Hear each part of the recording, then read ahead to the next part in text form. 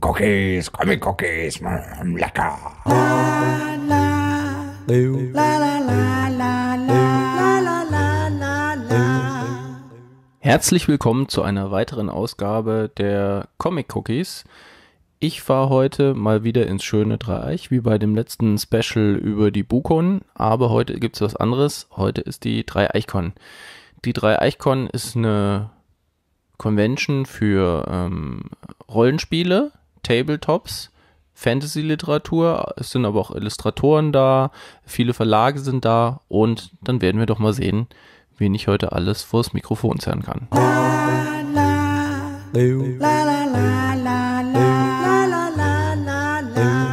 So, ich sitze hier jetzt bei der 3 Eichkon zusammen mit den Christian vom Con-Team. Hallo Christian. Hallo. Stell dich doch mal kurz vor.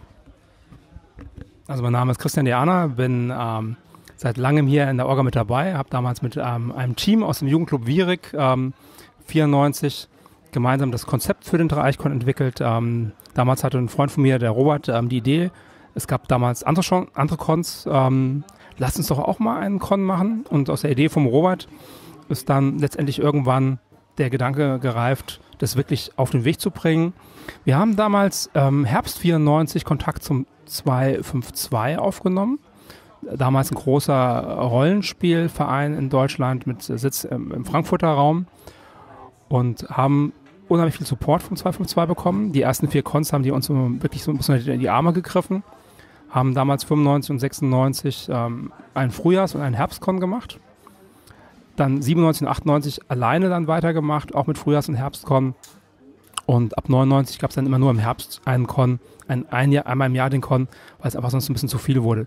Bis 2000 in Buschlag, einem Stadtteil von Dreieich, im damaligen Bürgersaal und seit 2001 hier in Dreieich-Sprendlingen im Bürgerhaus.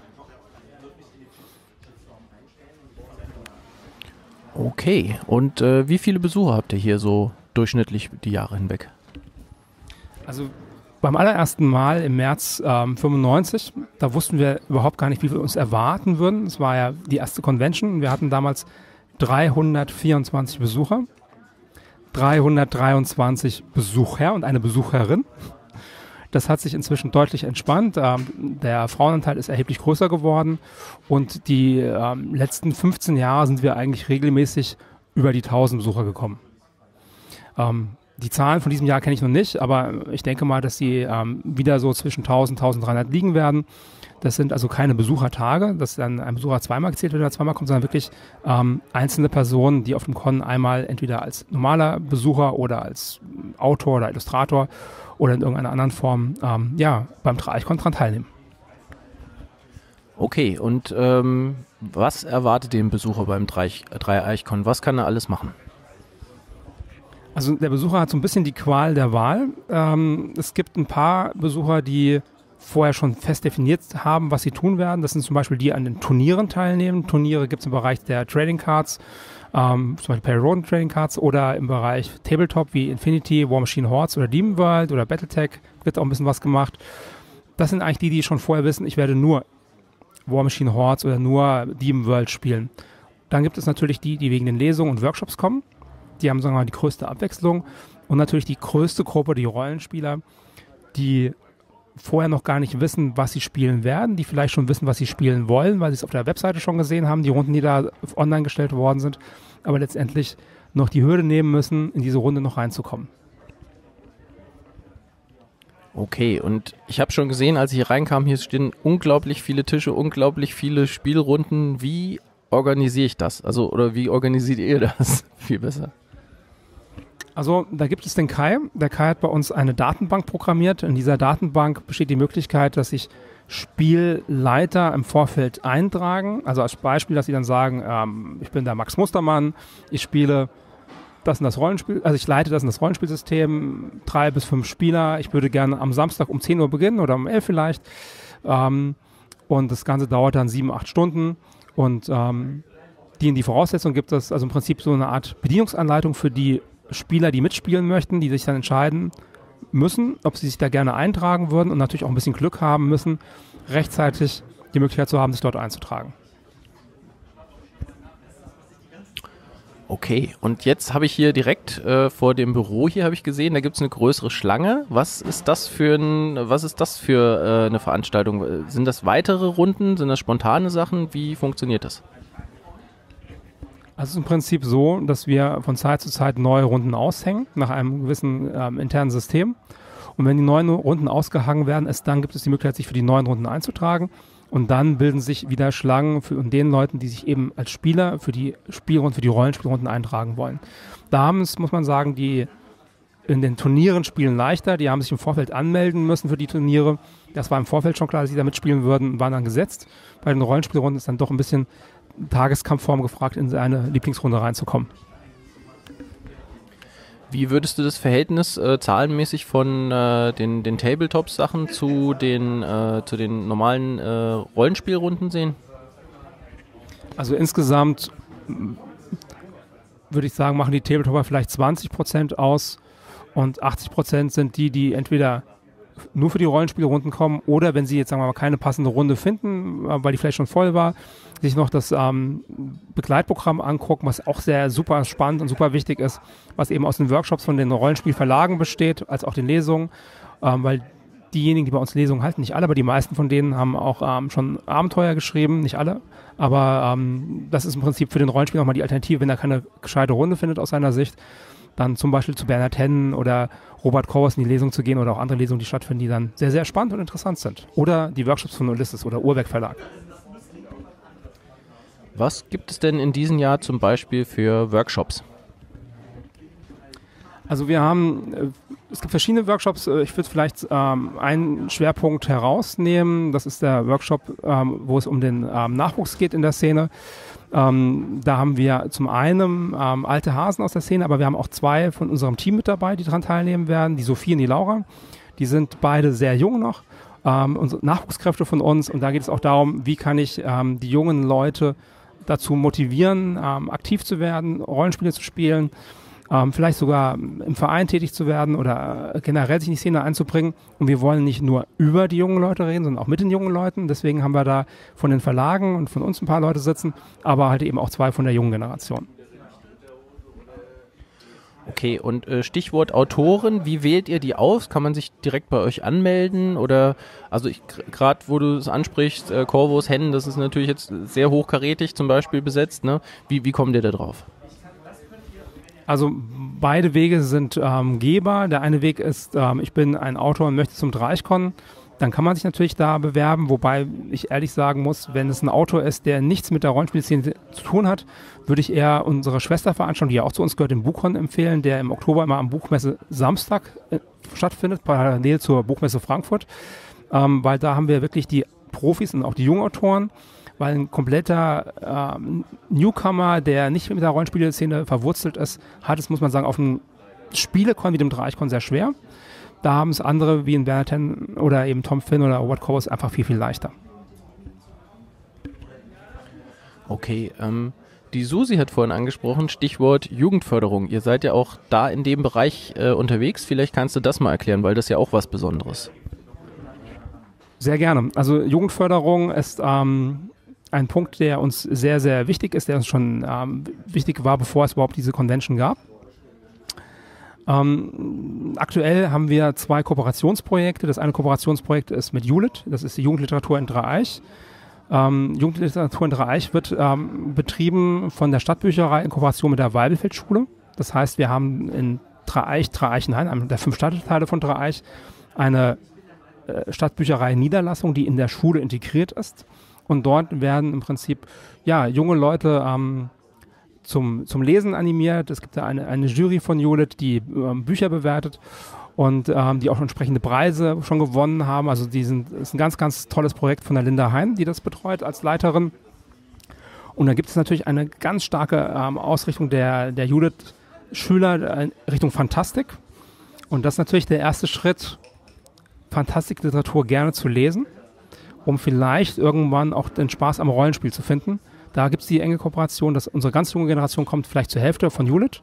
Und eine andere sehr enge Kooperation, ist mit der Dragon Legion vom RAS. Ähm, das ist ein europäisches Projekt, das im Prinzip junge Leute aus ganz Europa sich kennenlernen, zusammen Rollenspiele spielen und ähm, ja, im Sinne von einem ja, sich sehr wohlgesonnenen Europa mit ähm, über Grenzen hinweg ähm, weltoffen zu sein.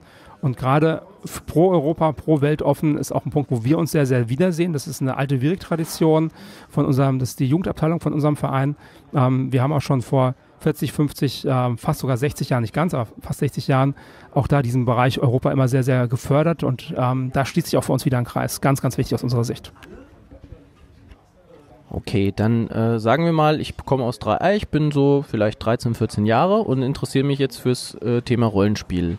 Wie, wie, wie würde ich denn aufgenommen bei euch im Verein? Mit was fangt ihr an? Was, was schlägst du da vor? Was wäre da ein guter Weg?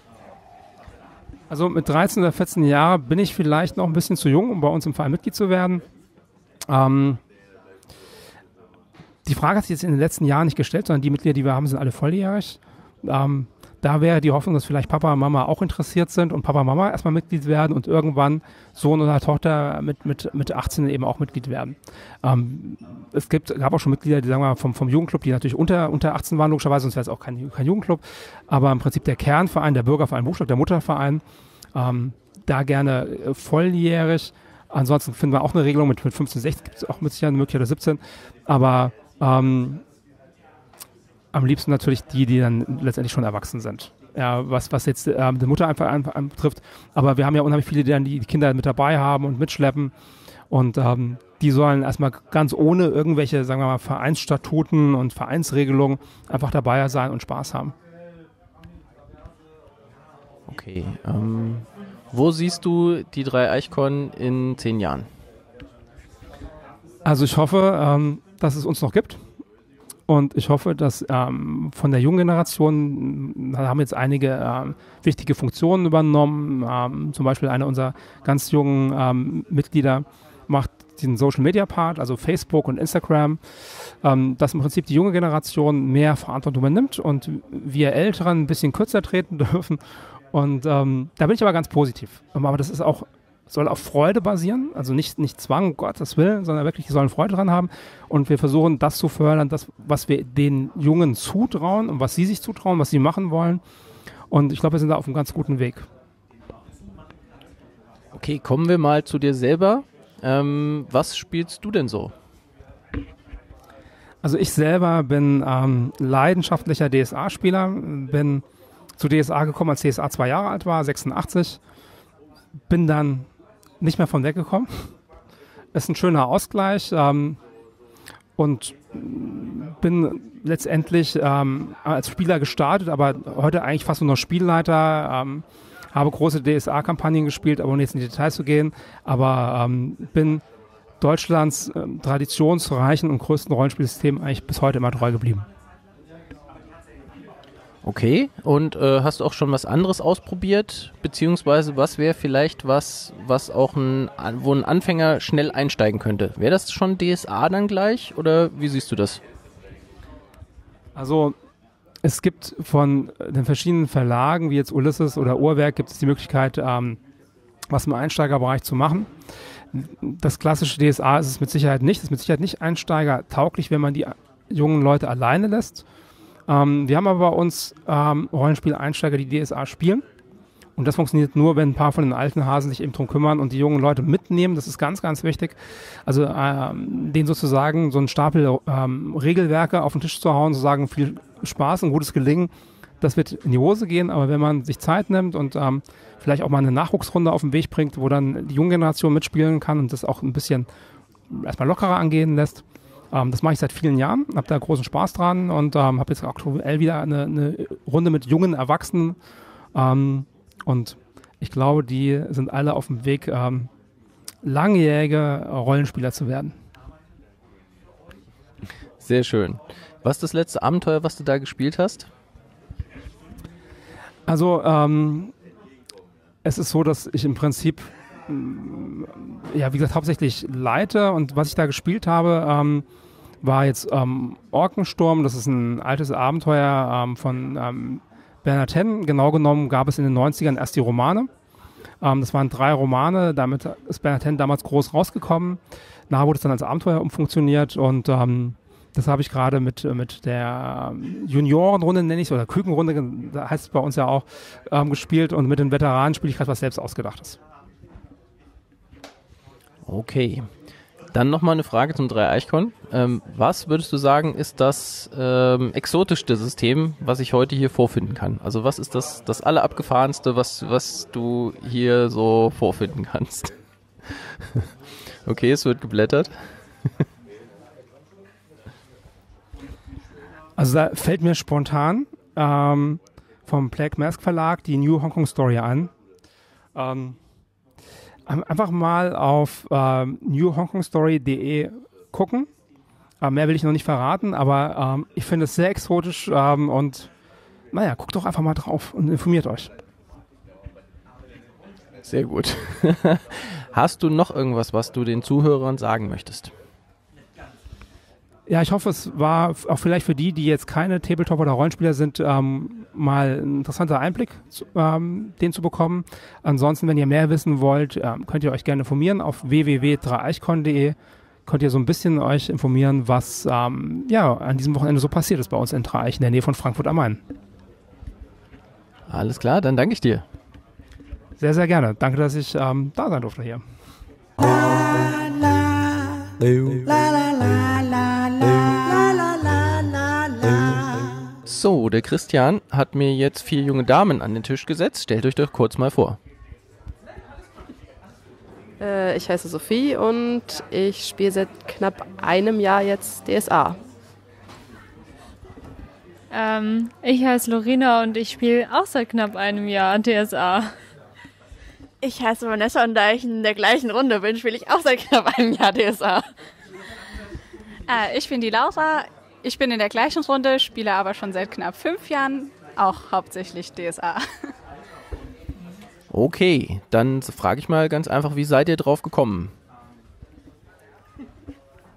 Tatsächlich über den Dreieichkon. Ähm, ich spreche jetzt mal für Vanessa und mich zusammen, weil wir zusammen in einer Jugendbuchjury sind und dort wurden wir eigentlich von Christian gefunden und rekrutiert fürs Con-Team und haben dann letztes Jahr bei der Dreieichkon, bei dem Dreieichkon geholfen. Und ja, so sind wir ins CSA gekommen. Ähm, ja, ich spiele ja schon ein bisschen länger. Ähm, bei mir war es tatsächlich mein Freund, der es gespielt hat. Und wenn ich am Wochenende meinen Freund sehen wollte, dann musste ich mich eben mit zum Rollenspiel an den Tisch setzen. Und äh, irgendwann hat es mir dann auch gefallen. Das hört sich ja sehr schön an. ähm, okay, und äh, spielt ihr alle DSA nur oder spielt ihr noch was anderes? Also ich spiele hauptsächlich DSA, ich habe aber auch schon ähm, D&D ausprobiert. Das hat sich aber auch nicht so ganz lang gehalten. Also ja, hauptsächlich DSA. Also ich spiele nur DSA. Ich habe mal letztes Jahr auf der Con ähm, äh, Pathfinder Society ausprobiert, aber es war irgendwie nicht so meins. Ich auch. ich spiele tatsächlich auch nur DSA, aber vielleicht wird ja heute noch was ausprobiert. Okay, und ihr seid auch alle im Con-Team. Was macht ihr denn da heute? Heute sind wir in der Stadtbücherei und kontrollieren am Eingang Bändchen.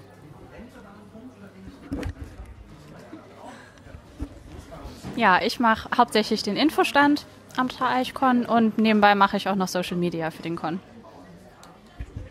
Sehr gut. Warum hatte drei Eichkon keinen Twitter-Account? Das ist eine sehr gute Frage, auf die ich keine Antwort habe. Aber es ist auch nicht so wahnsinnig interessant, das ganze Jahr über Twitter-Nachrichten zu schicken. Das wäre wahrscheinlich in der Stoßzeit, kurz vorm Con, eine Überlegung. Okay, was ist das Faszinierende an dem Rollenspiel? am Hobby.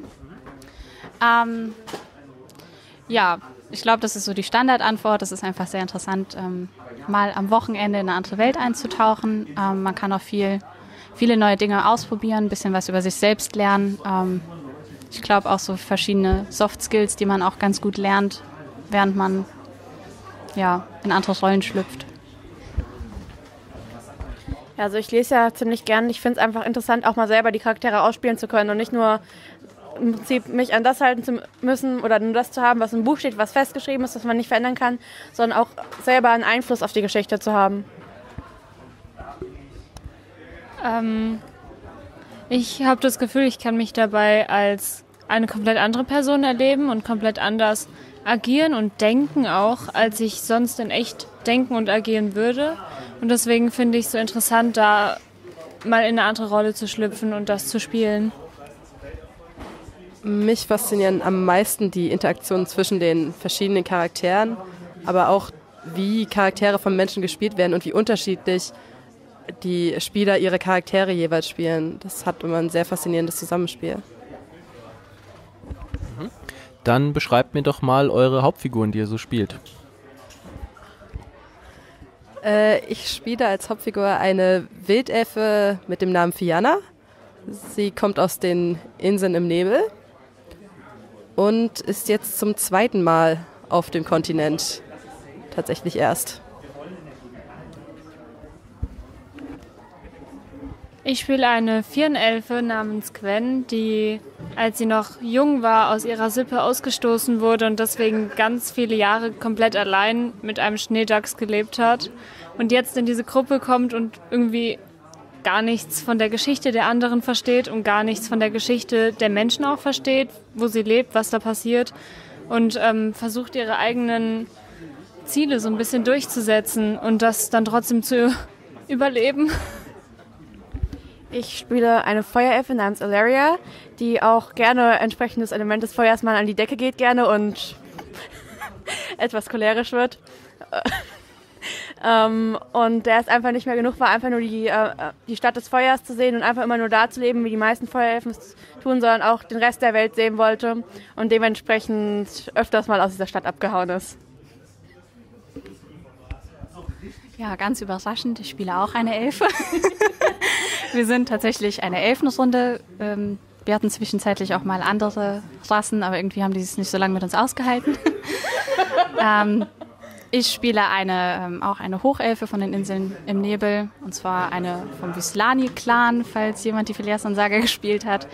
Und ähm, ja, bin aus der Generation, die nach der ganzen Geschichte erst geboren wurde und ähm, ein bisschen mit der Vergangenheit umgeht und ein bisschen auf den Spuren des alten Imperiums wandelt. Mhm. Ähm, ist denn Rollenspiel bei euch so, äh, was weiß ich, in der Schule oder wo immer ihr seid? ist es da sehr verbreitet? Gibt es da noch weitere? Ähm, also ich studiere inzwischen. Ich habe während der Schulzeit, während dem Abitur angefangen zu spielen. Da hatte mir mein Freund damals versichert, an der Uni spielt quasi jeder Rollenspiel. Konnte ich ihm nicht glauben, weil bislang hatte ich davon nie gehört. Ganz selten treffe ich mal Leute, die es tatsächlich kennen. Ähm, ich glaube, in der ganzen Uni habe ich bisher einen Jungen gefunden, der das auch spielt. Ähm, von daher ist nicht so ein wahnsinnig großes Thema, würde ich sagen. Den meisten Leuten sagt es einfach gar nichts. Ähm, also in meinem Freundeskreis habe ich niemanden, also außer jetzt die Menschen, die hier sitzen, habe ich eigentlich niemanden, den, der irgendwas mit Rollenspielen zu tun hat. Ähm, und auch so mit Menschen, die ich öfter zu tun habe, ist, glaube ich, eine Person, von der ich weiß, dass sie auch DSA spielt und das war es auch schon. Ähm, mir geht das recht ähnlich. Bei mir in der, ich bin jetzt im letzten Jahr in der Schule und wenn ich dort irgendwo erzähle, dass ich DSA spiele oder sogar, dass ich lape, ähm, guckt mich eigentlich immer jeder blöd an und fragt, hey, was ist denn das? Ich dachte, Rollenspiel macht man nur im Bett. das ist dann jedes Mal erstmal lange Erklärung, wie, was das eigentlich wirklich ist und was man da macht. Ähm, und ja. Ich habe tatsächlich eine relativ gegenteilige Erfahrung. Also ich studiere auch und erstaunlich viele Menschen in meinem Umfeld kennen es zumindest. Äh, in meinem Freundeskreis habe ich tatsächlich auch ein paar Leute, die das relativ regelmäßig spielen, aber auch sonst teilweise, du hörst während oder vor der Vorlesung auch einfach immer Menschen, die sich darüber unterhalten. Also man findet da schon doch recht viele. Okay, ist da auch DSA das hauptverbreitetste oder wie würdet ihr das einschätzen? Was ist da so? Puh, das kann ich nicht genau sagen. Wahrscheinlich auch, weil ich nicht genug dafür kenne, um genau das zuordnen zu können, was, über was sie jetzt genau reden. Ähm, aus meinem Freundeskreis wäre das DSA ja, aber da wird auch sowas wie D&D gespielt, also das ist auch durchaus noch vorhanden.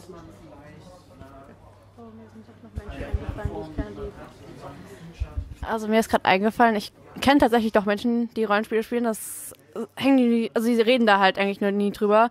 Äh, aber ich kenne tatsächlich Menschen, aber die spielen alle D&D. Also DSA haben die alle noch nie von gehört. Okay, Stichwort Lab. Spielst du da auch eine Elfe? Nein, ich spiele absolut nicht im Fantasy-Genre, weil ich das, glaube ich, nicht wirklich ernst nehmen könnte. Ich spiele Endzeit und Science Fiction und dort auch eher ernste Charaktere. Also ich spiele dort lieber Antagonisten, die anderen Probleme machen und vor denen man Angst haben kann, als immer nur den blöden Helden zu spielen. Okay, gibt es da bestimmte äh, Systeme oder, oder besondere Labs, wo du da besonders gern hingehst oder? Ja, ich war jetzt im Oktober im Tales Inside in einem ähm, Bunker und habe dort eine Security gespielt. Ähm, auch keine besonders sympathische Person. ähm, eher einschüchternd und das, ja, sind eher so meine Charaktere aus dem Lab. Okay, was würdest du ähm, als den großen Unterschied jetzt so für dich betrachten? Ähm, beim DSA habe ich das Gefühl, man spielt viel mehr Helden und man hat seine eigene Heldengeschichte und das ist auch wirklich interessant, den Helden spielen zu können. Aber im Lab hat man viel mehr Leute um sich rum und wenn dort jeder den Held spielen würde, würde es keinen Spaß mehr machen. Und gerade beim Lab habe ich das Gefühl, geht es mehr um die Emotionen und um den eigenen Charakter als um den Plot und um die Geschichte. Okay. Bewacht ihr die ganze Zeit jetzt die Bücherei oder guckt ihr euch heute vielleicht noch einen Workshop an oder eine Lesung oder wollt ihr noch an einer Spielrunde teilnehmen?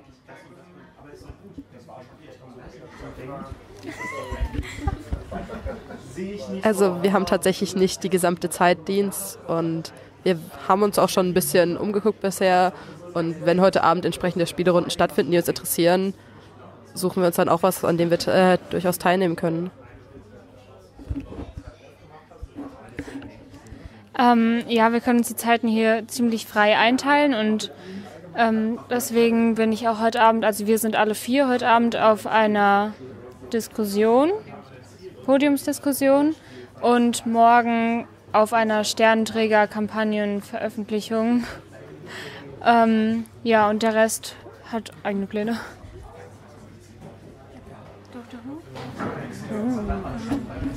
Genau, wie Lorena eben gesagt hat, sind wir heute Abend bei einer Podiumsdiskussion, interessanterweise zum Thema Nachwuchsförderung zum Rollenspiel. ähm, Sophie und ich werden da auch reden oder sollen, müssen reden. genau, und ansonsten versuche ich auch ein bisschen über die Con zu rennen und äh, Menschen zu fotografieren und das irgendwie mit dem Datenschutzgesetz unter einen Hut zu bringen. Ja, dann machst du ein Fach auf, Fass auf hier. Ihr müsst nachher auch noch was unterschreiben. Nein, Spaß. Ähm, wenn ihr ähm, anderen Leuten empfehlen würdet, äh, die sich jetzt auch für das Thema spontan begeistern, weil wir haben jetzt Zuhörer, die wahrscheinlich nicht alle oder viele davon nicht im Thema sind. Wie sollen die vorgehen? Wie finden sie ihre Runde? Genau, also ich würde auf jeden Fall empfehlen, sich eine Runde zu suchen und nicht ähm, vielleicht ein Regelwerk wie DSA sich vorzuknöpfen und versuchen, sich allein dadurch zu mausern. Ähm, Im Internet gibt es verschiedene Möglichkeiten. Ein guter Freund von uns macht ähm, eine Homepage gerade auf. Die läuft seit einem Jahr ungefähr. My Fantasy World heißt die. Ähm, da kann man sich verschiedene Systeme suchen, Runden suchen oder auch verschiedene lokale Läden. Oder auch so Veranstaltungen wie der Dreieichkon sind natürlich auch eine Möglichkeit, um das erste Mal Kontakt mit einem Hobby oder mit einem neuen System ja, zustande zu kriegen. Ja, wobei, da, da würde ich sagen, wenn ich jetzt so hierher komme, sehe 2000 Tische hier rumstehen, 2000 Runden, da wüsste ich persönlich gar nicht, wo ich anfangen würde. Also das, das, ähm, also ich glaube, für hier ist es tatsächlich vielleicht ganz gut, man, man hat schon so ein bisschen Vorwissen. Es sei denn, man möchte sich vielleicht nur mal angucken, da guckt man sich vielleicht die Tabletops an, das sieht auch immer wunderschön aus. Ähm, ja. Also Internet wäre eine gute Plattform dann, diese Homepage. Okay. Gibt es noch jemand, äh, noch etwas, was ihr den Lesern äh, bzw. Zuhörern sagen möchtet? Zum Abschluss. ja?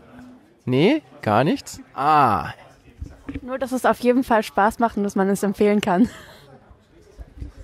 ein sehr guter Schlusssatz. Ich danke euch auf jeden Fall und bis dann. Tschüss. Tschüss.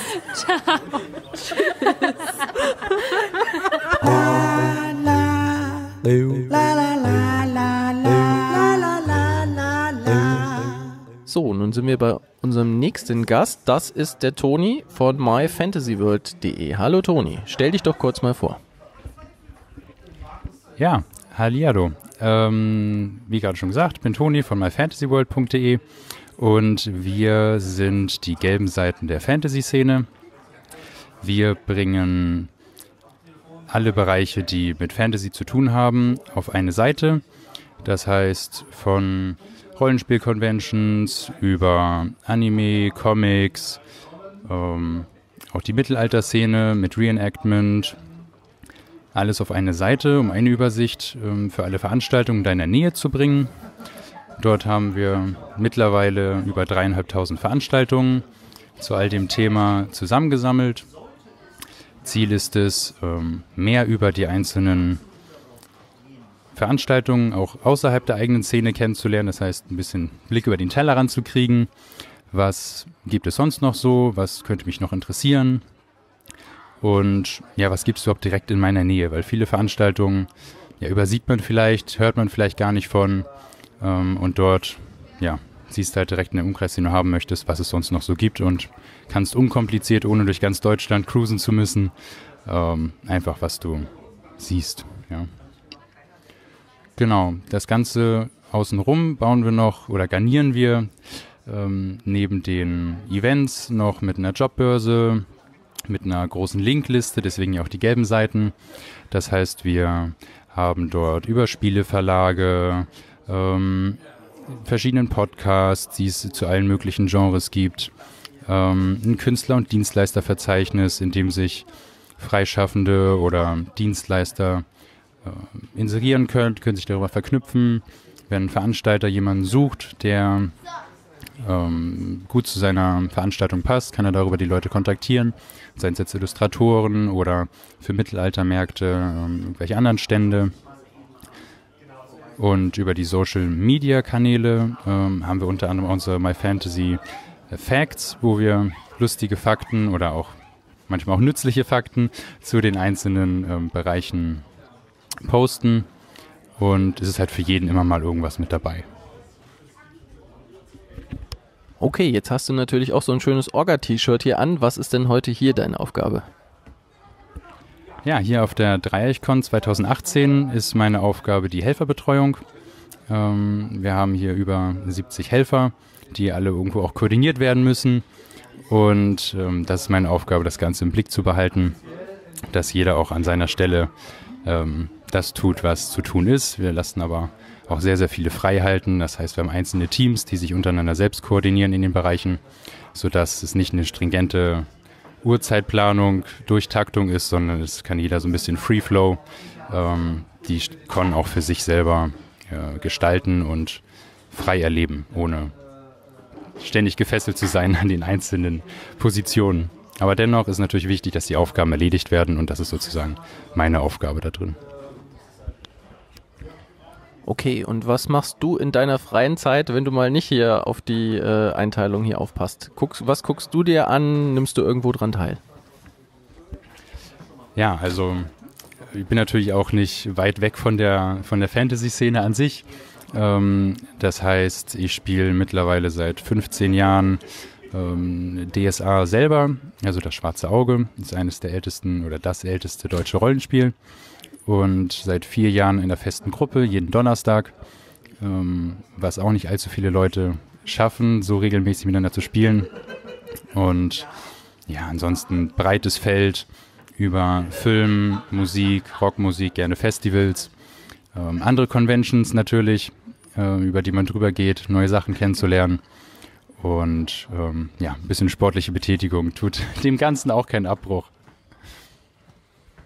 Ja, davon habe ich hier heute draußen nicht viel gesehen, muss ich sagen. Das ist heute in Dreieich nicht unbedingt der Schwerpunkt, aber so soll es ja auch sein. Ähm, welche Rollenspielsysteme würdest du vorschlagen, wenn jemand sagt, er ist ganz neu, er möchte sich das vielleicht äh, erstmal angucken, ob das was für ihn ist? Was wäre da was? Gibt es natürlich extrem viele unterschiedliche Möglichkeiten, ähm, Rollenspiele auszuleben. Also sehr regellastige Systeme, die schon lange bestehen, wie DSA, ist sehr, sehr umfangreich, ist für den Einstieg ähm, sicherlich ein sanfter, sanftes Genre, sanfte Umgebung, ähm, weil es ja die klassische Fantasy-Welt äh, verkörpert. Ähm, aber regeltechnisch natürlich sehr, sehr umfangreich, indem man sich da ein bisschen einarbeiten muss. Ähm, gibt es sehr, sehr viele ja, Erzählrollenspiele, ähm, ist es wirklich ja, schwierig, da ein wirkliches Einstiegsgenre ähm, zu finden oder Rollenspiel zu finden. Aber wenn man einfach mal durch die bekannten Verlage durchguckt, Uhrwerk oder Ulysses, haben die sehr viele unterschiedliche Sachen, auch einsteigerkonforme Rollenspiele. Einfach mal durchblättern, was einem vom Genre her passt. Ähm, Endzeit oder Mittelalter oder Hauchfantasy ist halt immer jedem Geschmack überlassen. Ja. Was ist das äh, Absonderlichste, was du jemals gespielt hast, so als Test? Das Absonderlichste. Also es gibt sehr, sehr sporadische oder welche mit extrem wenig Regeln. Darunter ähm, gehört zum Beispiel FU. Ähm, das ist, ich weiß gar nicht ehrlich gesagt, wie man das komplett ausspricht, aber dort ja, hat man im Prinzip nur eine kleine Karteikarte, benennt sich eine Fähigkeit, die man hat, einen Namen, ähm, ein Gerät, was man dabei hat und ähm, ja, eine Eigenschaft. Und dann spielt man auch schon los in einem komplett unabhängigen Setting, worauf man gerade Lust hat. Und ja, mit extrem wenig Regeln erzählt man sich halt einfach, was gerade passiert. Und der Spielleiter geht quasi einfach auf das ein, was in dem Moment passiert. Also es kann von Endzeit über Zukunft in deiner Nachbarschaft ähm, oder über den Schultag gestern eigentlich alles passieren, was passieren kann. Und das finde ich schon sehr, sehr cool, muss man sich einfach darauf einlassen, aber war im ersten Moment, wo ich es gespielt habe, auch sehr, ja, absonderlich.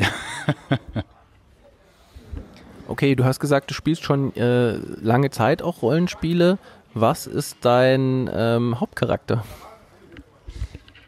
Mein Hauptcharakter ähm, ist Eolan, also im, im, im schwarzen Auge-System ist es ein ähm, horasischer Charakter, also ein Dieb, der sich, ähm, ja, der ohne Eltern quasi aufgewachsen ist, ist in einer, ähm, ja, ich nenne es mal Bande groß geworden und hat dort halt das Überleben gelernt durch, durch Diebstahl, durch Hauseinbrüche und ähm, mittlerweile über die 15 Jahre ist er schon ziemlich weit herangewachsen, hat sehr, sehr viel gesehen, ähm, sodass er ja mittlerweile im Blindflug so ziemlich alles kriegt, was er, was er haben möchte.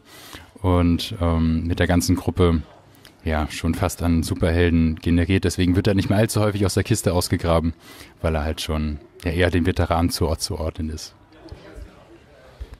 Okay. Hast du noch irgendwas, was du den Zuhörern mitteilen möchtest?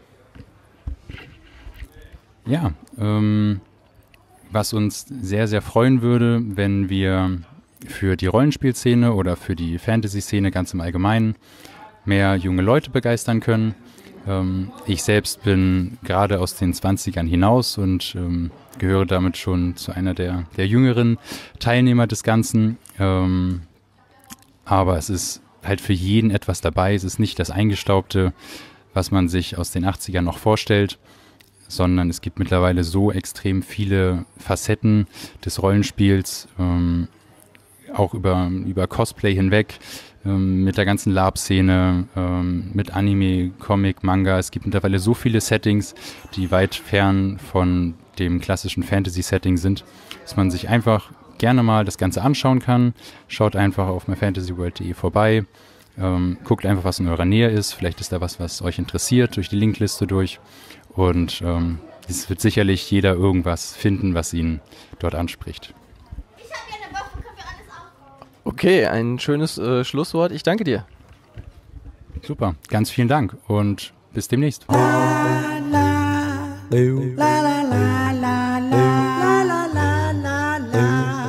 Ja, hört euch diese Stille im Hintergrund nochmal an, das werdet ihr gleich nicht mehr erleben, denn ich darf jetzt zumindest den Anfang einer kleinen Rollenspielrunde, wie sie hier wirklich zu, zu Dutzend, wenn nicht zu Hunderten gibt, äh, mal mitbegleiten. Und diese Runde findet äh, in der Kegelbahn statt, aber es ist nicht die einzige Runde, die da stattfindet. Deswegen könnte das sein, dass von relativ vielen Nebengeräuschen äh, begleitet wird. Ähm, wir probieren es trotzdem mal. Es wird ein Science-Fiction-Setting sein und schauen mal, ob das transportabel ist. Mal gucken, was der Steffen da rauskitzeln kann. Beziehungsweise die Technik. Wir probieren es auf jeden Fall.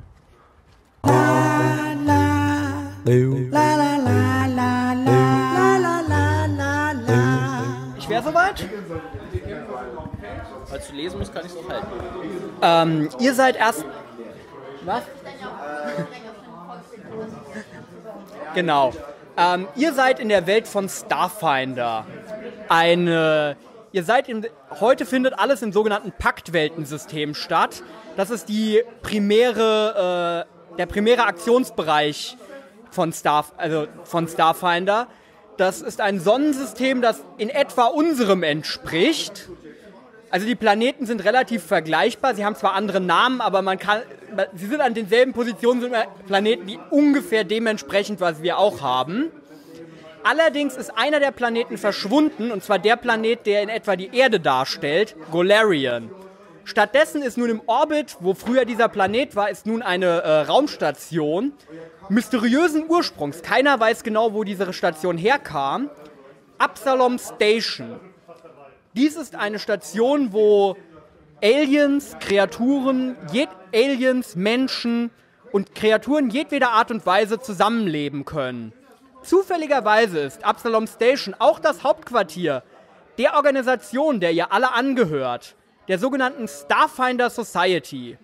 Starfinder sind eine Gruppe aus Abenteurern, Erforschern, Gelehrten, Hackern und vielen anderen Arbeitsrichtungen, die ähm, zum einen die Erkundung äh, des, der Vast und, der, und weiter Welten, ent, äh, des Weltraums und weit entfernten Welten sich zur Verfügung, äh, sich zum Ziel gestellt haben. Aber auch, sie sind auch einigen Kampfmissionen nicht gerade abgeneigt.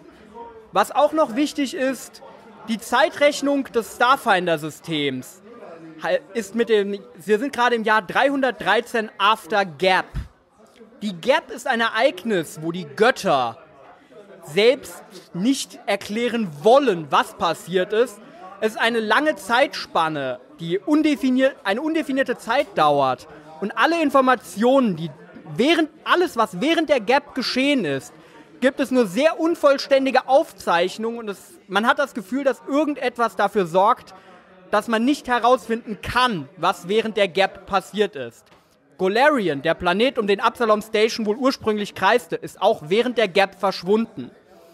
Nachdem die Gap geschehen ist, hat ein neugeborener Gott, Triune, jedweder Rasse im Universum, egal ob sie dafür bereit war oder nicht, die Pläne für den Überlichtantrieb gegeben, den sogenannten Driftantrieb.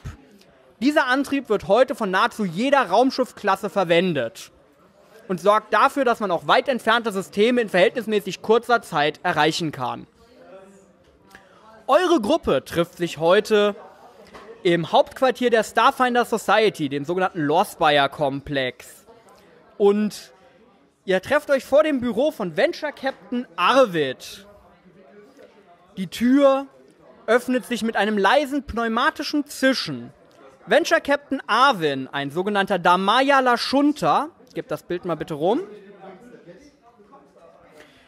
sitzt hinter seinem Schreibtisch und ähm, begrüßt euch. Ah, schön, dass ihr gekommen seid. Setzt euch, wenn ihr wollt. Allerdings, das Ganze hier sollte nicht allzu lange dauern. Arvid drückt auf einen Knopf in seinem Schreibtisch und murmelt zu, äh, seinem Assistenten zu, Croyd, sorge dafür, dass alles die nächsten paar Minuten nicht an mich weitergeleitet wird. Wenn irgendjemand anruft, bitte sagt ihm, dass ich in einem Mission Briefing bin und ich sie danach zurückrufen werde. Er verdunkelt danach das Display und gibt euch seine volle Aufmerksamkeit. Ah, richtig. Ich habe einen Auftrag für euch.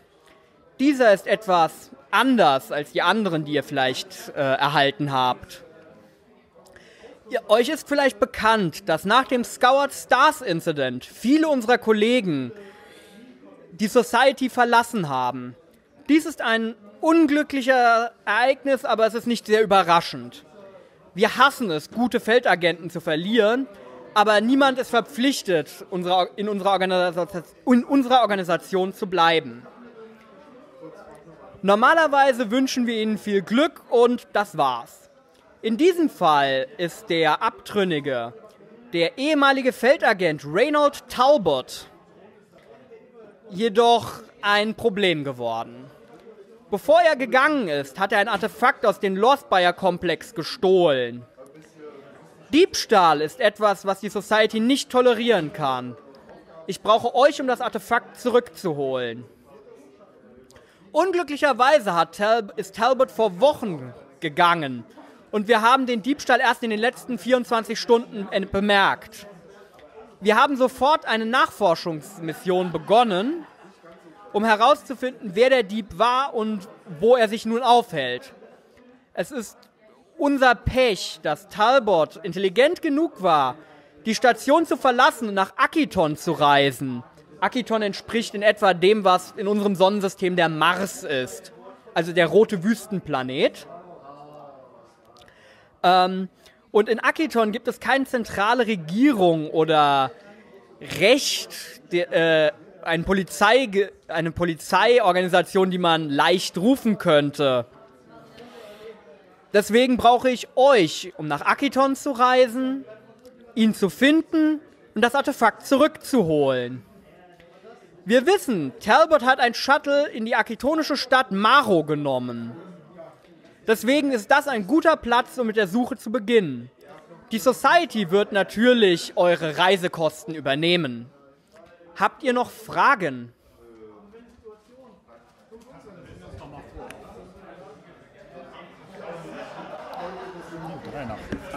Ah, vorstellen. Ah, okay. Ähm, vor euch seht ihr ein humanoides Geschöpf, das wohl zwar menschenähnlich ist, aber so ein paar blaue Linien am Gesicht dran hat. Es scheint sich wohl um einen Androiden zu handeln, äh, der in weite Runen gekleidet ist, auf den ziemlich viele religiös erscheinende Symbole äh, aufgezeichnet sind. Ähm, und er hört auf den Namen Ravion. Ja, der zweite Androide in der Runde Allerdings ist die Hautfarbe nicht bläulich, sondern eher ein äh, mattes Grün. Hm? Achso. Ähm, hört auf den Namen Tidega Alpha 1 und äh, ist ein Mechaniker. So, ich spiele einmal einen langweiligen Charakter, nämlich einen echten Menschen. Kazumo Kensei ist ein Solarianer, also eine, mh, hm, sag ich mal, eine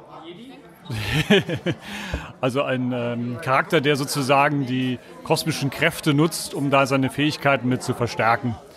Ähm, und der gehört einer Spezialuntereinheit in der äh, Starfinder Society an, den Exo-Guardians, die sich zur Aufgabe gemacht haben, die Paktwelten vor bösen Aliens zu beschützen. Bei mir sieht man ein Gottesanbeterin ähnliches Wesen, was allerdings auch gleichzeitig einer Heuschrecke ähnelt. Und dieses hat auch zwei Kanister an seinem linken Bein, welche anscheinend mit irgendwas gefüllt sind. Man kann allerdings nicht ganz er erkennen, was. Und er scheint auch religiöse Zeichen überall an seinem Körper zu haben. Er hört auf den Namen Keskodai und ist ein Priester.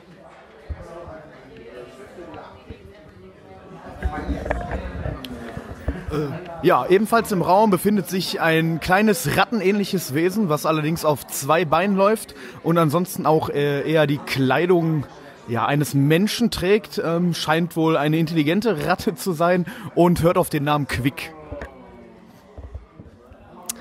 Äh, ja, euch wohl bekannt, äh, auch im Raum seht ihr Obosaya oder auch Obo genannt. Äh, ein äh, weiblicher Versk, äh, ziemlich stämmig gebaut, schwere Soldatenkleidung, spricht wenig, schießt viel. Und nun, um darauf zurückzukommen, habt ihr noch Fragen an euren Venture Captain, die den Auftrag betreffen?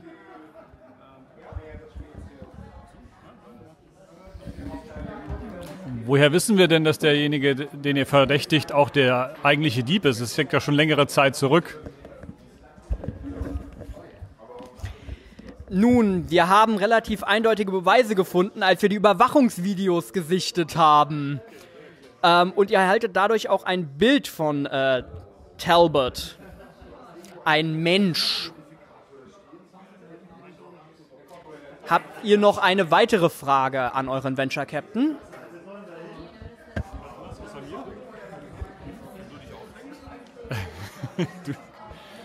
Was macht das Artefakt denn, was er gestohlen hat? Nun, es ist eine gute Frage. Die Antwort ist relativ kompliziert, weil sie beinhaltet eigentlich die Antwort auf zwei Fragen. Das Artefakt, was ist das Artefakt und was denkt, was Talbot ist? Was Talbot denkt, was das Artefakt ist. Wir gehen davon aus, dass Talbot denkt, dass er ein Objekt vom alten Golarion gestohlen hat, das man auch einen Philosophers Stone nennt, einen Stein der Weisen. Legenden sagen, dass der Stein Materie transformieren kann in beliebige andere Materie. Was Talbot allerdings wirklich gestohlen hat, ist ein vor kurzem aufgefundener Charlatans Stone. Er macht etwas ähnliches, allerdings ist der Effekt nicht real, sondern nur eine mächtige Illusion und nur temporär. Wir denken, ähm, Con-Artists haben es genutzt, um falsches Gold herzustellen.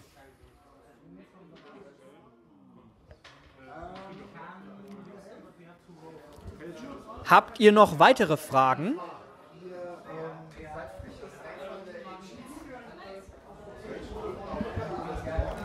Heißt denn keine Polizei auch, dass es keine Gesetze gibt und niemanden, der uns überwacht?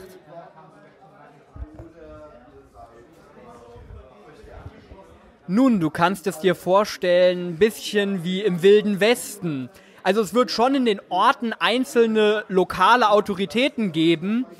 Allerdings ist es jetzt nicht so, dass wir, dass es eine planetare Polizei oder ähnliches geben würde. Gehe eher davon aus, dadurch, dass ihr euch mit örtlichen Sheriffs herumschlagen müsst, wenn ihr ähm, Gesetze brecht. Vor allem so heißt das auch, dass es jetzt je nach Ort unterschiedliche Gesetze geben kann. Was das Ganze natürlich auch noch verkomplizieren könnte.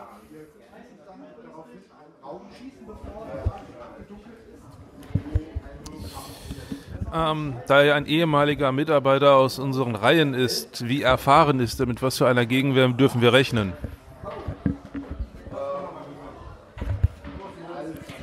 Talbot war einer unserer Agenten. Er war nicht besonders hochrangig. Wir vermuten, dass er desertiert ist, nachdem ihm gesagt wurde, dass er noch nicht kompetent genug sei, um den Rang eines Venture Captains zu erhalten, trotz der Verluste, die wir im Scoured Stars Incident erhalten haben. Er war ein ähm, Agent, ein Operative, der sich auf heimliche Missionen spezialisiert hat. Und als Information für unsere neuen Spieler, der Scoured Stars Incident ist ein Ereignis, das vor etwa einem Jahr stattgefunden hat, in dem die Starfinder Society eine große Expedition in das Trinärsystem der Scoured Stars durchgeführt hat. Dabei wurden etwa 90% aller Starfinder-Agenten eingesetzt und kurz nachdem die Starfinder im System angekommen sind, ist ein Energieschild um das gesamte System hochgefahren und hat dafür gesorgt, dass wir jedweden Kontakt zu ihnen verloren haben. Was dazu gesorgt, dafür gesorgt hat, dass die Starfinder Society derzeit sehr wenige Agenten hat und nahezu alle ihre erfahreneren Agenten verschollen sind. Wir sind gerade dabei, eine Rettungsmission zu organisieren, die äh, dafür sorgt, dass wir diese Agenten retten können. Aber dafür müssen wir vielleicht erstmal unseren eigenen Hinterhof in Ordnung bringen. Habt ihr noch weitere Fragen?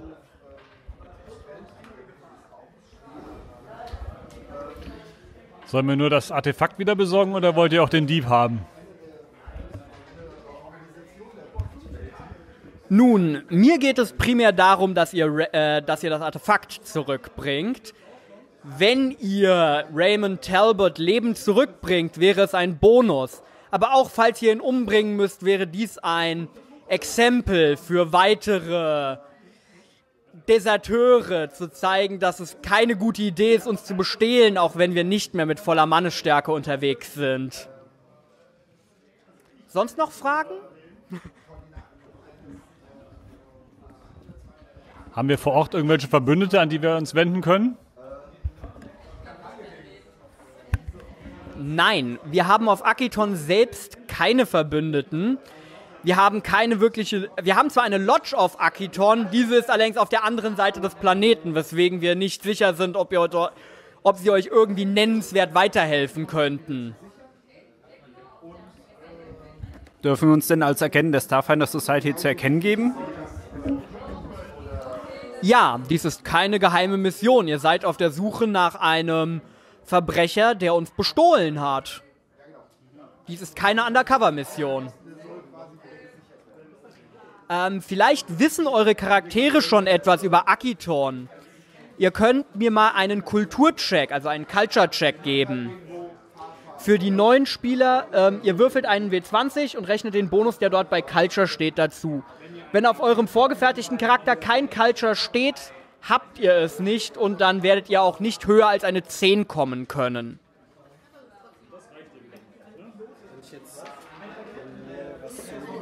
Mercenary, das geht, das geht nicht. Das geht nicht. Also es ist kein Militär.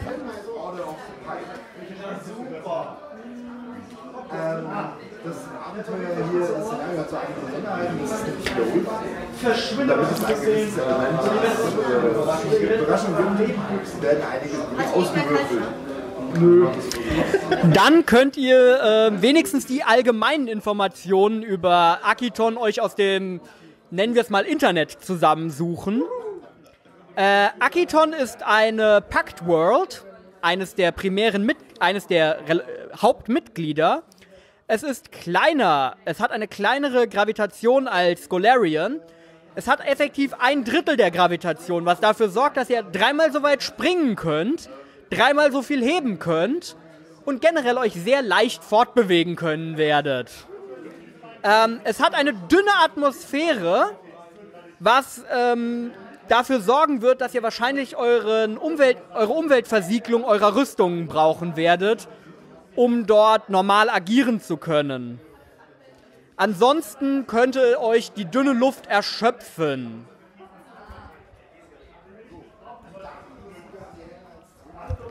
Bekommen wir diese Ausrüstung dann gestellt oder müssen wir uns diese noch erwerben?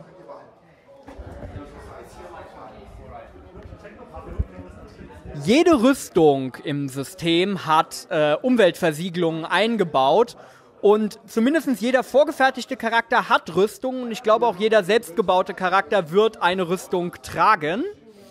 Zusätzlich habt ihr die Information gefunden, dass Akiton einen äh, wirtschaftlichen Zusammenbruch erlitten hat, als die Drift-Technologie ähm, verteilt wurde da Akiton, bevor der Driftantrieb bekannt wurde, einen Großteil seiner Einnahmen aus dem Verkauf von äh, Raumschifftreibstoff erworben hat, was durch die Drifttechnologie natürlich überflüssig wurde.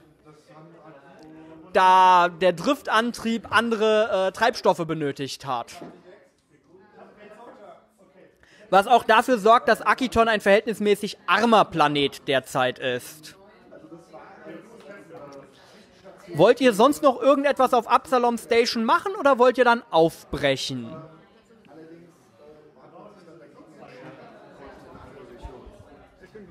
Bezahlung im Voraus? Nein, wie üblich werdet ihr im Nachhinein bezahlt. Oh, wir werden bezahlt. Yeah! Ja, ihr werdet bezahlt. Die Starfinder Society zahlt ihre Schulden. The Society always pays its debts. Naja, ihr bekommt äh, die, auf die Spesenrechnung dürft ihr dieses Mal Reisekosten draufschreiben, weil Venture Captain Arvid hat gesagt, dass er euch die Reise nach Akiton finanzieren wird. In einem normalen Shuttle. Nein, in einem normalen Passagiershuttle.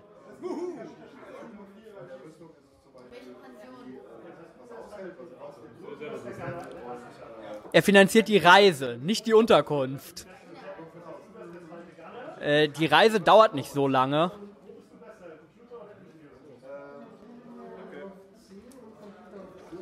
Sonst noch irgendetwas, was ihr machen wollt? Hier wäre jetzt noch eine gute Gelegenheit für Leute, die noch letzte Einkäufe erledigen wollen. Okay.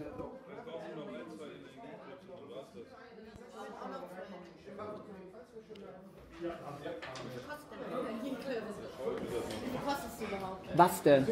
Energieclips. Ähm, Batterien kosten nicht so viel.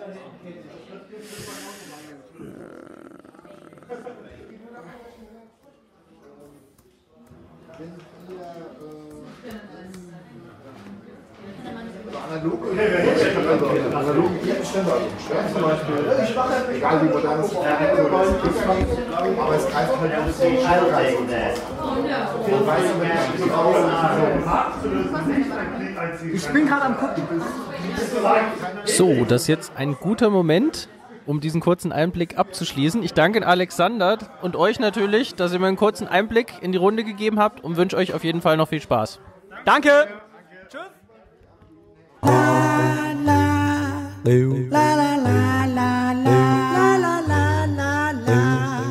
Nach der Rollenspielrunde sitze ich hier jetzt wieder in der Bücherei und habe hier eine Autorin sitzen. Wer bist du, was machst du? Ja, hallo, ich bin Heike Schrapper und ich schreibe Kurzgeschichten, von denen einige in verschiedenen Anthologien veröffentlicht sind. Was ist so dein Genre, in dem du Kurzgeschichten schreibst? Oder kann man es nicht näher definieren? Ähm, es sind fast alles fantastische Geschichten und ich sage immer so von Trash bis Tiefsinn. Also es ist ähm, von Zombie-Porno, allerdings ein sehr geschmackvoller Zombie-Porno, bis äh, im Jenseits spielende Begegnung mit göttlichen Wesen oder auch nicht, ist da alles bei. Also du bist äh, im Bereich der Fantastik unterwegs. Genau, das ist so der, der kleinste gemeinsame Nenner. Wobei auch das nicht immer ist. Es kann auch mal eher so in die Horrorrichtung oder sowas gehen. Okay, und wenn man was von dir lesen will, äh, wo findet man das dann? Die meisten Geschichten sind beim Verlag Thorsten Loff, aber ich bin auch bei Amrun, Edition Roter Drache. Ähm, was haben wir denn da noch? Ulrich Burger Verlag. The Dandy is Dead. Ja, so verschiedene. Ich weiß nicht, ob ich jetzt einen vergessen habe. Kann sein. Ich habe jetzt hier gerade keine, keine Bücher vor mir. Okay. Und ähm, vielleicht mal eine Geschichte, auf die du näher eingehen kannst, damit wir so ein bisschen eine Vorstellung haben, was du machst. Ja, weil wir gerade noch davon gesprochen haben, der heilige Martin der Maden. Das ist eine Geschichte, die in der Anthologie Ungeziefer im Verlag Thorsten Loff erschienen ist. Ist jetzt auch schon drei Jahre her. Ähm, da geht es um Martin, der eines Morgens in seiner Küche Maden findet. Allerdings nicht irgendwelche Maden, sondern die kommunizieren mit ihm. Also die legen sich in Formation auf dem Fußboden hin und können dann Wörter formen und so weiter. Und weil Martin sozial jetzt nicht besonders kompetent ist, freundet er sich dann mit denen an und stellt fest, das ähm, ist zwar wunderschön für ihn, hat aber auch alles seinen Preis. Ähm, zuerst wird er noch stolzer Vater von Fliegen, die dann wieder Eier legen, die sich verpuppen und dann wieder maden und wieder fliegen und so weiter. Also seine Familie vergrößert sich rasant. Und das Problem bei der Sache ist die Ernährungsweise.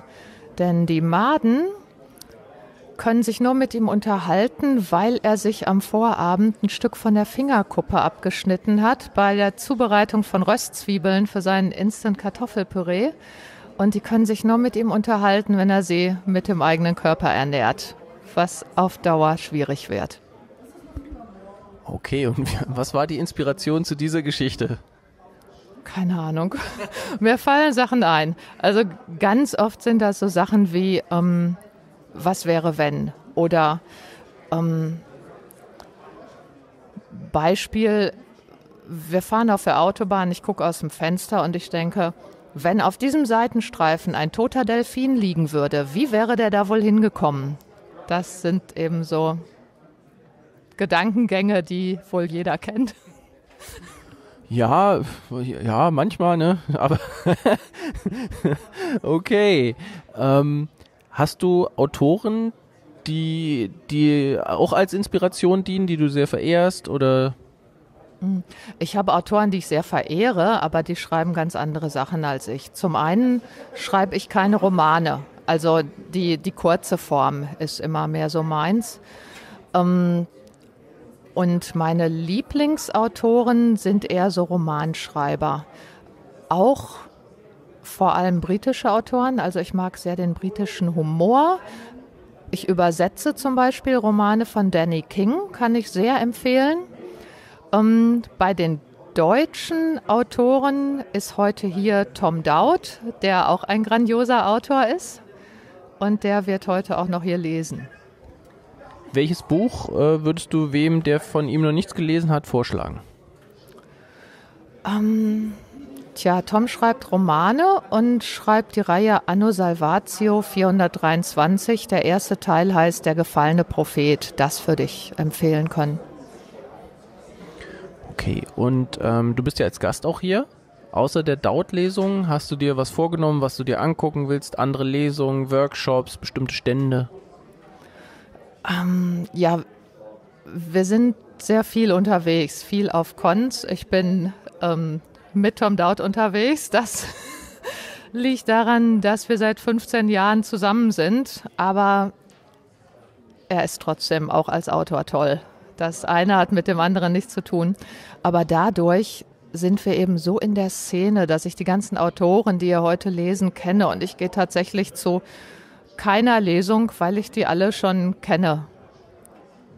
Ähm, ansonsten sind die alle sehr empfehlenswert, keine Frage. Okay, gibt es noch was, was du den Zuhörern noch sagen möchtest? Die Inspiration, was man vielleicht lesen könnte, was anderes? Was zu Delfinen vielleicht? ja. Ähm, was das Lesen betrifft, lest, egal was, denn ähm, Lesen bringt einen immer weiter, kann ich sehr empfehlen. Ach, ansonsten, ach, ich könnte so vieles sagen. Es gibt so viele Dinge, die man tun oder lassen sollte.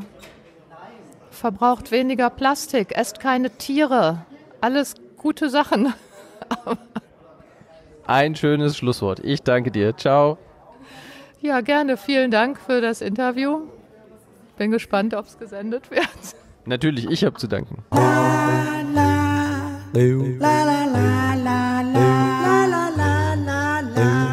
Da wir heute auch etwas Comic-Content bringen wollen, habe ich mir einen jungen Herrn äh, mit einem wunderbaren Comic-Oberteil rausgesucht mit diversen Soundwords drauf und langen blonden Locken. Hallo Thorsten, stell dich doch mal vor. Ja, hallo, ich bin der Thorsten. Eigentlich heiße ich Stefan. Ähm, ja, ähm, die meisten im Netz werden mich unter dem Alandor kennen. Das ist mein Username in diversen Foren. Und ja, ich bin Comic-Fan, wie du schon festgestellt hast. Was machst du denn heute hier? Ähm, ich unterstütze heute hier den System Matters Verlag vor Ort, weil ähm, nebenbei, wenn ich mal nicht in meinem Beruf tätig bin, den ich so die ganze Woche über ausübe, mache ich dann noch nebenbei was für die Jungs. Ähm, ich übernehme für diverse Serien, das Lektorat und äh, Korrektorat, unter anderem halt Beyond the Wall oder ganz frisch jetzt hier Schatten des Dämonenfürsten, was zur Con, ähm, also nicht zur Con, sondern schon zur Spielemesse erschienen ist. Ähm, das haben wir heute ja auch mit und ja, stellen das dementsprechend vor. Ja, dann stellst du mir direkt auch mal vor, was ist das? Ist das ein Spielsystem? Sind das äh, Bücher, Romane? Was ist es genau? Der Schatten des Dämonenfürsten ist ein düsteres, grimmes Rollenspiel, was in einer Welt spielt, die gerade am Start der Apokalypse ist. Also der Schatten des Dämonenfürsten ist auf diese Welt gefallen und jetzt passieren halt merkwürdige Dinge, wie unter anderem die Toten erheben sich aus ihren Gräbern oder die Meere fangen an zu kochen. Das kann man sich alles dementsprechend auswürfeln. Ist ein schnelles, einfaches System mit einem 20-seitigen Würfel und 2W6 bzw. 3W6. Ja, die Charaktererschaffung geht innerhalb von 15 Minuten über die Bühne. Das haben wir hier auch gerade vor Ort am Stand gemacht mit einer Schnellstarterrunde. Und ja, die sind noch fleißig dabei und haben Spaß dabei, äh, der Apokalypse sozusagen beim Entstehen zuzusehen. Würdest du sagen, dass direkt an, äh, einsteigerfreundlich ist, dass es jemand machen kann, der noch gar keine Rollenspielerfahrung äh, hat? Ja, würde ich sagen, kann man machen, weil ähm, es ist relativ einfach. Man sucht sich seine Rasse aus, das wird alles erklärt, was man auf dem Charakterbogen einzutragen hat. Ähm, das Regelsystem, wie gesagt, läuft über einen 20-seitigen Würfel. Hochwürfeln für die Erfolge, je höher, desto besser. Und der Rest erklärt sich eigentlich von selbst. Natürlich ist es am einfachsten, wenn man noch einen dabei hat, der ein bisschen erfahren hat und einen an die Hand nehmen kann. Okay, Stichwort Rollenspiele. Was ist denn deine Rollenspiel-Vergangenheit oder was bevorzugst du? Ähm, ich bevorzuge eigentlich auch düstere und grimme Rollenspiele. Ähm, ich komme mehr so aus der Warhammer-Ecke, also auch da, was das Rollenspiel angeht. Ähm, da betreibe ich halt auch ein Forum, www.kriegshammer.org. Das ist äh, eine Plattform, die gibt es seit dieses Jahr August. Wir sind aus ähm, der alten Wex Welt entwachsen. Das ist, äh, war vorher das Warhammer Fanforum hier so im deutschen Bereich. Die Domain gibt es leider nicht mehr und wir haben jetzt daraus halt den Kriegshammer gegründet. Okay, und um, um welche Themen genau geht es da jetzt auf, ähm, bei kriegshammer.de? Ähm, wir sind halt ein Forum für auch düstere und grimme Rollenspiele mit Fokus halt auf Warhammer oder halt auch den Schatten des Dämonenfürsten und äh, bilden halt dafür dann die Community, ähm, dass die Leute sich dann speziell über solche Rollenspiele bei uns austauschen können. Weil es gibt ja ähm, allgemeine Rollenspielforen, gibt es ja schon einige in Deutschland, auch einige große, wie zum Beispiel auch das Tannelorn-Forum. Ähm, das ist aber halt recht allgemein gehalten. Wir legen halt den Fokus halt mehr so auf diesen Spielbereich. Okay, und äh, wenn du nicht gerade da am Stand stehst und diese Bücher verkaufst, was machst du dann noch hier? Hast du dir vielleicht eine Lesung vorgenommen oder einen Workshop oder sowas? Ähm, heute bin ich eigentlich noch nicht wirklich großartig zu viel gekommen, außer dass ich ähm, mal an die andere Seite der großen Halle kam und festgestellt habe, oh, dieser Stand hat sehr viel geilen Scheiß, den ich haben möchte und ja, ich musste heute schon einmal das Gebäude verlassen und zur Bank gehen und ein bisschen mehr Geld holen. Was hast du denn alles erstanden? Das äh, finde ich besonders spannend. Ich habe, oh Wunder, Wunder, zwei Warhammer-Bücher erstanden. Das waren genau zwei, die mir noch gefehlt haben. Und ja, da die von der Warhammer Second Edition, also der zweiten Auflage des Rollenspiels, da sind die Bücher leider ja aus auf Print und nicht mehr so günstig zu erwerben. Und dann habe ich mir noch ähm, zwei Rollenspielbücher für Dungeons Dragons besorgt. Und zwar die Diablo 2 Erweiterung, die es damals zur dritten Edition von Dungeons Dragons gab. Halt passend thematisch zum Dämonenfürsten. Kann man sehr viel draus ähm, kopieren. Ah, Fresh Meat. Sehr gut. Ähm, Stichwort Comic. Bist du da auch mehr so grim and gritty unterwegs oder?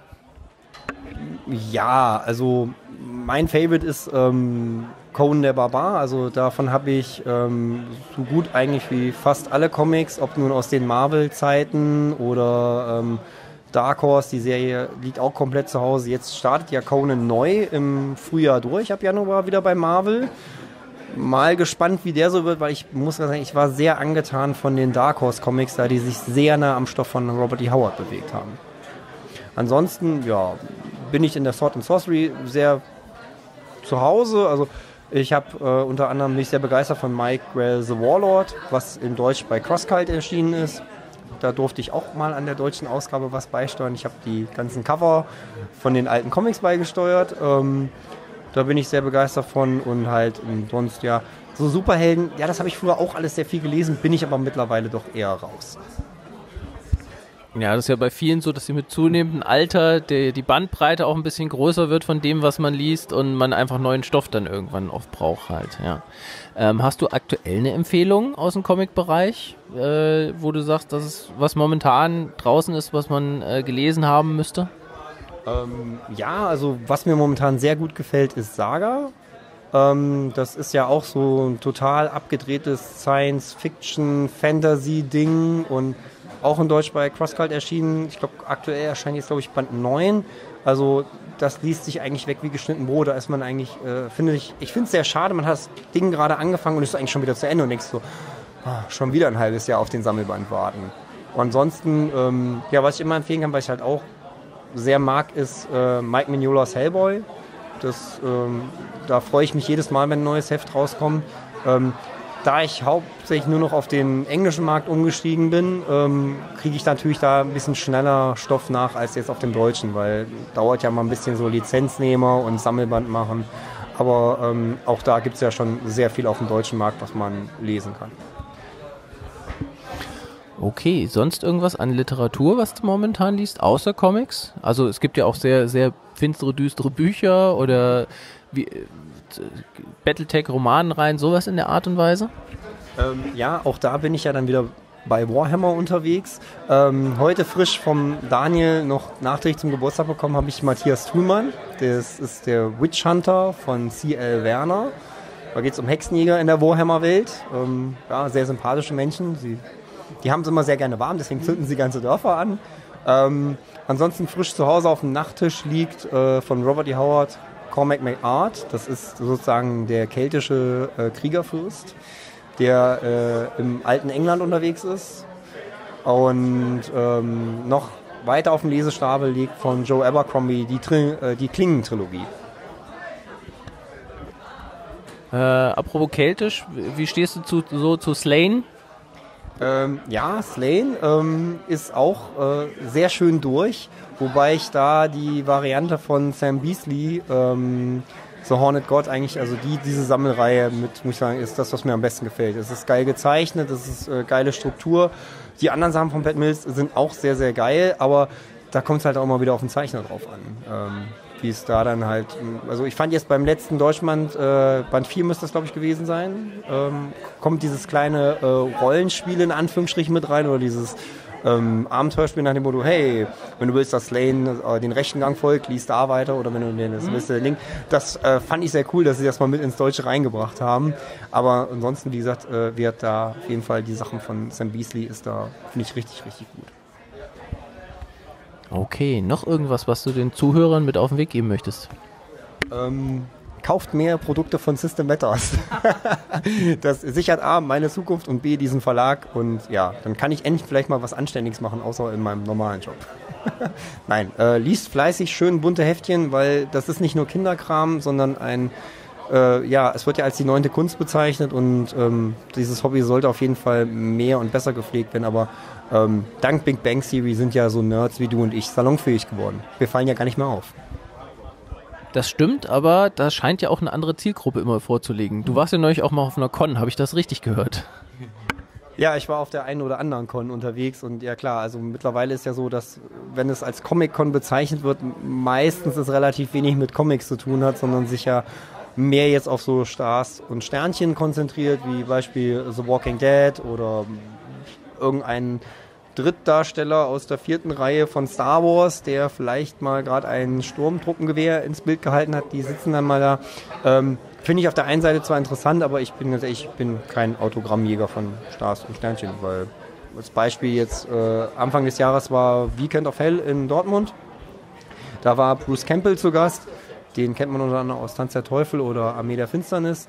Ähm, hätte ich gerne ein Autogramm gehabt, aber ähm, ich konnte aus Zeitgründen leider nicht hin.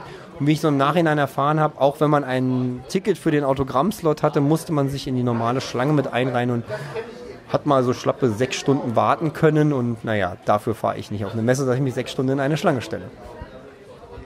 Ja, ein hervorragendes Schlusswort. Das ist auch ziemlich genau meine Einstellung. Ich danke dir fürs Interview. Ich habe zu danken für diese tolle, spontane Idee hier.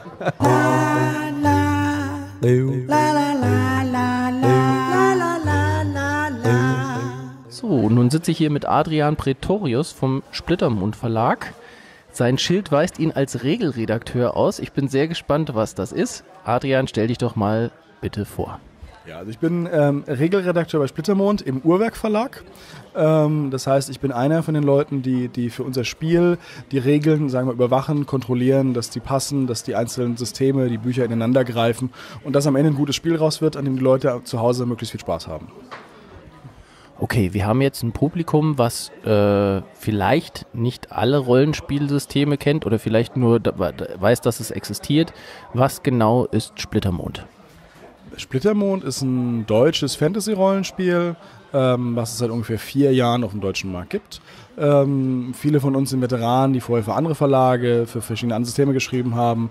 Vom Schwarzen Auge, über Deadlands, über Power Plüsch und Plunder, Cthulhu, Shadowrun. Ähm, wo im Prinzip der, der Grundgedanke war, wir hätten gerne wieder ein, ein breites, massentaugliches High-Fantasy-Spiel in Deutschland.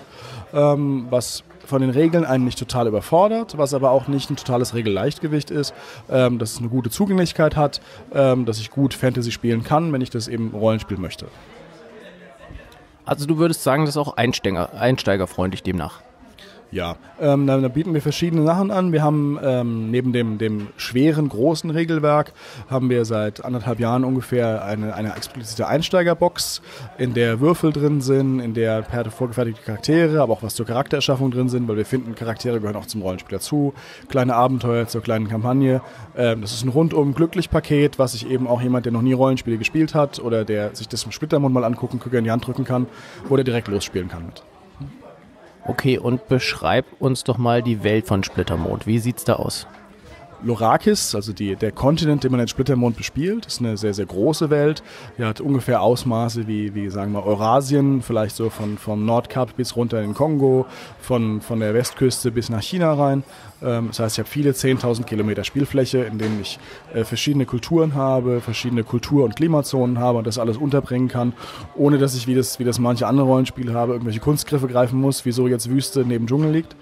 Ähm, wir haben einen durchgängigen Entwicklungsstandard. Wir sagen, wir sind ungefähr so äh, vielleicht so 1000, 1100. Das heißt, ich habe auch nicht französische Renaissance und Wikinger und Steampunk-Zwerge nebeneinander sitzen, sondern die, die einzelnen Kulturgrenzen passen zueinander.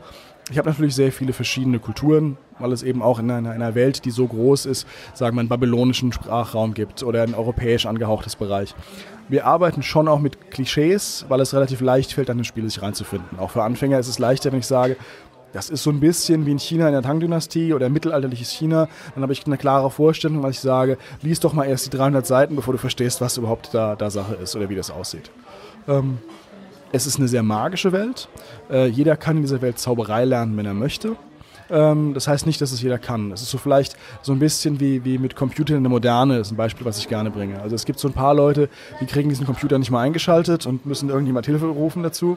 Für den Hausgebrauch kommen die meisten damit klar. Das heißt, vielleicht kann der, der Handwerker ein bisschen ausdauernder arbeiten oder der Wirt kann die Getränke nochmal abkühlen, bevor er sie auf den Tisch stellt. Aber es gibt eben auch Leute, die wirklich sich intensiv damit beschäftigen. Und das ist dann so ein typischer Zauberer, Magier, Schamane, Priester, wie man aus der Fantasy eben kennt. Ähm, es ist eine, eine Welt, Splittermond.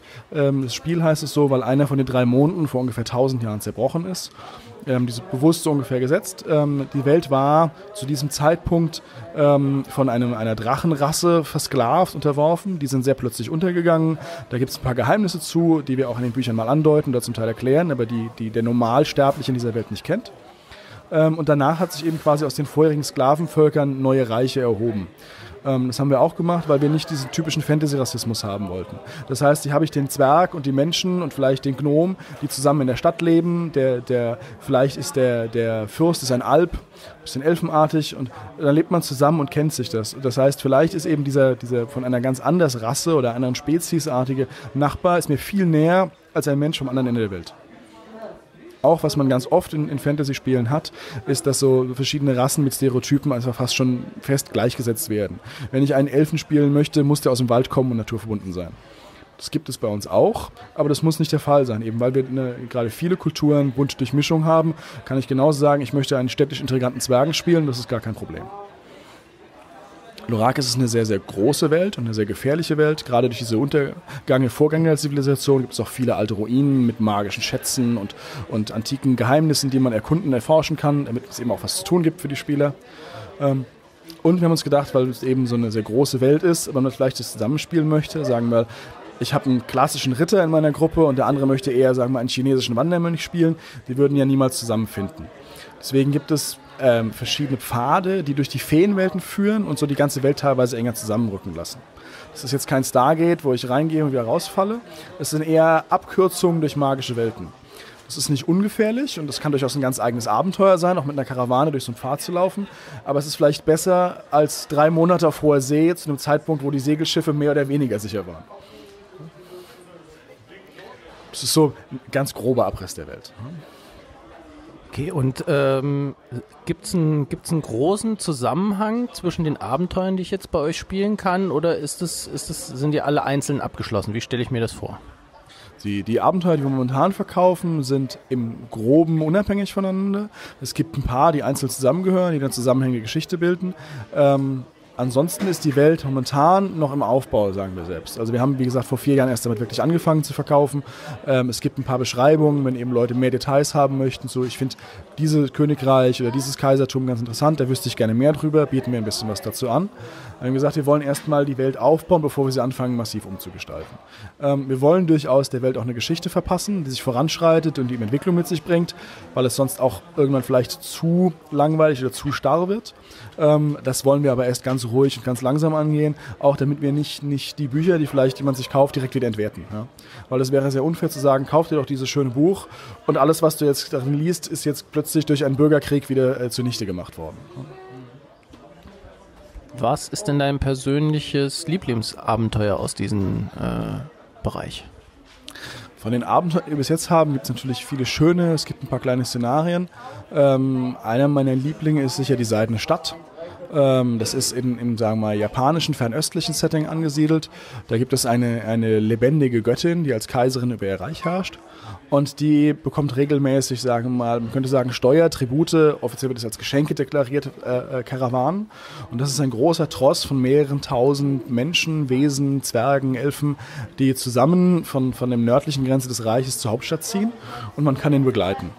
Ähm, dabei passieren natürlich viele Dinge und es gibt ganz, ganz mannigfaltige Ansätze, ähm, wie man in dieses Abenteuer das Ganze machen kann. Also es kann sein, dass man für vielleicht die, die europäischen Händler das begleitet, damit auch die passenden Geschenke ankommen.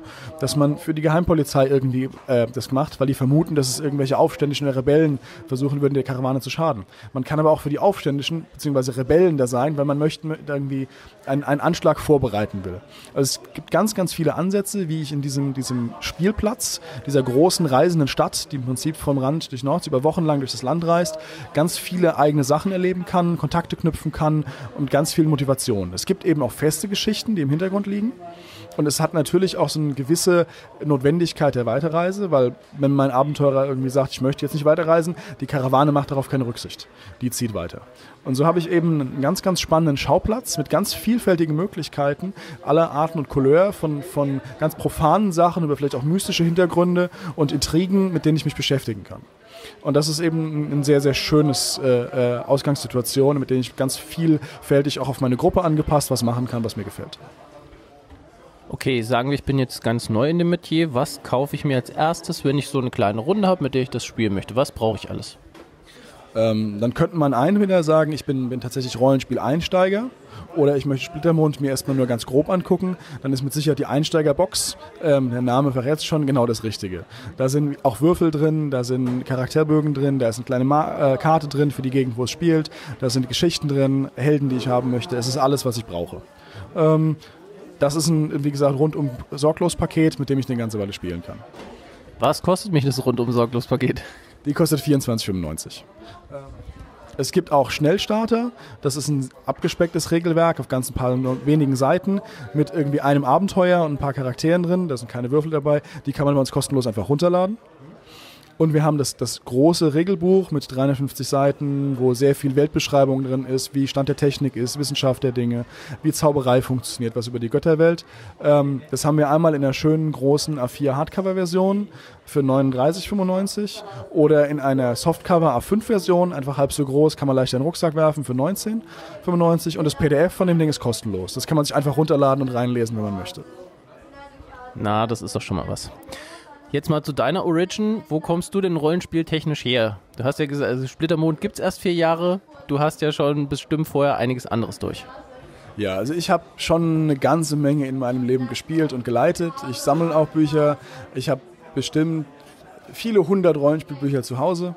Ähm, ganz ursprünglich habe ich vor 25 Jahren plus minus ähm, oder mehr, keine Ahnung, müsste ich jetzt nachzählen, mit Schwarzen Auge mal angefangen, was halt damals war. Ähm, dann habe ich irgendwann weitergemacht, habe mal das Star Wars D6 gespielt, Cyberpunk 2020 sehr früh und irgendwann wurde es immer mehr und immer mehr und immer mehr. Ähm, ich habe dann auch fürs Schwarze Auge einiges geschrieben. Ich habe für Space 1889 ein bisschen was überarbeitet, übersetzt. Ich habe bei verschiedenen anderen kleineren Sachen auch bei Uhrwerk weitergemacht und bin jetzt eben seit 2012 tatsächlich haben wir angefangen mit der Konzeptionierung ähm, als Redakteur eben bei Splittermond beschäftigt und kau eben, dass es ein gutes Spiel am Ende wird. Ja. Okay, und als Regelredakteur, wie, wie funktioniert das? Wie funktioniert das? Ähm, das kommt darauf an, was es ist. Wenn wir zum Beispiel ein Abenteuer nehmen, also so eine fertige Geschichte, dann ist es so, dass die, die Autoren relativ viel Freiheit haben und ihre Geschichte schreiben, mal Fragen vielleicht haben, wie könnte ich das umsetzen oder wie könnte das aussehen und wir dann eben auch zugehen. Ansonsten, sobald das fertig ist, gucken wir uns den fertigen Text an und schauen, ob das zu den Spielregeln passt. Also hat der magische Effekte da drin, die es so geben kann oder nicht? Ähm, ist der Räuberhauptmann ein tatsächlich sinnvoller Gegner für die Spieler? Oder ist das jemand, den die Spieler einfach auslassen oder dass der vollkommen unbesiegbar ist, was nicht die Absicht sein soll? Ähm, das ist bei sowas wie einem, einem, großen Regelband, wie jetzt Splittermond der Magie, die Magie, was eine Regelerweiterung ist, die eben magische Beschwörungen oder Golembau oder magische Gegenstände ausführlicher erläutert natürlich ein ganz anderes Konstrukt. Da setzen wir uns hin, diskutieren auch mit der Weltredaktion, die auf die Stimmigkeit der Welt, sage mal, achtet, ob das passt, was wir überhaupt haben wollen, was es in, in Splittermund geben soll. Gibt es da magische Gegenstände oder gibt es da Golems? Und wenn ja, wie sollen die funktionieren? Und dann setzen wir uns eben hin, konzeptionieren das, überlegen uns, wie mächtig soll das sein, wie schwierig ist das zu erlernen in der Welt und wie funktioniert das zusammen mit dem Spiel? Also, dass am Ende nicht jemand sagt, ich habe einen Golem, dass der viel, viel schlechter ist als jemand, der sagt, ich habe ein, eine große Katze oder ein Pferd. Oder auch nicht, dass der viel, viel besser ist als jemand, der sagt, ich möchte aber gerne lieber zaubern, als dass ich Genies rufe, die da für mich die Sachen machen. Und dann diskutiert man eben, dann rechnet man sehr viel, dann, dann testet man das Ganze und kommt am Ende dann zu einem stimmigen Produkt. Okay, das hört sich auf jeden Fall spannend an.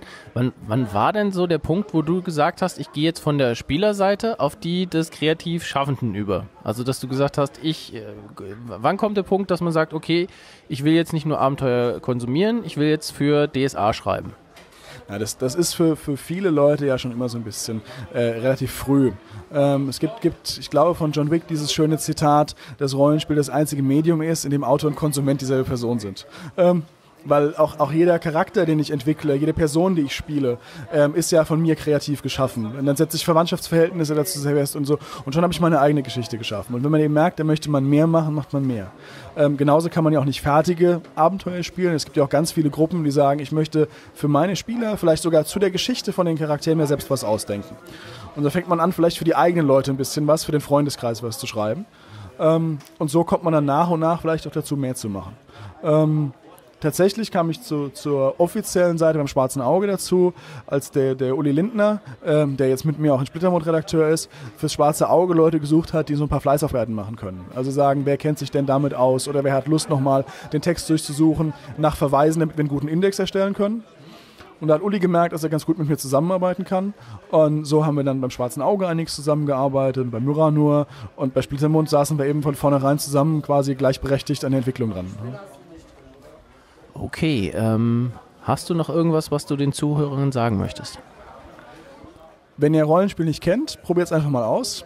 Ähm, wenn ihr es schon kennt, habt viel Spaß damit. Es ist ein ganz tolles Hobby, solange man Interesse an Geschichten hat. Sehr gutes Schlusswort. Ich danke dir. Gerne.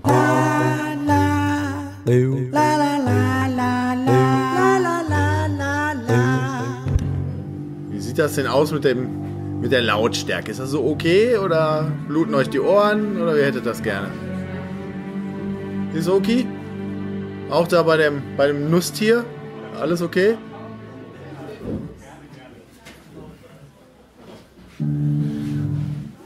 Okay. Ja, dann, äh, liebe Frau Schrapper, genau. Ich würde sagen, last call for alcohol. Das klingt so verzweifelt. Mach's würdevoller für mich. Letzte Chance für dich, letzte Chance für dich. Ja, das hätte ich jetzt auch gesagt. Okay. Läuft das schon? Ach, du ahnst es nicht. Flüm.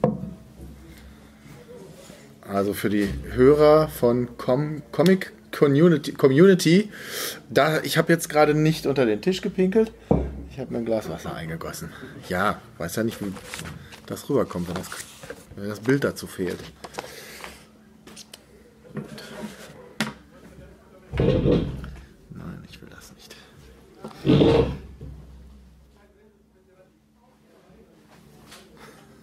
ETF? Hast du deine Plüschtiere mitgenommen, um die hier zu fotografieren? Das finde ich auch abgefahren. So, ähm, jetzt aber jetzt mal ernst. Wie gesagt, heute geht es um Kultur.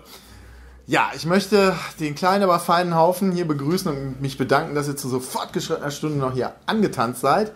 Äh, möchte euch begrüßen zu Tom Dauds, meiner Hörbuch-Live-Lesung aus diesem Buch. Bosch Vermächtnis. Es geht um den Maler Hieronymus Bosch. Wem sagt das nix? Für die. Den Hörnchen, genau. Den Hörnchen. Gut. Also niederländischer Maler, der 1500? 1400 Irmsobröms gewirkt hat. Und äh, ja, ganz abgefahren waren eben seine Motive, die sich dadurch ausgezeichnet haben, dass das echt monströse Gestalten sind, die er da zu Papier gebracht hat. Oder beziehungsweise zu, ja, die Holz, die Holzgemälde sind noch erhalten zu Holz. Ähm, der Rest eher nicht. Man weiß nicht viel über den Maler. Das heißt, wir durften uns unserer Fantasie äh, freien Lauf lassen. Uns heißt der Herausgeber, Christian von Aster, hat sich ein Gemälde von Hieronymus Bosch geschnappt, den sogenannten Garten der Lüste. Das könnte vielleicht auch dem einen oder anderen Begriff sein.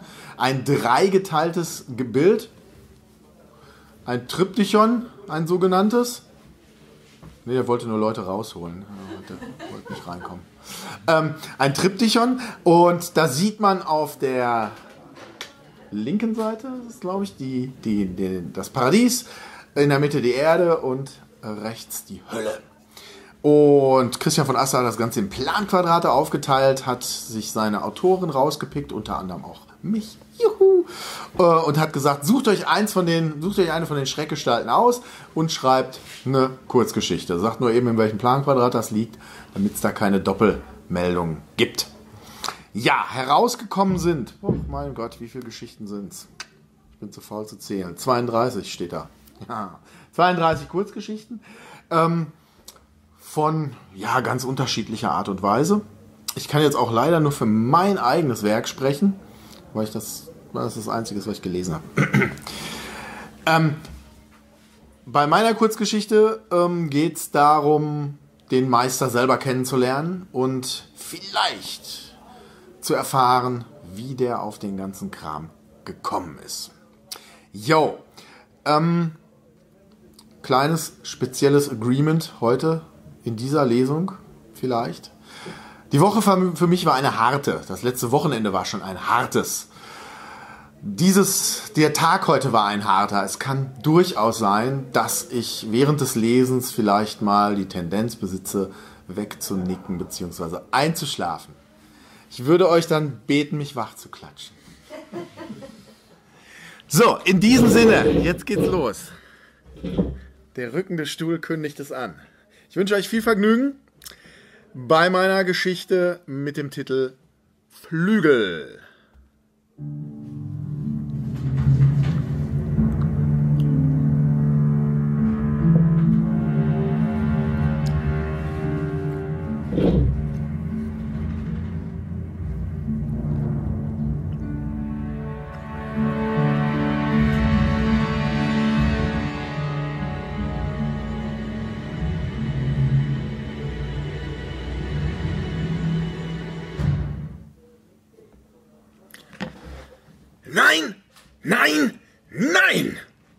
Antonius van Akens Stimme durch die Malerwerkstatt in Zertochen-Bosch dröhnte, gingen alle Schüler in Deckung. Besonders seine drei Söhne, auch wenn nur der 20-jährige Hieronymus es war, dem des Vaters Zorn galt. Mit dem Hemdsärmel wischte er durch die linke Ecke in dessen jüngsten Bild. Dabei wäre es um ein Haar von der Staffelei gekippt. Warum beim Namen des Allmächtigen sollten Männer den Kopf eines Eichhörnchens auf den Schultern tragen? Oder wieso sollten ihnen Wurzeln aus den Beinen wachsen? Äh, Vater, ich, setzte Hieronymus an, er wurde unwirsch unterbrochen. Das sind eigentlich keine Fragen, deren Antwort ich nicht bereits wüsste. Dein Werk ergibt keinerlei Sinn. Es lehnt sich gegen Gottes eigene Natur auf, und ich dulde dergleichen nicht. Wir leben, um dem Herrn zu dienen. Er hat uns nach seinem Ebenbild geschaffen, und diesem Bild gerecht zu werden, gilt unser ganzes Streben. Ihm zum Lobe. Nun wartete Antonius van Aken, bis sein Sohn reumütig nickte. Am morgigen Tage wirst du noch vor der achten Stunde des Herrn bei Gildenrat van der Mervenne vorsprechen und ihm erklären, warum sich die Fertigstellung seines Bildes aufgrund deines Starrsinns verzögert. Außerdem musst du deinen Frevel am Sonntag beichten. Hieronymus gab bemüht ruhig zurück. Ja, Vater. Aufzusehen traute er sich nicht. Eigentlich sollte Scham aus seinen Zügen sprechen, doch es war Wut, die er zu verbergen trachtete. Lass dir dies die letzte Warnung sein, Sohn.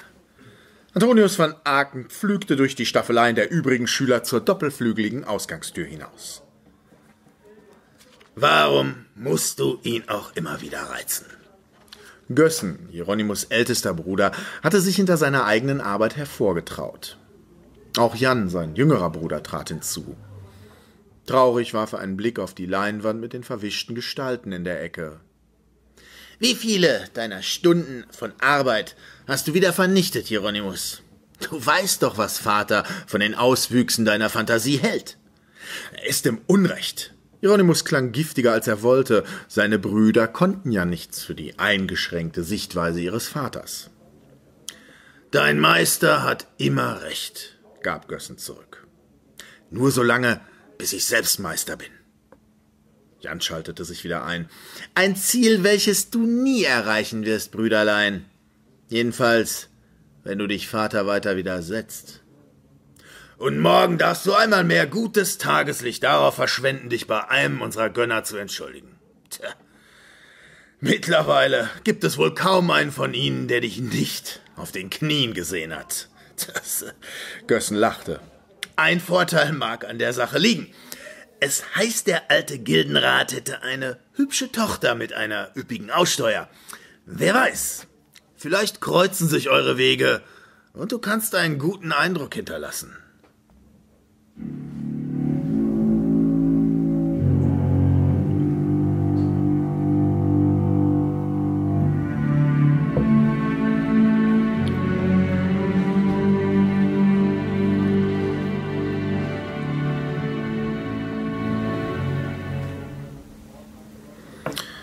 Über den Dach Dächern von Zertochen-Bosch forderten schwarze Wolkenfetzen eine frühe Nacht vom Himmel, so dunkel, wie sie bloß im Herbst oder im Winter sein konnte.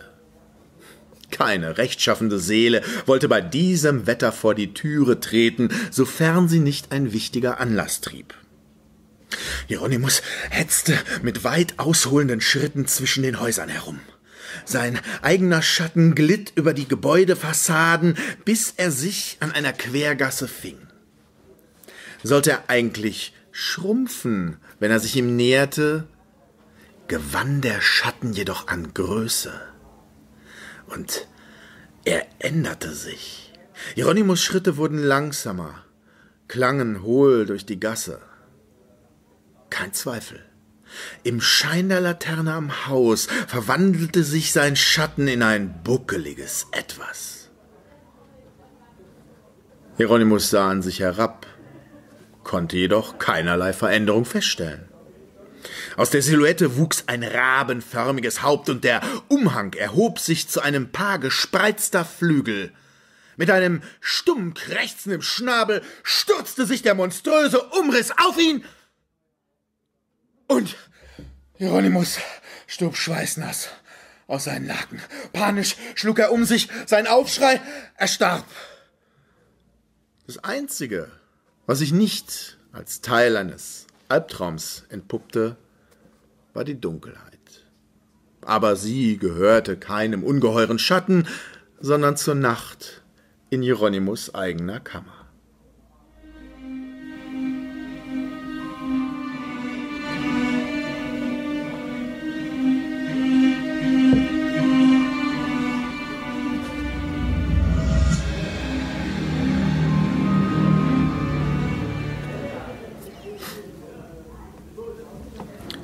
Deine Pinselführung lässt zu wünschen übrig.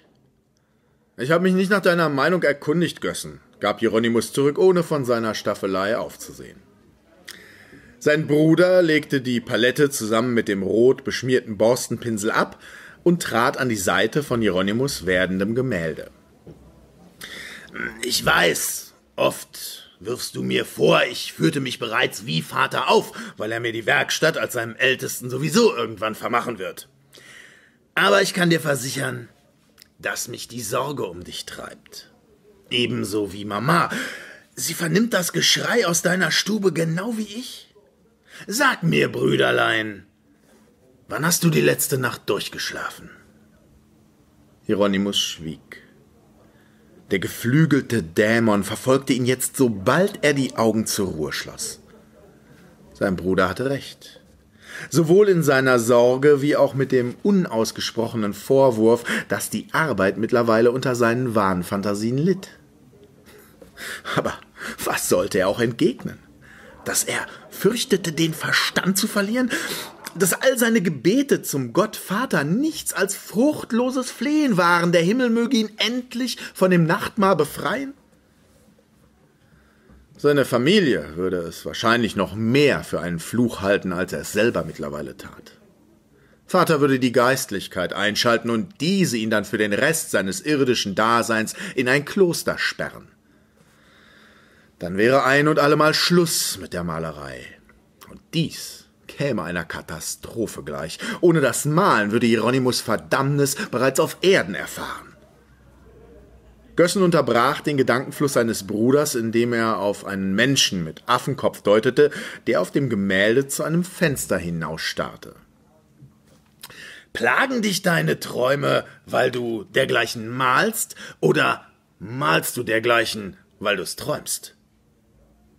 Nun wagte Hieronymus zum ersten Mal Gössen offen anzusehen und antwortete verzweifelt. Ich weiß es nicht. Dann gilt es zunächst, dies herauszufinden. Hier. Er reichte Hieronymus einen Fetzen Papier. Dieser fand darauf eine in Tinte geschriebene Ortsangabe. Was befindet sich dort? wollte Hieronymus wissen. Ein Mann, dem nachgesagt wird, er könne der Seele besser Frieden bringen als jeder Priester.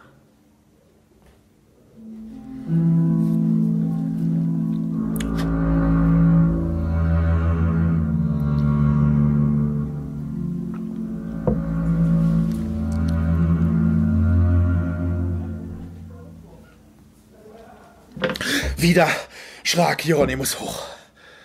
Hatte er geschrien? Der Traum hatte sich ruhiger angefühlt als alle vorherigen. Bedauerlich, dass er sich nicht an seinen Inhalt entsinnen konnte. Jedenfalls musste er wohl doch nicht von Gössens abscheulichem Vorschlag Gebrauch machen. Dem Herrn sei's gedankt. Hieronymus kämpfte sich unter seiner Decke hervor und fragte sich, wie spät es wohl war. Zum Fenster konnte er nicht hinausschauen, denn der Vorhang. Irgendetwas stand davor und blockierte seine Sicht. Der Dämon mit dem Rabenkopf ließ seine Klauen befährten, pranken nach ihm schnell. Seine Schwingen fuhren auseinander. Wie die staubigen Flügel eines Nachtfalters nahmen sie Hieronymus gesamtes Blickfeld ein. Er brüllte wie von Sinnen und fuhr nun tatsächlich aus dem Schlaf. Die folgenden Wochen spiegelten für Hieronymus einen Horror wider, den er kaum beschreiben konnte. Er blieb nachts so lange wie möglich wach, war an den Tagen mürrisch und unausgeschlafen, und kaum ließ er sich irgendwo zur Muße nieder, fielen ihm die Augen zu. Dann wurde er sofort zum Opfer des Mottenmanns, wie er seinen Quälgeist von nun an zu nennen pflegte. Obwohl er Hieronymus niemals ein körperliches Leid zufügte, stand die Drohung, dass er seine Seele eines Tages in die Hölle reißen würde, zwischen ihnen. Es gestaltete sich zunehmend schwieriger, seinen angegriffenen Seelenzustand zu vertuschen. Doch wagte Hieronymus keine Offenbarung gegenüber seinen Eltern, aus Angst, diese könnten sich bestätigt fühlen. Mit seinen widernatürlichen Bildern hatte er sich gegen Gottes Schöpfung aufgelehnt und musste nun Buße dafür tun. Irgendwann wusste er nur noch zwei Wege, um der eigenen Verdammnis vielleicht doch noch zu entgehen. Seiner Kunst abzuschwören und sich selbst in die Obhut eines Klosters zu begeben oder sich womöglich noch tiefer ins Verderben zu stürzen, indem er den von seinem Bruder vorgeschlagenen Ort aufsuchte.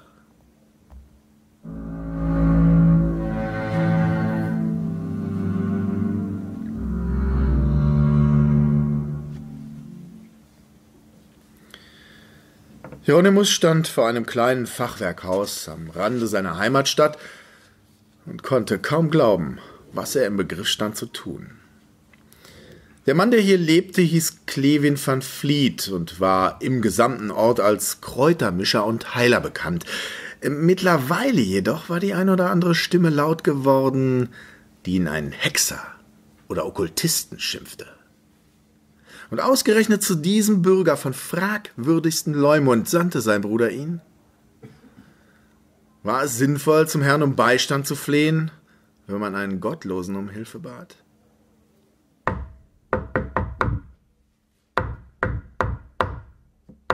Nachdem er seine Faust zum zehnten Male gegen das Holz geschlagen hatte und Meister van Vliets Namen gerufen hatte, öffnete sich quietschend die Tür. Was ist dein Begehr? Der Mann musste ungefähr im Alter von Hieronymus Vater sein. Seine ebenmäßigen Züge wurden von einer auffällig langen Nase dominiert und einem kurzen, aber hervortretenden Kinn abgeschlossen. Der Blick erschien nachdenklich, aber abgeklärt. Hieronymus kam nicht umhin, das Haupt zu senken. Verzeiht die Störung, Meister van Vliet. Man sagte mir, ihr könntet den Seelen der Menschen Frieden schenken.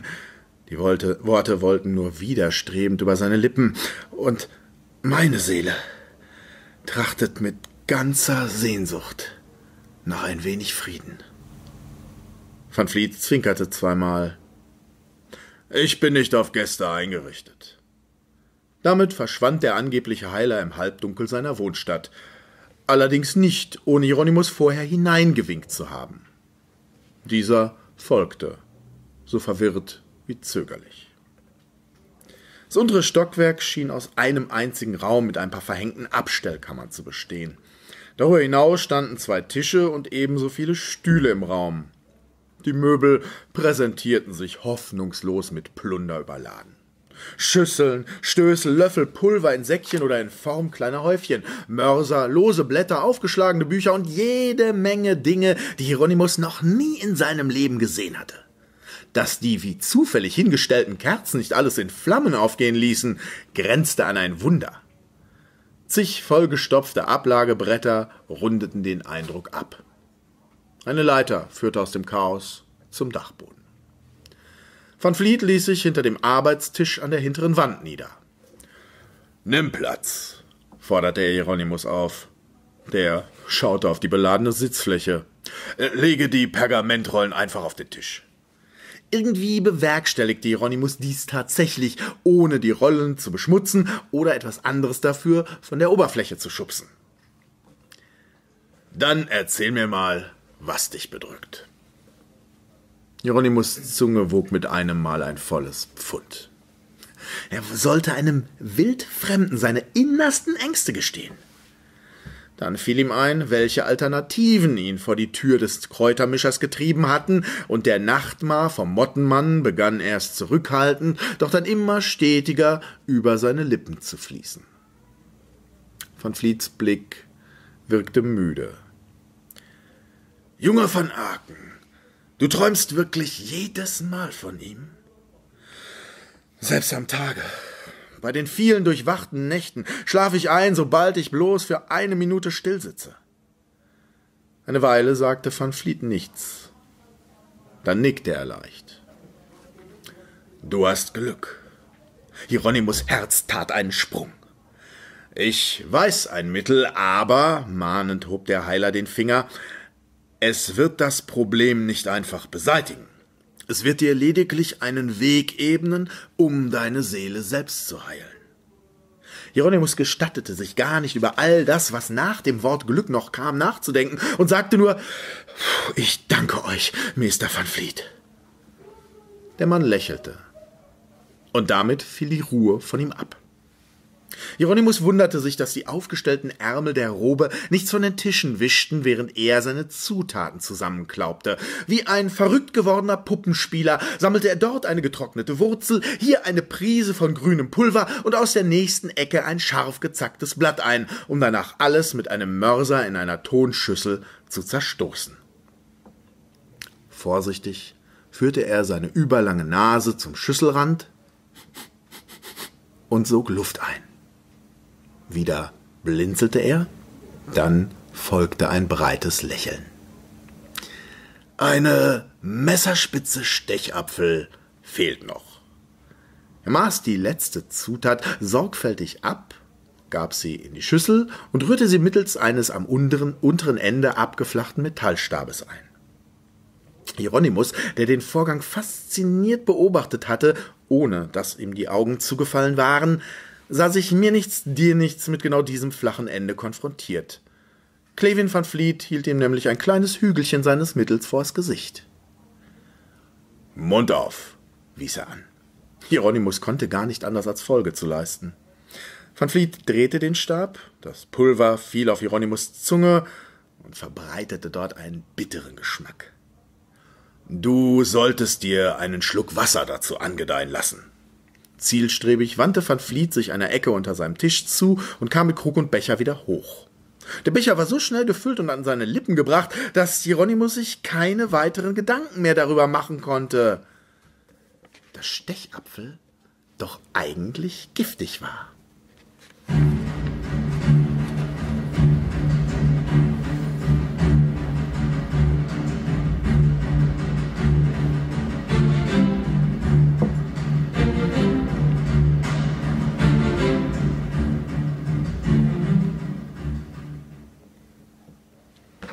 Der Mottenmann hatte Hieronymus wieder in die Straßenschluchten von Zertochenbosch gelockt.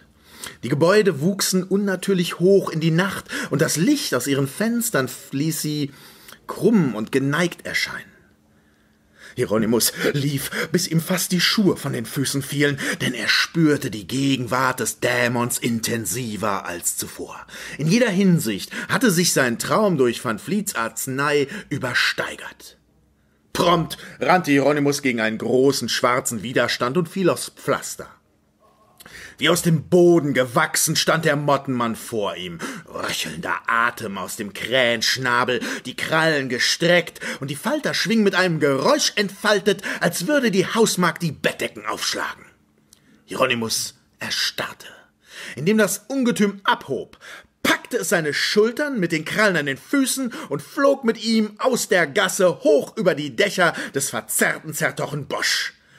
Jetzt sah er, dass ein Peiniger über einen peitschenartigen Schweif mit einer bedrohlich aussehenden Spitze verfügte. Doch sehr viel schlimmer erschien ihm der Wind, der an Kleidern und Haaren riss, unter sich nichts als eine schwindelerregende Tiefe. Am liebsten hätte er gestrampelt, doch wäre er, befreit von seiner geflügelten Nemesis, zu Tode gestürzt. Mit zusammengekniffenen Augen schaute er gegen den Wind. Unter ihnen erkannte er ihr Ziel, eine groteske Version des Heimathauses derer van Aken. Schon im nächsten Moment schoss der Mottenmann mit ihm durch das offene Fenster seiner Stube, schleuderte ihn aufs Bett und warf sich auf seine Brust.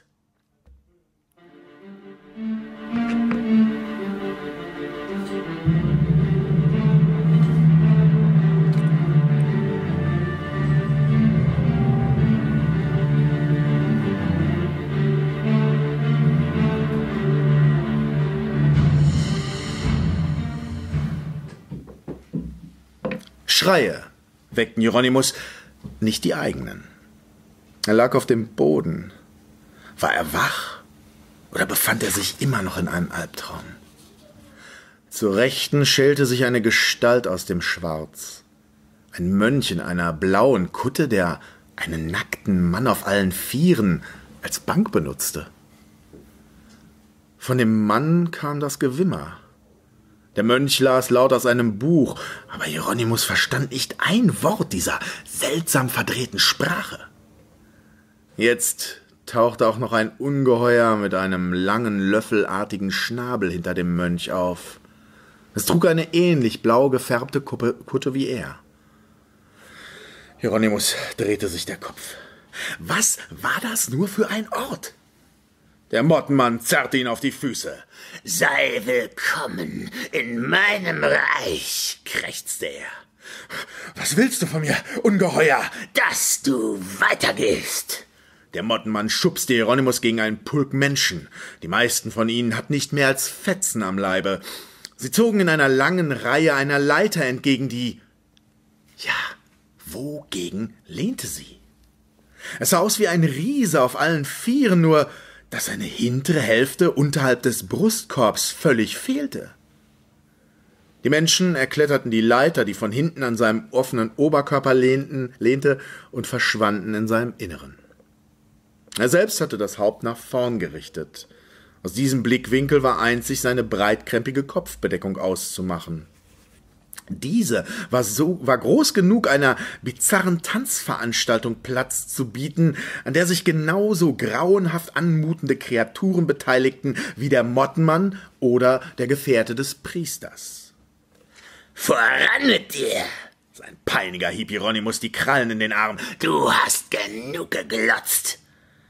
Was immer am Ende dieser Leiter und im Riesen auf ihn wartete, es war bestimmt nichts Angenehmes. Hieronymus drückte sich in die Reihe der Klagenden und Vorwärtsstolpernden, um Zeit zu gewinnen. Willst die Sache so lange wie möglich hinauszögern? Was? Die Stimme des Mottenmanns kratzte an seinen Ohren. Er wurde gepackt und an der Menschenreihe vorbei zur Leiter gestoßen. Jetzt wollte er sich das erste Mal wehren, und es kam bei den Leuten in der Reihe zum Tumult. Da ertönte lautes Knirschen wie von Stein und ein alles erfüllendes Stöhnen. Der Riese drehte den mächtigen Kopf. Die Tanzenden auf seiner Hutkrempe schwankten. Hieronymus erkannte nicht nur, dass die Arme des Riesen zwei Bäumen gleich aus einem schwarzen Morast wuchsen. Er schaute nun auch genau in das Gesicht seines eigenen Vaters. Das Ungetüm sagte kein Wort. Wie konnte das alles möglich sein? Alles um ihn herum ergab nicht den geringsten Sinn. Dennoch würde gleich etwas Schreckliches geschehen.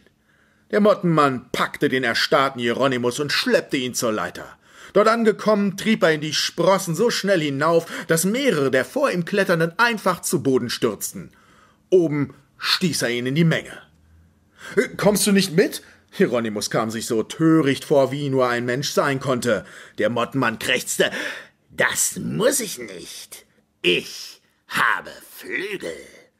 Mit einem schnatternden Lachen spreizte er die Nachtfalterschwingen und flog über den Riesen hinweg. Während die Menge Hieronymus mit sich riss, drückte sie von allen Seiten auf ihn ein. Er wollte sich mit den Armen Platz verschaffen, wurde aber nur umso stärker in die Masse gedrückt. Die Zerlumpten stanken entsetzlich. Sie wurden nun weiter in Richtung des Riesenhalses getrieben.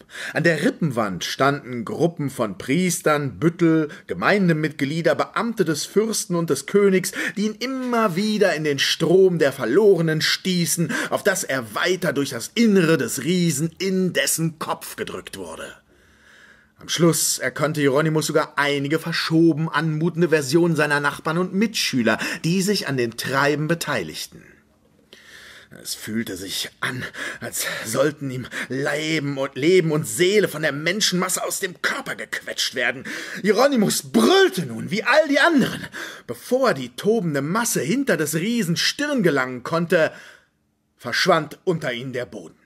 Hieronymus sah stürzende Männer und Frauenleiber um sich herum, erkannte riesige Menschenzähne über sich. Eingebettet in tausend Schreie fiel er durch den Mund des Riesen in einen bodenlosen, sicheren Tod.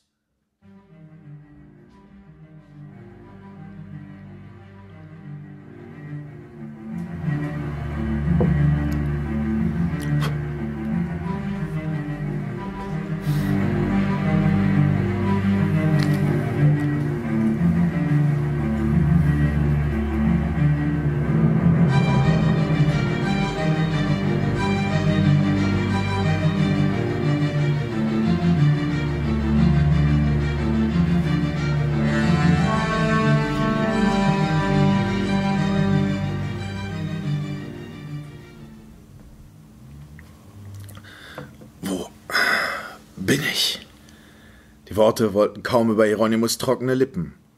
Jans Gesicht erschien über ihm. In deinem Bett? Wo sonst?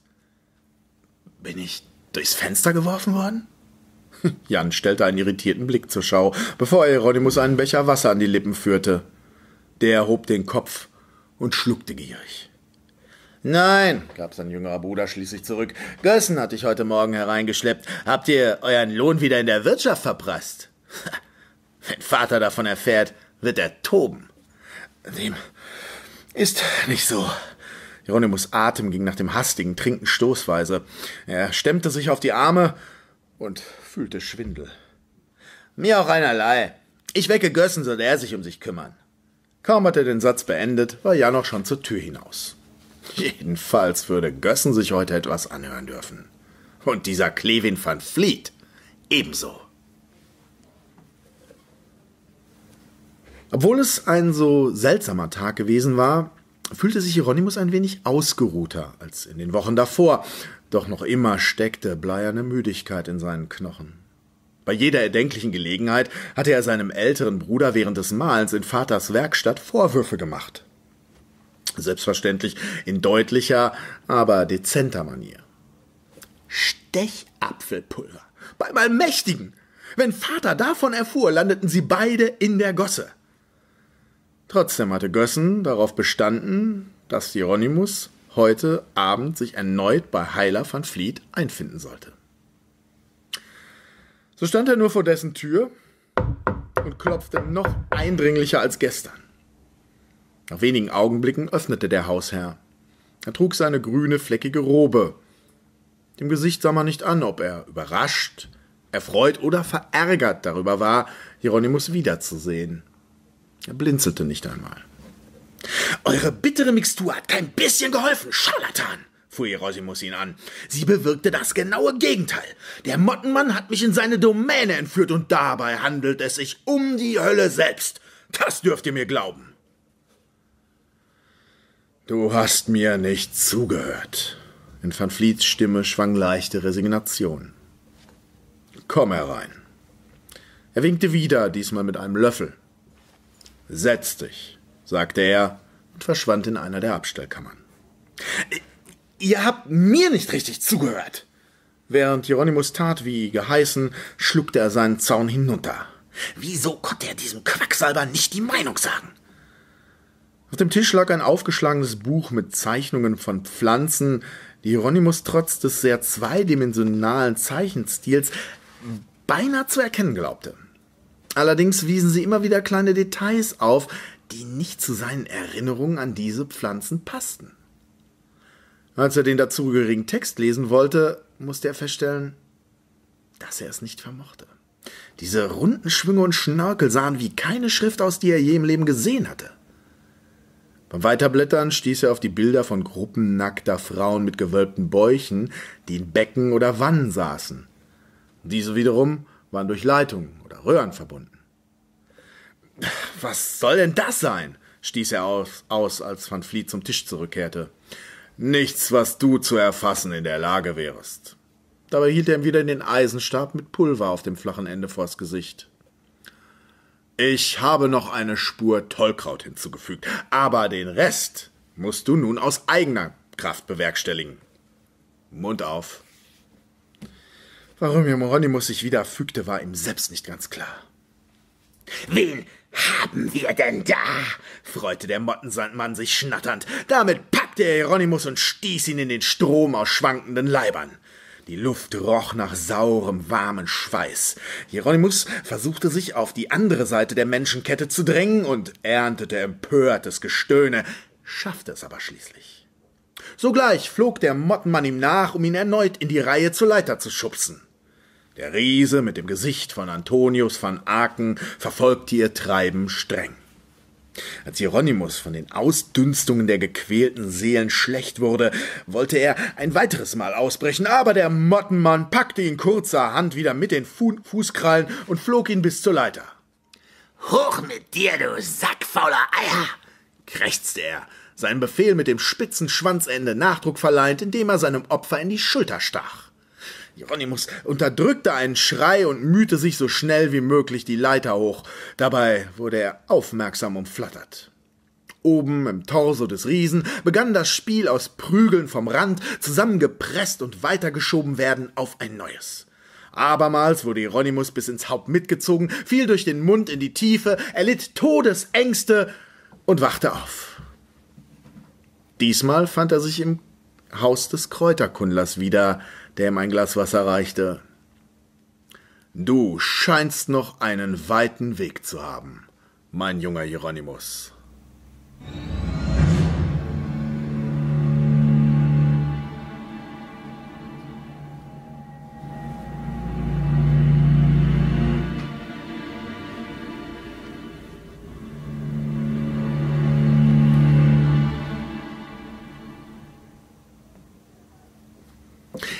Wissen dir meine Flügel zu gefallen? wollte der Mottenmann bei Hieronymus neuntem Besuch wissen. Mittlerweile hatte der Dämon eine Leine besorgt, um ihn am Hals bis zur Leiter zu führen wie ein Hündchen. Hieronymus hatte aufgegeben, sich zu wehren. Wozu auch? Er wusste ja sowieso nicht, wohin in diesem schwarzen Hades. Er konnte es auch so schnell wie möglich hinter sich bringen. Wenn der Mottenmann ihn neben dem Zug aus Menschenleibern herschleifte, musste er wenigstens deren Gestank nicht aushalten. Von dem Gestöhne und den verzweifelten Händen überall an seinem Körper ganz zu schweigen. Ich habe sie einem Propheten ausgerissen, holte der Mottenmann ihn in seinen Monolog zurück und ließ die staubigen Schwingen vor Hieronymus Nase aufschnappen. Sie waren schon beinahe an der Leiter angekommen. Der Kerl brauchte sie nicht mehr. er hat sowieso nur Unglück angekündigt. Mit einem kratzigen Auflachen trieb der Dämon Hieronymus die Leiter hoch.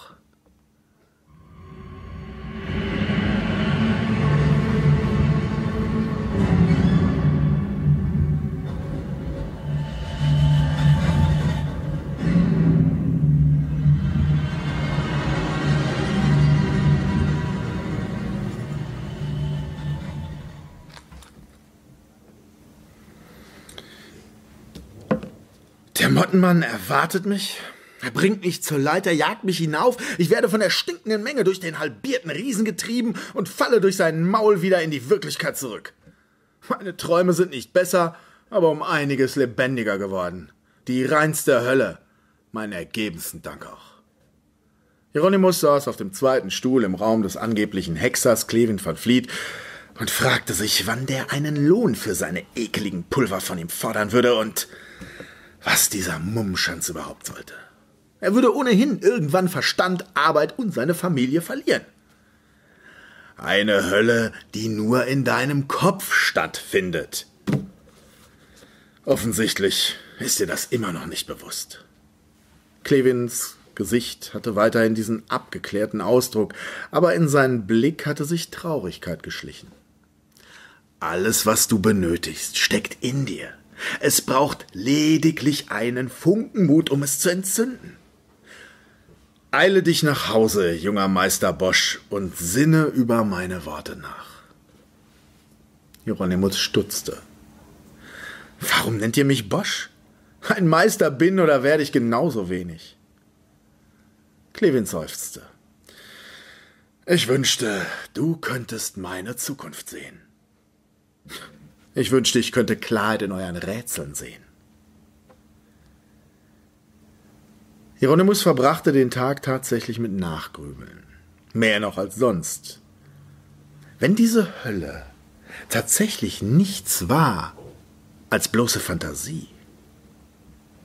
Er versuchte sich all dessen zu erinnern, was ihm dort widerfuhr und begegnete. Nur in meinem Kopf, murmelte er. Konnte das sein? fragte er sich. Von Beginn an? Dann musste er dem Baummann, wie er den Riesen mit dem Gesicht seines Vaters mittlerweile bezeichnete, entrinnen können. Der Fall aus seinem Maul war immer das Grausigste. Es erschien ihm dermaßen wirklich, dass er dabei jedes Mal tausend Tode starb. Er schloss die Augen und versuchte, wie der Künstler zu denken, der sich einbildete zu sein. In seiner Pause zum Mittag hetzte er statt an Mutters Tisch zu Clevin van Vliets Haus.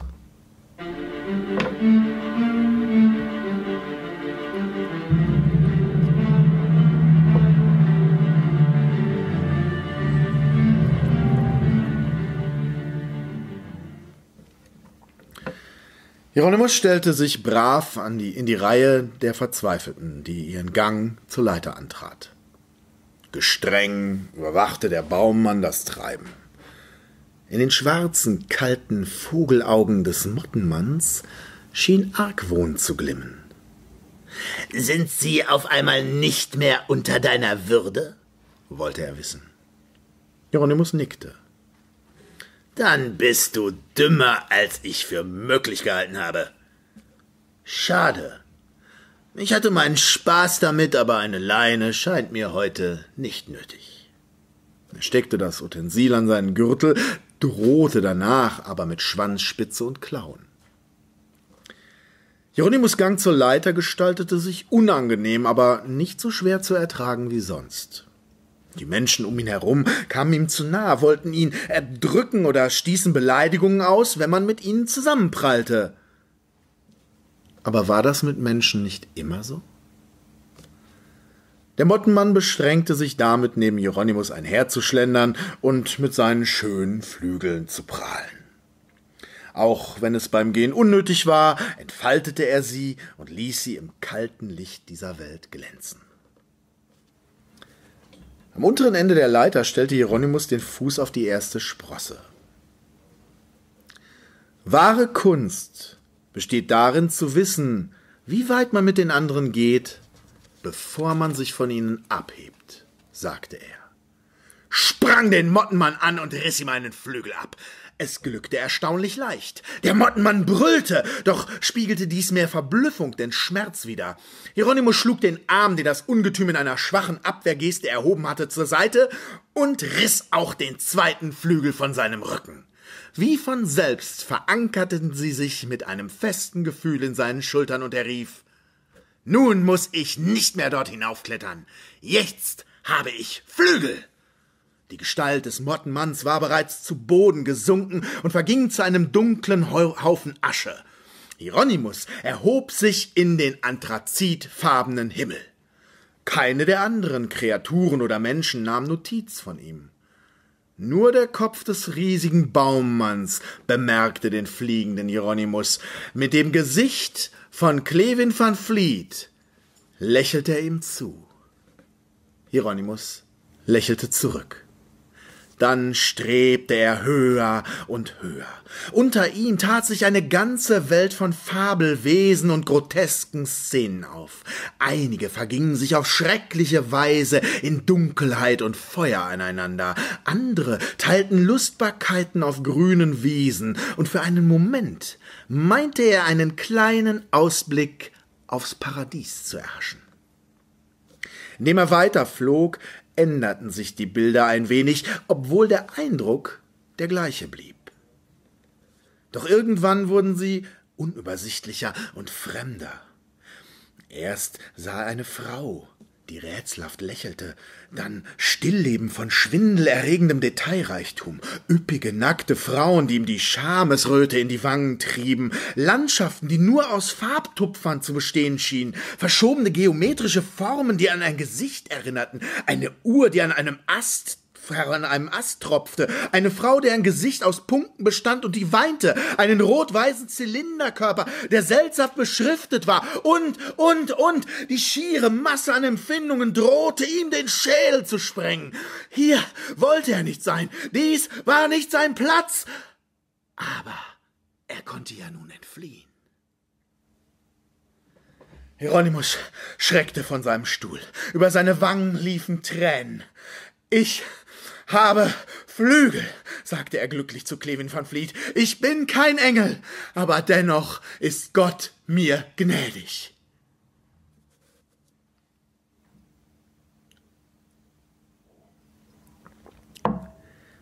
Im Alter von 38 stand Hieronymus Bosch, wie er sich seit der Trennung von seinem Vater nannte, eines schönen Frühlingstages am Fenster der eigenen Werkstatt.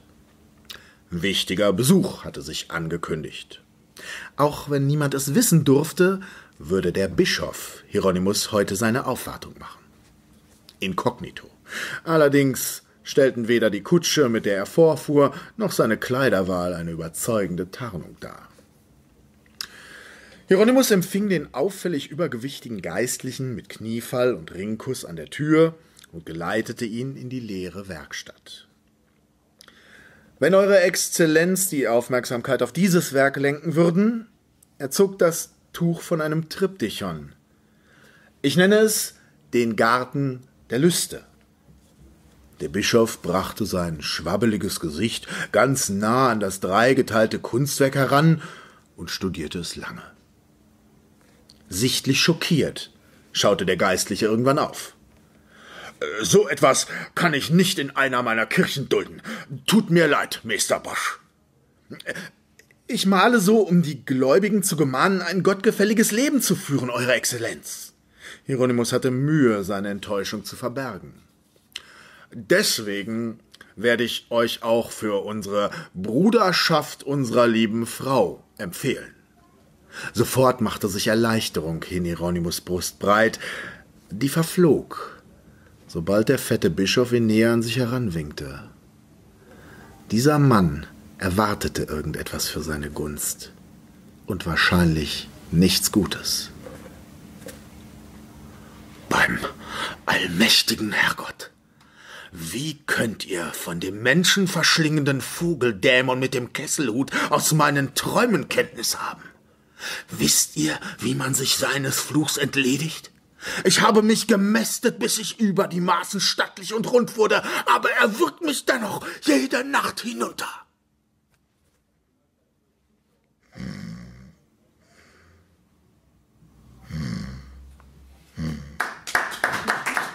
Da hat sich doch noch jemand an die Absprache erinnert. Dankeschön. Ihr liebes kleines Publikum, ich bedanke mich bei euch, dass ihr hier zu so später Stunde mit mir ausgehalten habt. Bedanke mich explizit bei Kai Hartwig, dem Komponisten, der hier so großzügig die Musik für meine Lesung immer zur Verfügung stellt. Wenn jemand kein Gewinnstreben verfolgt, vielleicht mal die heimische Videoproduktion untermalen möchte, einen Spieleabend, ein Abenteuer, www.hartwigmedia.de. Dort gibt's das ganze Zeug kostenlos und GEMA-frei. Ich mache da immer so ein bisschen Werbung dafür, weil na, wir haben da unser Agreement. Gut, trotz der späten Nacht hat jemand noch eine Frage? Irgendwelche Geschenke oder Unterhosen, die er nach vorne werfen möchte? Hätte ja sein können.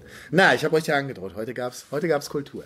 Dann kommt gut zu liegen und ich wünsche euch noch einen schönen Dreieichkon.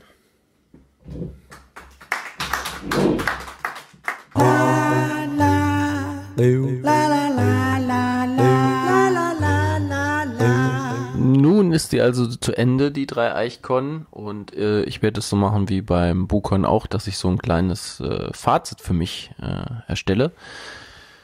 Die drei Eichkon hat mir sehr gut gefallen.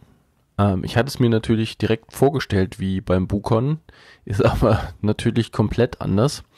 Ähm, ich dachte schon, dass der Bukon relativ groß und aufwendig ist. Ähm, hier ist es natürlich nochmal eine ganz andere Hausnummer. Also das ganze Gebäude, die, die, die ganze Halle, die Nebenräume, die Bücherei, alle Etagen der Bücherei, bis inklusive sogar der Kegelbahn von diesen äh, in Dreieich. Sprendlingen äh, sind besetzt mit Tischen für Spieler und die sind auch komplett belegt. Also ähm, man kommt hin und äh, in der Haupthalle findet sich zum Beispiel sehr, sehr viel äh, an Tabletop, was sehr schön anzusehen ist. Es gibt auch einige Cosplayer, aber sonst sind überall Tische für jegliches Rollensystem, Rollenspielsystem, was man kennt, verteilt. Und äh, ja, das hat dann zur Folge, dass man, wenn man zum Beispiel zu Autoren möchte oder, oder vielleicht zu bestimmten Verlagen, dass man da relativ ja, gut Platz hat, weil ähm, natürlich das Spielen hier massiv im Vordergrund steht und nicht unbedingt, äh, dass, dass viele zu Autoren gehen, wie es jetzt bei mir im Fall natürlich mit äh, Bernhard Hennen ist oder Robert Corvus. Ähm, da kommt man sehr gut durch. Und das hat für mich natürlich einen sehr, sehr positiven Effekt gehabt. Ich hatte äh, ja so zwei meiner Bücherregale ausgeräumt, nämlich mit den Büchern, die ich aktuell von den beiden noch nicht signiert hatte. Und die konnte ich mir dann auch gemütlich durchsignieren lassen. Vielen Dank an der Stelle. Es müssen so, ja, ich würde mal sagen, circa 25 Bücher müssen das gewesen sein. Und äh, ja, das hat mir schon mal sehr viel Freude bereitet und ich hatte dann natürlich schnell aus dem Kreuz diese Vorstellung, dass ich mir das äh, natürlich signieren lassen will und habe das gleich am Anfang gemacht. Gleiches gilt auch äh, für Lucian Caligo, den ich ja auch beim Bukon getroffen hatte. Von dem hatte ich mir zwischenzeitlich noch zwei Bücher geholt.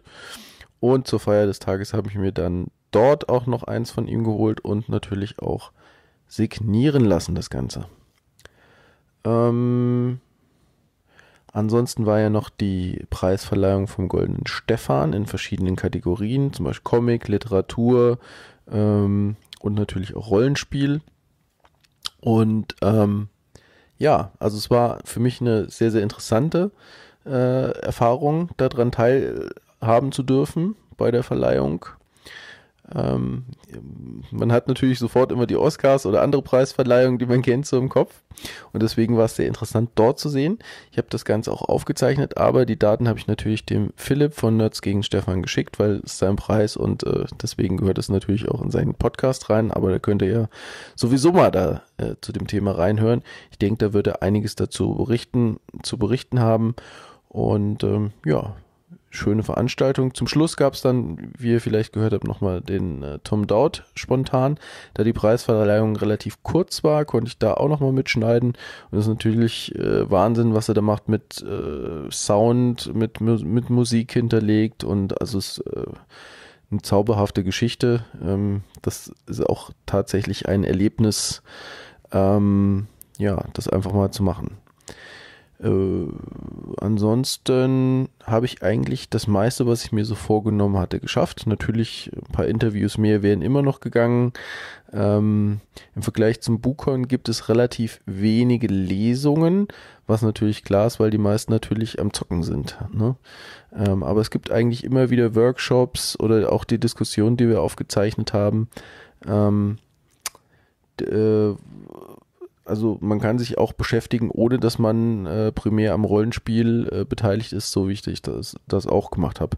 Natürlich hätte ich mir wie immer gerne auch da wieder äh, die Filiasson-Lesung zum Beispiel von dem neuen Band, den ich mir da auch gekauft habe, äh, gerne angehört. Ähm, aber verschiedene andere Sachen hatte ich halt äh, die Lesungen schon vorher wahrgenommen, also beim Bukon oder teilweise habe ich mir auf YouTube äh, schon vor Monaten die Sachen angeguckt, da brauche ich das natürlich nicht doppelt. Ähm, aber ich denke auch die drei Eichkorn ist was, wenn man mit dem, wenn man sich rein für, für die Romane interessiert, ist es auch eine wunderbare Sache. Ja, und äh, wenn man dadurch vielleicht auf die Idee kommt, das ein oder andere Rollenspiel doch mal auszutesten, also es, wir haben ja gehört, es gibt einiges, äh, was vielleicht auch für Einsteiger geeignet ist, nicht nur wirklich für die Cracks, dann äh, ist das eine perfekte Gelegenheit und ähm, ja, schöne Veranstaltung. Vielen Dank an alle, mit denen ich reden durfte und natürlich auch die äh, Orga, was auch hervorragend geklappt hat. Ich meine, das muss man auch erstmal alles unter einen Hut kriegen, die ganzen Tische, wer spielt wann. Ähm, ihr habt, äh, wenn ihr die äh, Rollenspielrunde mit dem Alexander die Starfinder-Runde äh, gehört habt. Also der leitet nicht nur da die Spielrunde, sondern der hat da unten auch die ganzen Tische. Das waren, keine Ahnung, sieben, acht, neun, zehn Tische da unten in der Kegelbahn. Die hat er auch noch bestückt mit Leuten, hat es koordiniert, wer sitzt an welchem Tisch, wer darf wo mitmachen, kann da noch jemand spontan einspringen. Das ist ein unglaublicher Aufwand, der da betrieben wird. Und äh, ja, den circa 70 Freiwilligen, wie ich gehört habe, äh, den kann man nur äh, danken, dass sie da so Gas geben und diese Veranstaltung auch mit möglich machen. Also gebt uns auch gerne ein Feedback über die Geschichte. Ist das ein Thema, was euch interessiert? Sollen wir da nächstes Jahr nochmal hinfahren? Sollen wir da noch mehr von berichten?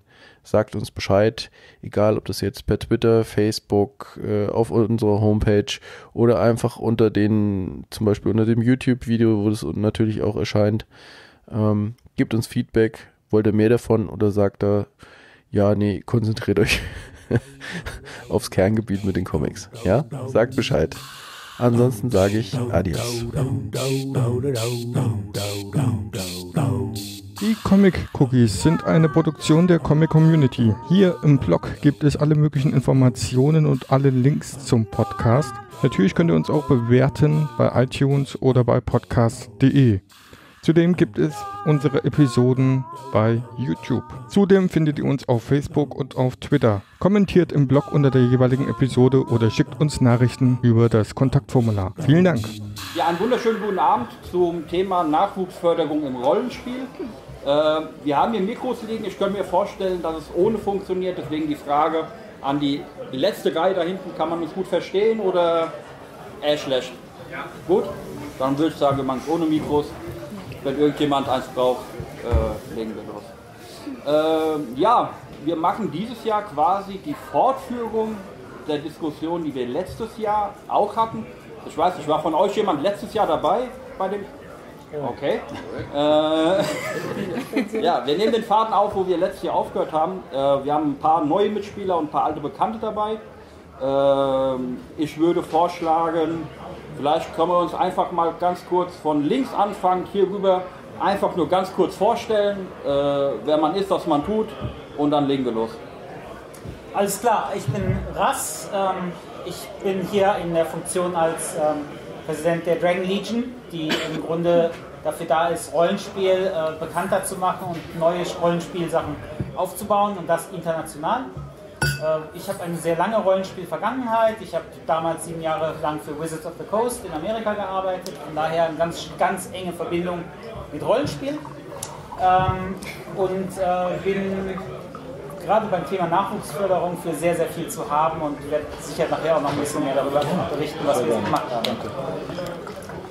Ja, ähm, ich bin Toni, ich bin von myfantasyworld.de und uns gibt es seit diesem Jahr und wir wollen alles, was mit dem Fantasy-Bereich zu tun hat, unter einen Hut bringen, weil wir einfach sehr, sehr viele Synergien untereinander sehen und ja, sehr viele Leute, die in einem bestimmten Genre sind, oftmals nicht wissen, dass es ein Parallelgenre wie Rollenspiel, Lab oder sonstiges auch noch gibt und sicherlich daran auch Interesse hätten, wenn sie denn wüssten, dass das Ganze existiert. Deswegen versuchen wir die ganzen Informationen auf einer Seite zusammenzuholen, um möglichst viel untereinander zu vernetzen. Ich bin Stefan Blank. Ich habe äh, zum ersten Mal mit Pen and Paper Rollenspielen Ende der 80er Jahre, also etwa 87, Kontakt äh, bekommen und äh, dann gleich mal, also es war Schwarze Auge und dann gleich mal mein Abenteuer zum Verlag nach Esching damals geschickt zu Schmidt Spiele.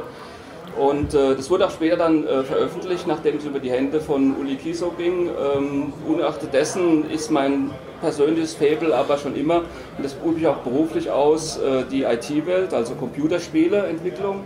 Und aus diesem Grund hatte ich damals schon in Ende der 80er Jahre auch nach zwei Wochen schon meinen ersten Kampfsimulator für das Schwarze Auge programmiert und später erschien es dann auch für den anderen, anderen vielleicht noch bekannt als DSA Tools und DSA Tools Deluxe bei Fantasy Productions. Persönlich habe ich Maschinenbau studiert, äh, auch promoviert im Maschinenbau und äh, bin dann allerdings zu Fantasy Productions gewechselt und war dort sechs Jahre lang im Verlag tätig als Leiter für die Softwareabteilung und äh, habe dann im Jahr 2000 mein eigenes Unternehmen, die Chromatics, gegründet, das ich auch heute noch als Geschäftsführer führe und äh, will noch kurz dazu sagen, ich habe es hier so mitgebracht, ähm, Drakensang äh, ist eines unserer Produkte, also alles, was äh, beim Schwarzen Auge jemals als Computerspiel erschienen ist, mit Ausnahme des allerersten Teils ähm, von Attic damals, also ab dem zweiten Teil, ähm, hatte ich in irgendeiner Form was mit zu tun. Ich bin Sophie und repräsentiere quasi den Next Generation Teil bei dieser Diskussion und bin dementsprechend auch noch ziemlich neu im gesamten Bereich Rollenspiele. Das heißt, ich mache das Ganze seit noch nicht mal in einem kompletten Jahr erst. Und ja. Okay. Äh, ich bin die Laura. Ähm, ich gehöre auch zur Next Generation. Ich mache es schon ein bisschen länger als die Sophie, seit vier, fünf Jahren ungefähr. Bin im Streichkon-Team, mache da Social Media mitunter. Und ähm, ja. Ja, äh, ich bin Patrick Götz, ich bin Geschäftsführer vom Uhrwerk Verlag und von Feder und Schwert und in der Position bringe ich halt diverse Rollenspiele und fantastische Romane raus und bin dann wohl hier der Repräsentant der Rollenspielverlage in Deutschland. Äh, ja, ich habe selber 1984 mit Rollenspielen angefangen, mit der ersten Version von D&D und bin seitdem einigermaßen mit kleinen Pausen dabei auch selber beigeblieben, das als Hobby zu betreiben. Äh, ja, mein Name ist Andreas Schnell, ich moderiere heute die Illustro-Runde. Äh, ich bin Autor und Verleger aus Frankfurt. Ja, starten wir einfach mal direkt. Äh, ich würde ganz gerne anfangen mit äh, Sophie und Laura, äh, weil ihr beide quasi den Nachwuchs äh, darstellt, den wir heute irgendwie ansprechen wollen. Äh, können wir uns mal kurz schildern, wo aus eurer Sicht äh, die positiven Seiten der Nachwuchsförderung liegen? Also wo werdet ihr gut angesprochen? Was findet ihr positiv? Und was würdet ihr gerne sehen oder was äh, vermisst ihr äh, in der Rollenspielszene? Das ist gleich mal die entscheidende Frage. Doch, Mikro. Mikro? Okay. Einfach rein. Welche Frage? Wer ist denn hier an? Sind die schon an? Keine Ahnung. Einfach mal reinsprechen und los. Hallo? Nein? Wir sind nicht an, das ist nicht hilfreich. Technik? Dann für alle anderen auch? Ja, also, also ich meine, zwei reichen mir wahrscheinlich. Oder? Achso, ja. Hallo? Ah, Ja. Okay, ähm, was finden wir gut? Ähm, Das dauert schon fast zu lange. Es dauert- ich könnte zum Beispiel jetzt sagen, dass es, ähm, ich finde, seit der letzten Podiumsdiskussion ist eine Besserung. Ähm, da wurde ja vor allen Dingen angesprochen, dass ähm, Social Media ein bisschen schwach ist. Das ist ja auch das, was die jungen Leute wahrscheinlich am meisten anspricht als Medium. Und ähm, auf einmal gibt es Instagram-Accounts von den Verlagen. ähm, ich finde auch auf Facebook hat sich ein bisschen was getan und ähm, das finde ich durchaus auch ansprechend. Natürlich, wenn man noch gar keinen Bezug zum Hobby hatte, dann bringt das halt auch nichts, meiner Meinung nach. Okay. Ähm, beziehungsweise es wird vielleicht auch geteilt, es sehen dann auch mal Leute, die sich damit nicht auskennen, aber ich glaube, der Zugang ist dazu dann immer noch nicht so groß. Ähm, ja. Ergänzung? Ich du hast die wichtigsten Okay. Punkte getroffen. Gib mir doch gerade mal ein anderes Mikro. Ja, äh, ich weiß leider nicht, wie es eben angemacht wurde. Kein Problem, ich glaube, das ist, äh, da wo on steht, ist eigentlich ein gutes Zeichen. Hallo? Eins, zwei, äh, ja, okay. Äh, Patrick, du warst ja bei der letzten Diskussion auch dabei. Ähm, ich weiß nicht, hast du das seit letztem Jahr irgendwie so ein bisschen mitverfolgt, weil jetzt gerade Social Media, was da passiert ist. Ähm, du beobachtest sicherlich auch ein bisschen die Szene, was da passiert, wie Leute da rangehen, um Nachwuchs entweder zu fördern, überhaupt erstmal aufmerksam zu machen. Äh, kannst du da äh, ein bisschen aus dem Nähkästchen plaudern, äh, wie deine Erfahrungen sind? Mm, Ja, kann ich nur aus meiner Sicht, also aus unserer Verlagssicht, denke ich. Ich habe da nicht so beobachtet, was andere Verlage groß machen. Äh, wir haben seit äh, der letzten Bundesdiskussion einen Instagram-Account tatsächlich. Ja, wir sind einer von denen. Äh, Facebook war ja vorher schon relativ stark dabei. Wir selber haben jetzt auch mal angefangen, äh, Veranstaltungen mit unseren Sachen zu besuchen, die nicht klassische Rollenspiel-Conventions wie das hier sind zum Beispiel, so wie Comic-Con Stuttgart, wo wir äh, waren. Ähm, und wir haben auch diverse Projekte in der Pipeline, die Einsteiger ansprechen sollen. Die sind noch nicht realisiert, weil ein Jahr äh, ist ein bisschen kurz, äh, aber die sehr, sehr weit sind und äh, ja, kann ich konkret gleich auch bei dir gerne was zu sagen, aber wir, das Thema interessiert uns sehr und wir sind sehr dabei, da unserer Meinung nach sinnvolle Sachen zu machen, okay. was Nahrungsför äh, Nahrungsförderung wird. Sehr gut.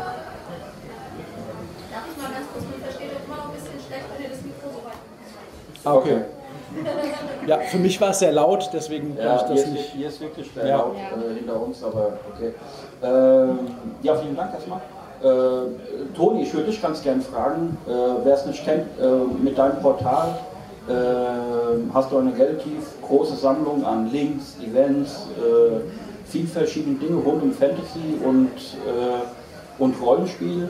Ähm, kannst du mal davon berichten, was für Leute deine Seite nutzen, sofern du es überhaupt erfassen kannst? Sind es größtenteils Leute, die ohnehin schon in der Szene aktiv sind oder werden dadurch auch Leute angesprochen, die sich ganz außerhalb von Pen and Paper bewegen?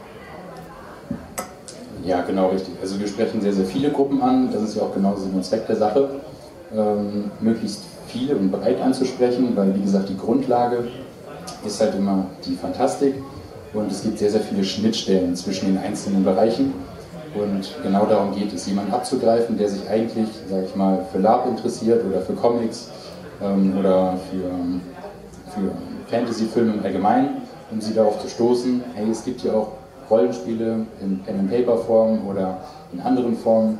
Und ähm, wenn wir quasi bei uns auf die Seite gehen, ihr sucht irgendwas in eurer Gegend und kriegt dann unter anderem auch die Dreieichkon rausgeworfen oder die Radcon oder die Heinzcon oder andere große Veranstaltungen, die ihnen so vielleicht einfach nicht bewusst waren, dass es die gibt, ähm, daraufhin dann aufmerksam werden und äh, sich mit dem Thema ein bisschen intensiver zu beschäftigen. Ja. Deswegen haben wir auch eine große Linkliste mit drin, wo man dann tiefer in die Themen einsteigen kann.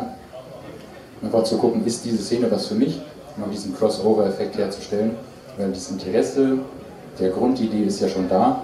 Und ähm, kurz darauf einzugehen, wer bei uns auf der Seite ist. Ja, mit ähm, der DSGVO ist es mittlerweile sehr schwierig zu sehen, herauszufinden, wo die Leute herkommen. Das ist ja auch nicht unser Hauptinteresse oder überhaupt nicht unser Interesse zu wissen, wer jetzt exakt auf der Seite ist, sondern einfach nur die Informationen zu bringen, die sie haben wollen. Und das funktioniert sehr, sehr gut. Also die Wachstumszahlen sind extrem ähm, seit Januar. Und sie kommen aus allen Bereichen, kann ich einfach so sagen. Sowohl aus der Comic-Szene, aus der Anime-Szene, aus der klassischen Rollenspielszene, ähm, aus der Literaturwelt, also in allen möglichen Bereichen, auch im Mittelalter sehr, sehr stark. Ähm, und die Resonanz darauf ist halt, wie gesagt, sehr, sehr groß. Und wir hoffen einfach, dass die an steigenden Besucherzahlen in den anderen äh, äh, Genres, sage ich mal, äh, ja, daran Resonanz findet. Ja. Okay. Ähm, wir haben jetzt eine Weile darüber geredet, äh, wie Leute über Digita digitale Medien, also soziale Medien, äh, Webseiten, möglicherweise einen Einstieg finden können. Wir haben letztes Jahr, ich mich noch ganz gut, mit dem Gast darüber gesprochen, der eine sehr schöne Initiative gestartet hat, äh, um den Nachwuchs direkt vor Ort abzuholen, nämlich in Schulen und in Klassen selber. Und soweit ich es verstanden habe, wir haben uns vorhin kurz unterhalten, äh, ist es seit letztem Jahr auch ein bisschen in die Tat umgesetzt worden. Und vielleicht kannst du ein bisschen schildern, was du da für Erfahrungen gemacht hast, wie ist die Resonanz darauf und was habt ihr seit dem letzten Jahr da konkret gemacht? Alles klar, ja. Ich hatte letztes Jahr groß getönt, dass wir in Schulen gehen wollen und was machen wollen und tatsächlich haben wir das auch getan. Und es ist sehr, sehr spannend. Ich würde sagen, wir stehen noch ganz am Anfang, aber wir haben die ersten Erfahrungen gemacht. Wir sind ähm, im September in eine Schule in, äh, bei Köln gegangen und haben äh, dort äh, tatsächlich in einer Projektwoche drei Tage lang Rollenspiel gespielt. Und äh, nicht nur einfach so, dass wir gesagt haben, komm, wir spielen mal ein bisschen, sondern wir haben der Schule das als Lernerfahrung verkauft. Und äh, das äh, waren die, da waren die Lehrer erst ein bisschen zögerlich, äh, weil die Lehrer auch leider nicht wirklich Rollenspielerfahrung hatten. Aber die haben sich ganz wunderbar darauf eingelassen. Ähm, ich habe die ein bisschen bequatschen müssen, aber das ging schon. Und ähm, haben dann auch mitgespielt und waren nachher so begeistert, dass die gefragt haben, können wir nicht eine Rollenspiel-AG an unserer Schule machen. Ähm, jetzt muss ich aber sagen, ich habe dann natürlich viel reingesteckt, um sowas hinzukriegen. Aber ähm, diejenigen, die die eigentlichen Stars von solchen Sachen sind, sind wirklich dann auch die jungen Leute, die mit der Begeisterung dahin gehen und dem Lehrer immer wieder sagen, ähm, jetzt sprechen Sie doch mal mit den Dragon Legion Leuten, die wollen Ihnen nur helfen und was machen. Und ähm, zwei dieser Leute sitzen da, die äh, mit ganz viel Energie äh, ihre Lehrer überredet haben, sowas mal zu machen. Und äh, da, da habe ich großen Respekt vor, nicht nur das, dann habe ich die auch noch, also dann haben wir, ähm, wir haben mit 37 Schülern äh, in einer Projektwoche drei Tage lang Rollenspiel gespielt. Ähm, ich hatte sechs Leute, die tatsächlich schon Kontakte zu Dragon Legion hatten, äh, denen ich dann gesagt habe, prima, dann seid ihr ja Spielleiter, das ist wunderbar, ihr kennt euch ja schon aus. Wobei man jetzt sagen muss, die haben zwar in Rollenspielen gespielt, aber die haben noch nie vorher Spielleiter gemacht.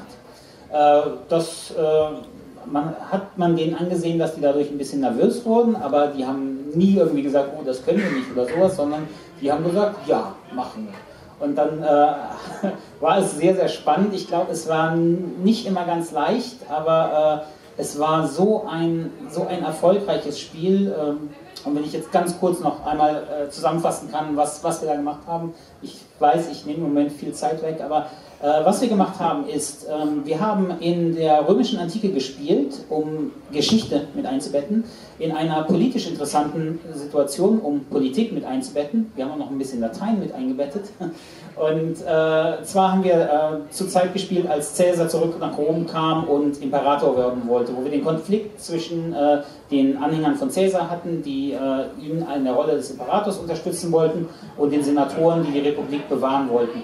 Und äh, wir haben drei Gruppen auf die Seite von Caesar gesetzt und drei, Gruppe auf, drei Gruppen auf die Gegenseite. Ähm, die haben aber erstmal die ganze Zeit nicht so direkt gegeneinander gearbeitet, sondern immer nur so indirekt. Dass zum Beispiel die eine Gruppe gesagt hat, oh, wir haben so ein Problem, Caesar ist so beliebt bei vielen Leuten, was machen wir, damit er weniger beliebt ist? Ach, der hat heute Abend einen Empfang, wie wäre es, wenn wir den, den ganzen Wein stehlen? Dann steht er blöd da. Und die andere Gruppe, die die Aufgabe hatte, eigentlich für die Sicherheit zu sorgen und denen dann unter, den, unter der Nase weg der Wein gestohlen wurde, wurde und, äh, und dann nachher ziemlich sauer auf die andere Gruppe war.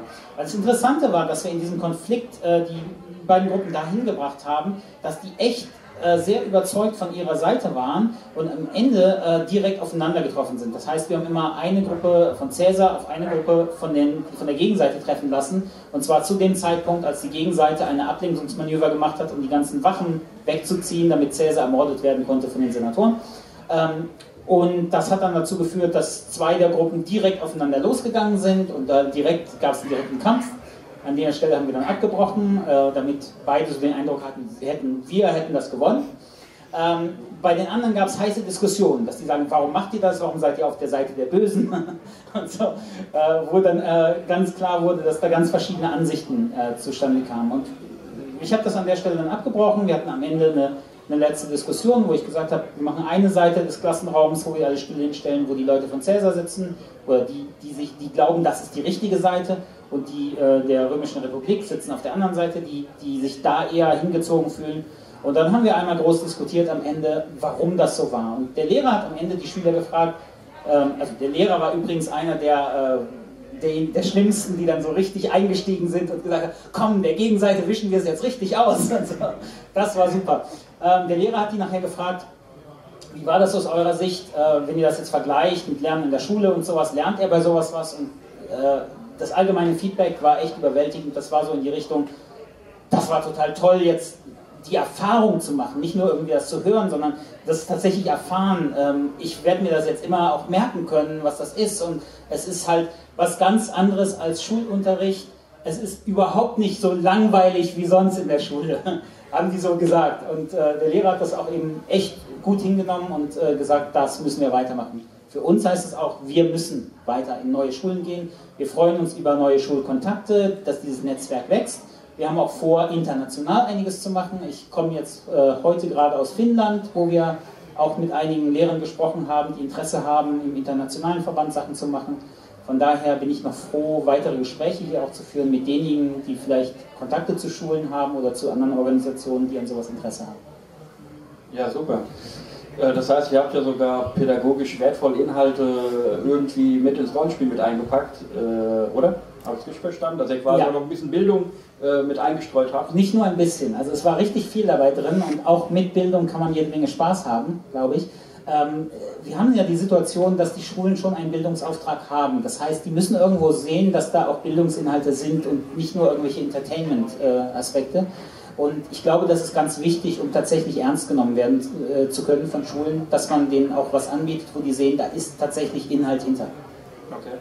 Äh, ich würde gerne, wenn ihr zwei kurz Lust dazu habt, ich würde euch gerne ein, zwei Sachen dazu fragen. Äh, wollt ihr? Gut. Ähm, dann warten wir mal aufs Mikro. Also mich würde interessieren, ähm, wusstet ihr schon vorher was über Rollenspiel? War das eure erste Erfahrung? Äh, ihr seid ja jetzt ganz offensichtlich relativ ambitioniert dabei und äh, wie geht es euren Klassenkameraden damit? Haben die es genauso positiv aufgenommen? Geht es da weiter oder wie ist der Stand der Dinge? Ähm, ja, die anderen aus der Klasse, die dabei waren, die anderen vier haben es auch positiv zugenommen. Ich war zu dem Zeitpunkt, ich glaube, das war ungefähr ein Jahr schon dabei. Also ich war zu dem Zeitpunkt noch relativ neu und hatte auch erst eins, zwei Runden Rollenspiel hinter mich, aber das war trotzdem eine total klasse Erfahrung und ähm, hat auch super Spaß gemacht und alle haben prima mitgemacht. Heißt es, dass äh, ihr wart beide schon vorher Rollenspieler, äh, hat dann äh, seine Initiative, das anzubieten, dazu geführt, dass es quasi ein bisschen verfestigt hat? Oder hättet ihr ohnehin weitergespielt? Äh, wie sieht es da aus? Ähm, wohl sind wir erst durch den Rasmus ans Rollenspiel gekommen. So hat mir ein Freund von mir, der den Rasmus schon kannte, mich dazu mal überredet. Okay, das heißt, ihr seid auch direkt quasi äh, face-to-face -face drauf gekommen, nicht irgendwie übers Internet, dass ihr selber recherchiert hättet, sondern ihr wurdet quasi in der Nase draufgestoßen, habt es gut gefunden und habt dann weitergespielt. Ja, quasi. Ich hatte schon vorher Interesse, kam aber halt nie zustande. Okay. Ja, cool, vielen Dank, freut mich. Ähm, Stefan, ich würde dich gerne was fragen. Äh, wir haben jetzt ein bisschen beide Seiten beleuchtet, nämlich den direkten Kontakt mit Schülern, mit dem Nachwuchs, äh, ein bisschen über soziale Medien geredet. Äh, du hast da vorhin schon ein bisschen anklingen lassen, was du genau machst. und für mich war das immer so ein bisschen eine Brückentechnologie, was du anbietest, halt mobile Browser-Games. Das kann auf jeden Fall beide Seiten irgendwie ansprechen. Ähm, kannst du ein bisschen was darüber erzählen, was für Leute deine Spiele spielen? Sind das Rollenspieler, sind das, also sind es Pen and Paper Rollenspieler oder kommen die aus einer ganz anderen Ecke? Und wie sind so deine ganz persönlichen Erfahrungen in Sachen Nachwuchs und Pen and Paper?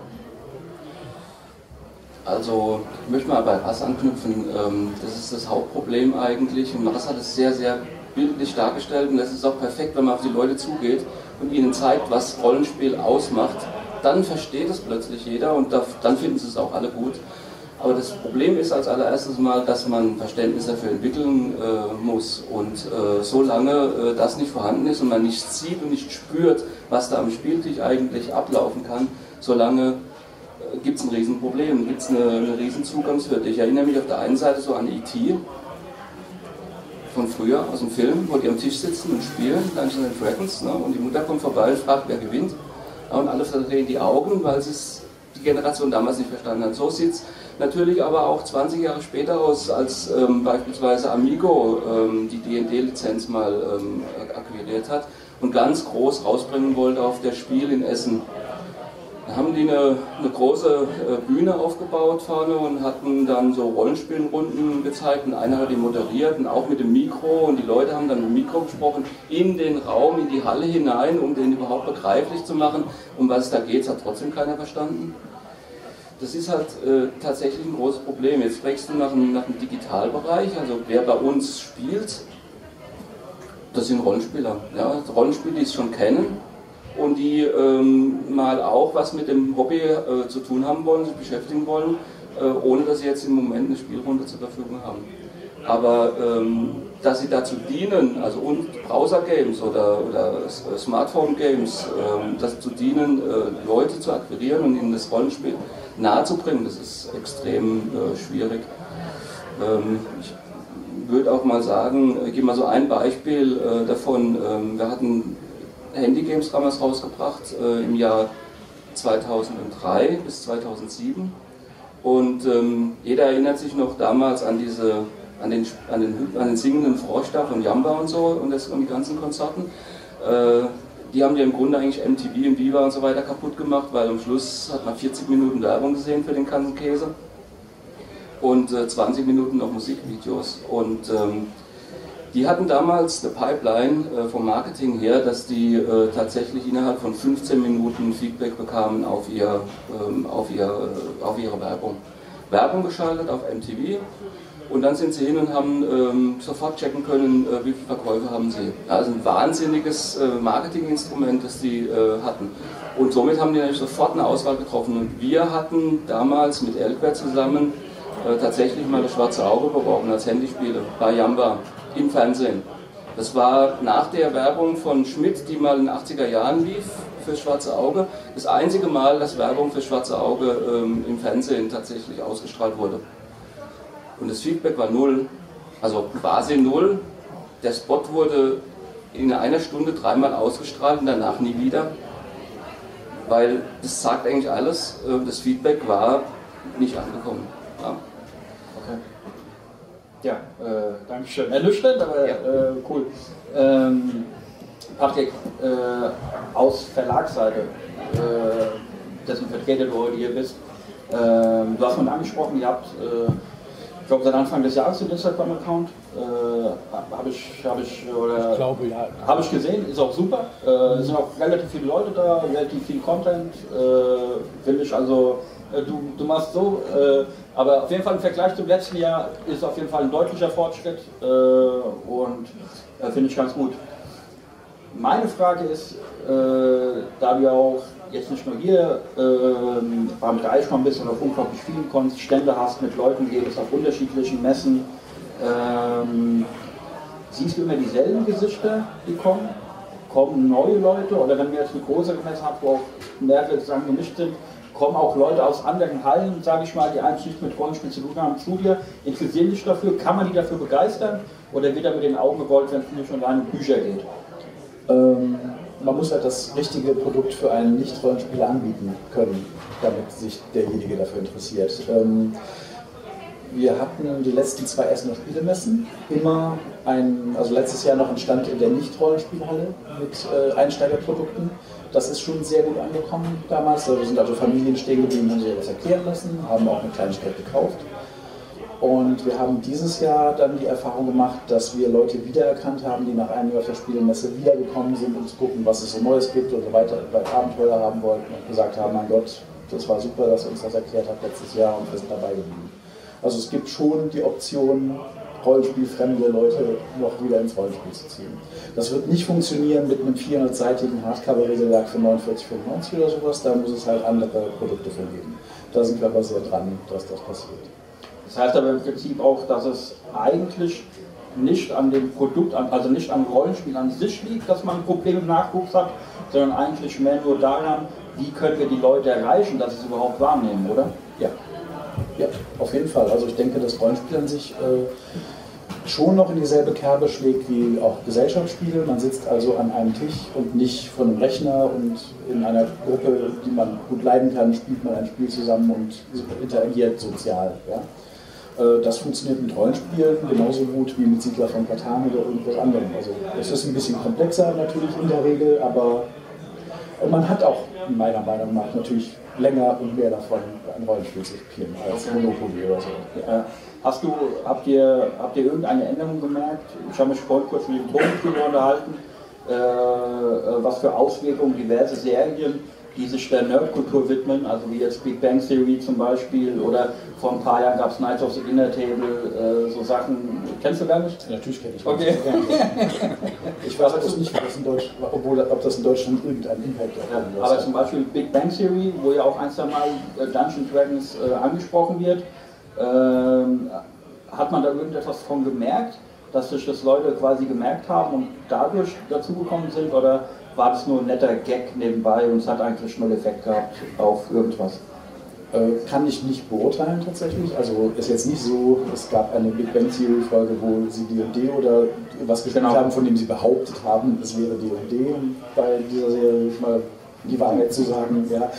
Ähm, da, das können wir nicht feststellen. Wir haben halt nicht dieses äh, Feedback nach 15 Minuten, äh, wie ist gelaufen, wir auf einmal haben wir einen Peak in irgendwelchen Verkäufen oder sowas. Äh, ich denke nicht, dass das einen großen Einfluss gehabt hat. Ich denke, dass es ein bisschen, dass Leute nicht mehr so schräg angeguckt werden, wenn sie irgendwas Nerdiges machen durch diese Serien. Äh, aber ähm, dass jetzt Leute damit anfangen, weil gerade, sagen wir mal, sozial eher schwierige Charaktere D&D in der Serie spielen. Also ich finde ähm, äh, gerade Big Bang Theory ein bisschen problematisch. Ich finde, es, es ist für Leute, die das kennen, ganz lustig.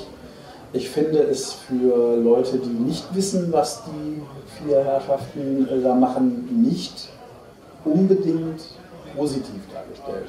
Da gibt es auch andere bessere Serien, die das sinnvoller machen. Okay, gut. Sophia und Laura, äh, ich würde euch gerne noch mal fragen, äh, wie, wie sieht es denn bei euch im Freundeskreis aus? Also äh, Gleichaltrige, egal ob äh, äh, männlich oder weiblich, äh, seid ihr die Ausnahme bei euch? Also A, dass ihr euch überhaupt in einem Verein engagiert, wie jetzt den Wirgig hier, und dann dazu noch etwas wie Rollenspiel betreibt, seid, ist es eher exotisch oder stößt es auf äh, breites Verständnis? Also ich bin in meinem Freundeskreis tatsächlich nicht die Ausnahme. Was ich aber lange Zeit nicht wusste, tatsächlich über zwei Jahre fast nicht wusste, dass durchaus Leute in meinem Freundeskreis auch in Rollenspielen aktiv sind. Ähm, aber ich gehe nicht davon aus, dass es bei jedem Freundeskreis so sein dürfte erstaunlicherweise treffe ich dann doch immer wieder recht häufig, aber es kommt immer erst meiner Meinung nach sehr spät, wenn man eine Person kennenlernt. Falls es zur Sprache kommt, kommt es immer erst sehr, sehr spät zur Sprache. Weil es etwas ist, für das man sich schämen muss oder weil generell Hobbys nicht ausgetauscht werden? also eigentlich nicht, weil es etwas ist, für das man sich schämen müsste, weil das ist nicht der Fall. Aber es ist halt einfach kein Gesprächsthema, was schnell angesprochen wird. Also Hobbys, klar, es werden, es werden irgendwann Sport oder sowas angesprochen, aber nicht wirklich viel darüber hinaus. Dementsprechend ist das da vielleicht auch mit verknüpft. Also dass Hobbys generell nicht so häufig angesprochen werden. Aber ansonsten weiß ich nicht, tatsächlich nicht, woran es liegt, dass es immer recht spät okay. erst zur Sprache kommt. Habt für, ist für euch Rollenspiel etwas, etwas Nerdiges, so wie wir es vorhin gesagt haben? Oder seht ihr da gar keine Verbindung? Ich finde es schon ziemlich nerdig. okay, und glaubt ihr, ist, ist das ein Hinderungsgrund dafür, dass sich wenig genügend Leute dafür begeistern? Äh, weil es vielleicht auch eine gewisse äh, Einstiegsschwierigkeit gibt. Ist ja nicht so einfach zugänglich wie jetzt irgendein Handyspiel oder sonst irgendwas. Ist das das Problem, dass es einfach nicht schnell genug geht, dass es zu nerdig ist? Wo ist das Problem? Also ich persönlich glaube, dass es kein Problem ist, dass es nerdig ist. Also bestimmt in manchen Kreisen mit Sicherheit. Ähm, viele Leute können, glaube ich, damit erstmal nichts anfangen, können sich das gar nicht vorstellen. Ähm, aber ich denke gerade, meiner Meinung nach, durch so Serien wie Big Bang, ist Nerdig auch ein bisschen cool geworden. Und ähm, vor allen Dingen auch durch ähm, YouTube-Kanäle wie Rocket Beans oder so etwas, die eben auch viel Rollenspiel inzwischen machen und viel laufen haben und ähm, ich in meinem Freundeskreis bin ziemlich ein Exot, was Rollenspiele angeht. Inzwischen nicht mehr, weil wir ganz viele Leute dazu gebracht haben, anzufangen. Ähm, aber ich habe ein paar, ich habe noch einen Freundeskreis, die viel äh, Cosplay machen. Und die kannten es durch Rocket Beans. Und ähm, die sind da total die Fans. Und ähm, ich glaube, das kursiert ganz schön. Okay, erklärst du mal kurz, was Rocket Beans ist, für die, die es nicht wissen. Okay, jetzt muss ich mich outen. Ich habe ganz, ganz wenig von denen gesehen. ich weiß ja schon, was es ist. Ähm, ich weiß, dass die früher ähm, auf Viva Game One laufen hatten. Die hatten verschiedene Videospiele rezensiert und ähm, Reviews gemacht und inzwischen haben die einen YouTube-Kanal, die mitunter auch ein äh, eigenes Rollenspielsystem mehr oder weniger entwickelt haben und gespielt haben. Und ähm, ich glaube, der Kanal war vorher schon sehr groß, aber es kam sehr gut an und hat ich weiß nicht wie viele Staffeln inzwischen. Okay, also würdest du sagen, dass man Rollenspiel und zum Beispiel YouTube gut miteinander verbinden kann? Geht es in eine Linie? Passt das zusammen oder muss man sich schon arg anstrengen, um das irgendwie auf einen Länder zu bekommen? Also meins persönlich ist es nicht. Ich verstehe aber auch nicht, warum Leute Let's Plays gucken. aber letztendlich ist es nichts anderes. Und wenn man Let's Plays mag, dann ähm, klar, warum nicht? Geht in dieselbe Ecke. Okay, sehr gut. Ich würde gerne noch eine Sache kurz sagen. Wir haben letztes Jahr die Erfahrung gemacht, normalerweise machen wir es immer so, dass wir die Diskussion mehr oder weniger beenden und dann Zuschauerfragen äh, zulassen und fragen, ob es noch irgendwas gibt. Letztes Jahr haben wir die Erfahrung gemacht, dass es sehr viele Fragen gab und wir einfach nicht hinterhergekommen sind. Deswegen würde ich vorschlagen, wenn irgendjemand von euch an irgendeinem Punkt irgendwas zu dem Thema zu sagen hat oder Fragen hat, einfach kurz melden. Äh, wenn ich es nicht sehe, schreibt kurz in die Menge und dann nehme ich euch auf jeden Fall dran äh, und wir können euch dann ein bisschen damit einbinden. Ähm, da kommt schon die erste. Äh, wir versuchen es mal ohne Mikro, wenn es zu leid ist, gebe ich immer Mikro. Okay, äh, wirklich gerade zu dem Thema, was ihr habt. Ich habe nämlich genau mit beiden Punkten sowohl Big Bang Theory als auch Rocket Beans in den letzten Jahren Erfahrungen gemacht. Ähm, Big Bang Theory eher negativ, da sind äh, mein Bruder und seine Freundin tatsächlich an mich herangetreten, weil sie wussten, dass ich Rollen spiele. Und ich gefragt, ey, was ist denn das, kannst du das mal für uns machen? Mein Eindruck war, äh, es hat sie neugierig gemacht, das ist positiv. Eine vollkommen falsche Erwartung davon direkt, was es eigentlich ist.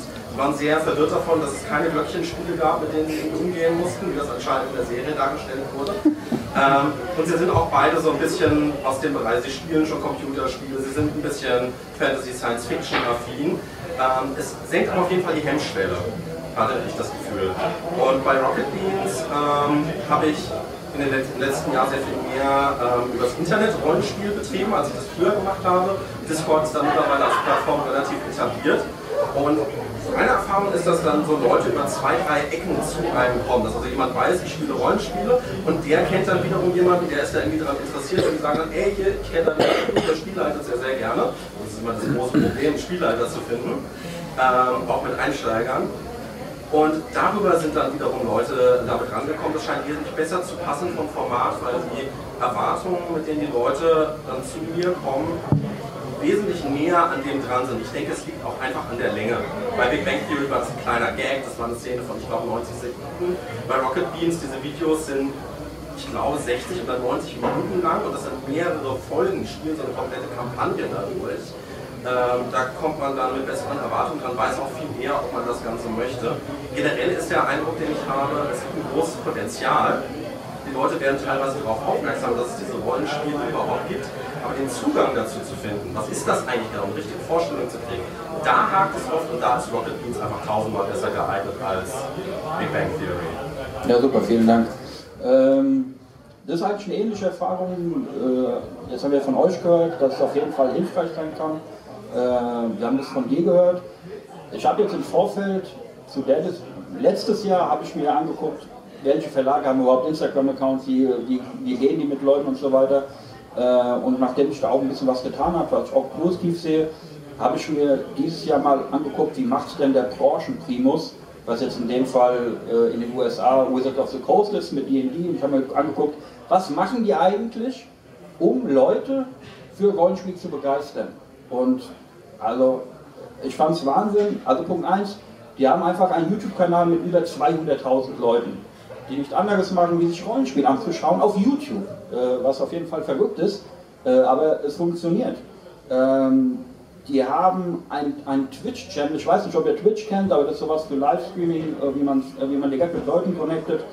Die haben einfach 7 Millionen Views und 125.000 Abonnenten. Jede Woche machen die einen Livestream von einer Rollenspielrunde, die irrsinnig lustig ist. Ja?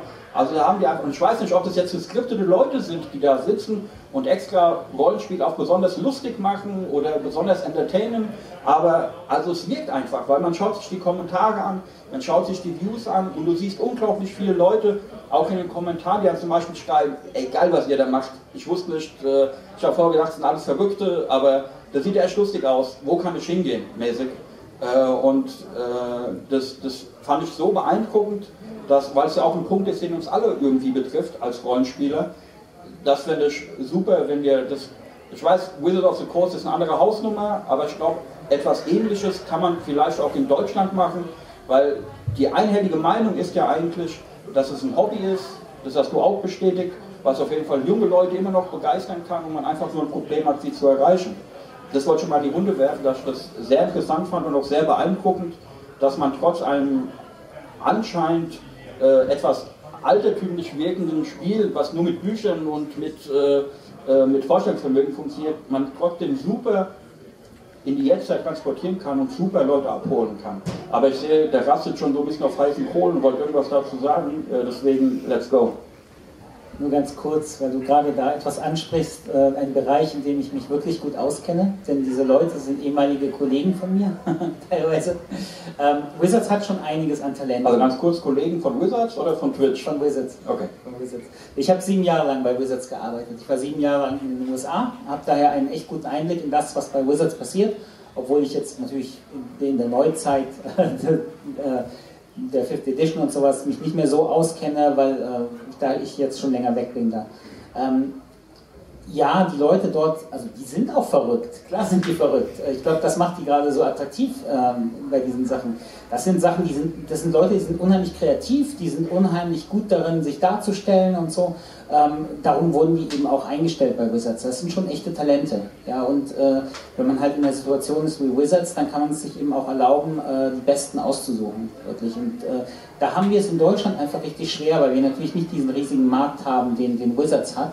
Und ähm, da, da dem nachzueifern, würde ich sagen, das ist schon eine, eine echte Herausforderung. Ich glaube nicht, dass, also vielleicht können wir das ein bisschen versuchen, aber ich glaube, das zu erreichen ist, ist schwierig. Also wenn du jetzt mit dem Gedanken spielst, hey, wir machen es so wie Wizards, äh, ich würde sagen, dass, da ist einiges, äh, was die an Vorteilen haben, was nicht so leicht zu erreichen ist. Ich glaube, wir müssen schon noch mal ein paar andere Wege äh, gehen, als, als die Amerikaner uns das vormachen. Ähm, wo, wo, wobei ich auch sagen muss, Wizards ist auch nicht nur gut in dem, was sie machen. Also ähm, sie waren zum Beispiel bei der Fourth Edition unheimlich schlecht, ja, was das angeht. Und sie haben daraus gelernt und sie machen es inzwischen besser.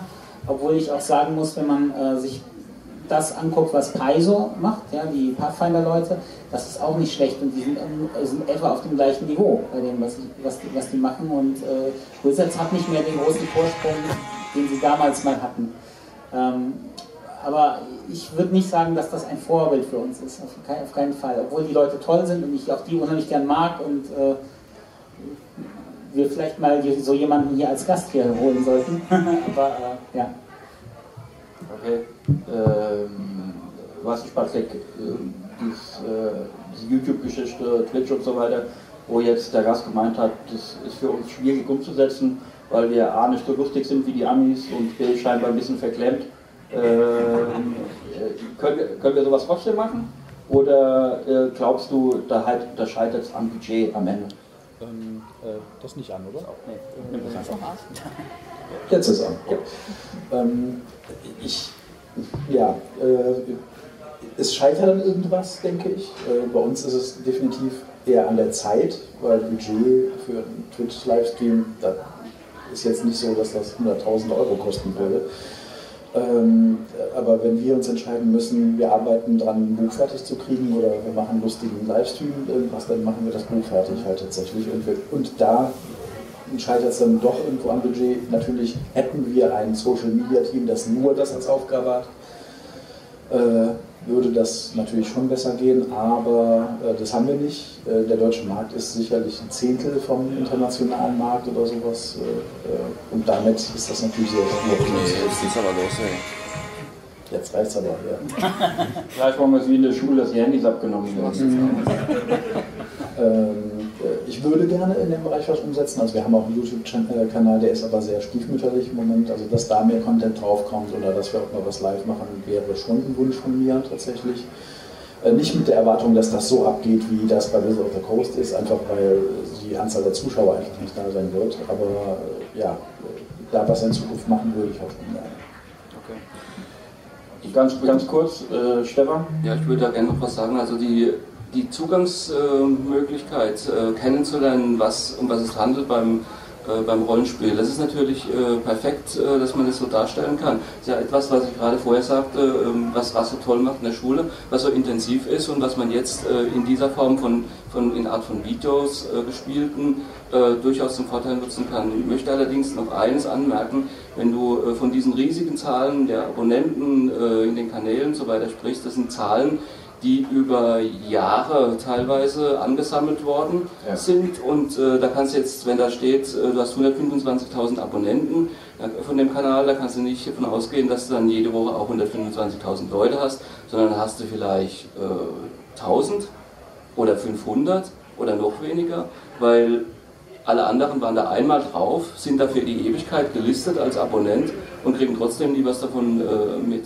Also das muss man immer ähm, ein bisschen vorsichtig betrachten. Nee, das war schon klar. Ich wollte damit auch nicht ausdrücken, dass wir jetzt morgen anfangen, äh, dass jetzt morgen anfängt, Urwerk Verlag einen YouTube-Kanal äh, zu bespielen und wir zwei Tage später äh, 200.000 Abonnenten hat. Dass das prinzipiell ein, äh, hm, ich probiere jetzt mal aus, äh, dass, dass wir natürlich prinzipiell ein strukturelles Problem haben, dass wir schon ein paar Jahre mit uns schleppen, was Nachwuchsförderung angeht, ist ja klar. Äh, aber natürlich, so jede Reise beginnt man mit dem ersten Schritt und man kann alles anfangen, vielleicht auch auf einem kleinen Niveau. Äh, Hauptsache man macht es erstmal und dann kann man immer noch gucken, so kommt es überhaupt nicht. Nicht auch alles, was in Amerika funktioniert, muss auch unbedingt hier in Deutschland funktionieren. Äh, darüber sind wir uns, glaube ich, äh, alle einig. Aber gerade, was Sophie und Laugo von gesagt haben, auch so, sie verstehen nicht, Let's, warum Leute Let's Play angucken. Es gibt immer Leute, die gucken sich ganz verrückte Sachen an äh, und sind dann davon begeistert. Und ich meine, wir haben so einen bunten Zirkus von Verrückten im Rollenspiel, in der Rollenspielszene, da können wir auch noch ein paar andere mit einladen, die uns an Verrücktheit durchaus übertreffen können. Äh, aber ich habe da, war eine Meldung im Zuschauerraum. Patrick Götz, der ist ja äh, des Öfteren mal bei Rockenspalter TV zu sehen, was ja auch ein sehr bekanntes YouTube-Format in Deutschland ist. Gibt es denn danach spürbare Zunahmen bei Käufen, wenn ihr da was vorstellt? Ihr seid da, Ulysses ist relativ oft da. Ähm, bei vorhandenen Sachen kann ich das nicht so sagen bei Verkäufen, was halt definitiv einen, Ausschlag gibt. Also wenn wir ein äh, Crowdfunding, was gerade läuft, bei Augenspalter promoten, dann hat das recht sofort auch eine, eine kleine positive Auswirkung tatsächlich, ja, das ist so. Frage beantworten? Sehr gut. Äh, Toni, äh, mir scheint so, als wolltest du, du bist hast hier ready mit Mikrofon. Äh, äh, was brennt dir unter den Nägeln?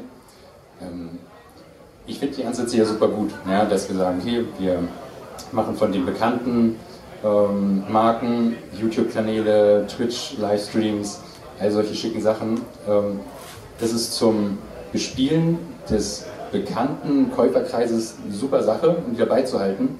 Aber wer kommt denn Neues daran? Ja? Wir gehen ja im Prinzip an die Frage ran, wie generieren wir neue und nicht wer halten wir alte. Natürlich wollen wir die alten auch halten, keine Frage, aber ähm, es geht ja eher darum, neue Leute ranzuziehen, dafür zu begeistern. Und ich finde es, glaube ich, eher schwierig, auf einen YouTube-Kanal per Zufall zu stoßen, für den ich mich interessiere, unter dem ganzen Content, der da drin ist, ähm, dann zu stoßen und sagen, hey, da ist der Uberg Verlag, der hat ähm, gerade wieder einen Livestream, den gucke ich mir einfach mal an. Ja? So, es geht ja eigentlich eher darum, wie kriege ich Leute dazu, sich aktiv damit zu beschäftigen. Ja? Und ähm, da würde ich jetzt mal ganz gerne an die Mädels was fragen, wenn ich fragen darf. Aber natürlich. ähm, wenn du jetzt sagst, du bist quasi durch Freunde nach zwei Jahren erst darauf gestoßen, dass sie das machen ja, und dann selber daran gekommen. Ähm, das heißt, du hattest vorher überhaupt keinen Kontakt dazu ähm, zum Rollenspielen und quasi erst durch die Freunde bist du dann sozusagen daran gekommen. Nicht wirklich. Ich hatte erst noch. Ja, danke. Ich habe erst nach etwa zwei Jahren rausgefunden, dass, dass die tatsächlich auch im Rollenspielbereich aktiv sind. Tatsächlich bin ich nicht durch meinen Freundeskreis in der Hinsicht dazu überhaupt gekommen, sondern genau genommen durch Christian. ähm, beziehungsweise dann durch den Dreieichkorn. Was erstaunlich ist, weil ich lebe in dieser Stadt, seit ich geboren wurde. Ich bin da drüben zur Schule gegangen. Meine Mutter hat jahrelang diese Veranstaltung genehmigt und ich wusste nicht, dass sie existiert. Auf die aktuelle. Auch die aktuelle, ja. Und ich hatte wirklich keine Ahnung, dass diese Veranstaltung überhaupt existiert. Bis mir es dann per Zufall irgendwann mal gesagt wurde, tatsächlich. Ja, und das ist genau das, worauf ich halt hinaus wollte, ja. Dass, die, dass der Zugang dazu einfach, einfach fehlt. Die sind einfach nicht präsent genug. Ähm, das Interesse ist ja da, ja. Bist ja sofort drauf gestürzt, wenn ich das dementsprechend nehmen kann, ja. Ist sie gleich drauf gestürzt. Und ähm, das sehen wir auch in den, in den Medien an sich, ja. Herr der Ringe, Harry Potter, alles Mögliche, was in diese ganze Richtung geht, jetzt um bei der klassischen Fantasy zu bleiben, geht ja noch viel weiter mit Steampunk und äh, Science Fiction und allen anderen Bereichen. Das heißt, das Potenzial haben wir, aber wie schaffen wir den Zugang dazu? ja, dass die Leute sich wirklich damit intensiv beschäftigen. Okay, ich habe euch, hab euch drei gesehen. Ich nehme euch gleich dran. Der Patrick will noch kurz was sagen, äh, dann komme ich zu euch. Ähm, ja, äh, kleine Werbeunterbrechung. äh, weil, äh, ähm, also ich versuche die Werbung für unsere Sachen so klein wie möglich zu halten. Bei der Antwort. Ähm, okay, ähm, das ist genau äh, die Frage, die wir uns auch äh, gestellt haben äh, schon einige Zeit. Und äh, wir haben, ich sag's, wir haben jetzt aktuell gerade eine Sache laufen, das ist so nicht Schurke zum Beispiel. Das ist ein Rollenspiel ab fünf Jahre. Das ist ähm, und skaliert, also es ist auch drei verschiedene äh, äh, Komplexitätslevel. Das heißt, ein, eine Gruppe mit Fünfjährigen, Zehnjährigen, Zwölfjährigen können super zusammenspielen, weil die kompatible, aber unterschiedliche Regeln benutzen, die unterschiedlich komplex sind. Äh, das ist einmal eine Sache, damit können wir halt hoffentlich Kinder äh, dran kriegen, äh, Rollenspiel zu spielen, weil die Eltern aus Versehen glauben, sie kaufen ein Brettspiel und in Wirklichkeit haben sie ein Rollenspiel. ähm, ähm, und die Sache ist, was glaube ich auch eine, eine, eine potenziell eine große Sache sein könnte, um Rollenspiele ein bisschen bekannter zu machen wieder. Wir haben da jetzt eine Kooperation mit Pegasus ge- gefunden. Die haben ja nun mal die letzten zwei Spiele des äh, Jahres gehabt. Diverse Kennerspiele sind mittlerweile eine große Nummer im, im Brettspielbereich und halt auch im normalen Leben vertreten. Und die werden halt in, in, in normaler Pegasus-Optik dieses Spiel auch mit uns zusammen rausbringen und halt in reguläre Spieleläden kriegen, wo es halt neben normalen Kinderspielen von Pegasus oder anderen Firmen steht, wo dann halt Eltern sich das angucken können und sagen können, ach, das wäre ja vielleicht auch mal was. Und es ist schön bunt und es ist kindergerecht und äh, es unterscheidet sich eigentlich auch vom Material her nicht groß von einem Brettspiel. Und es ist einfach ein Spiel für Kinder und ist dann vielleicht wieder was zugänglicher.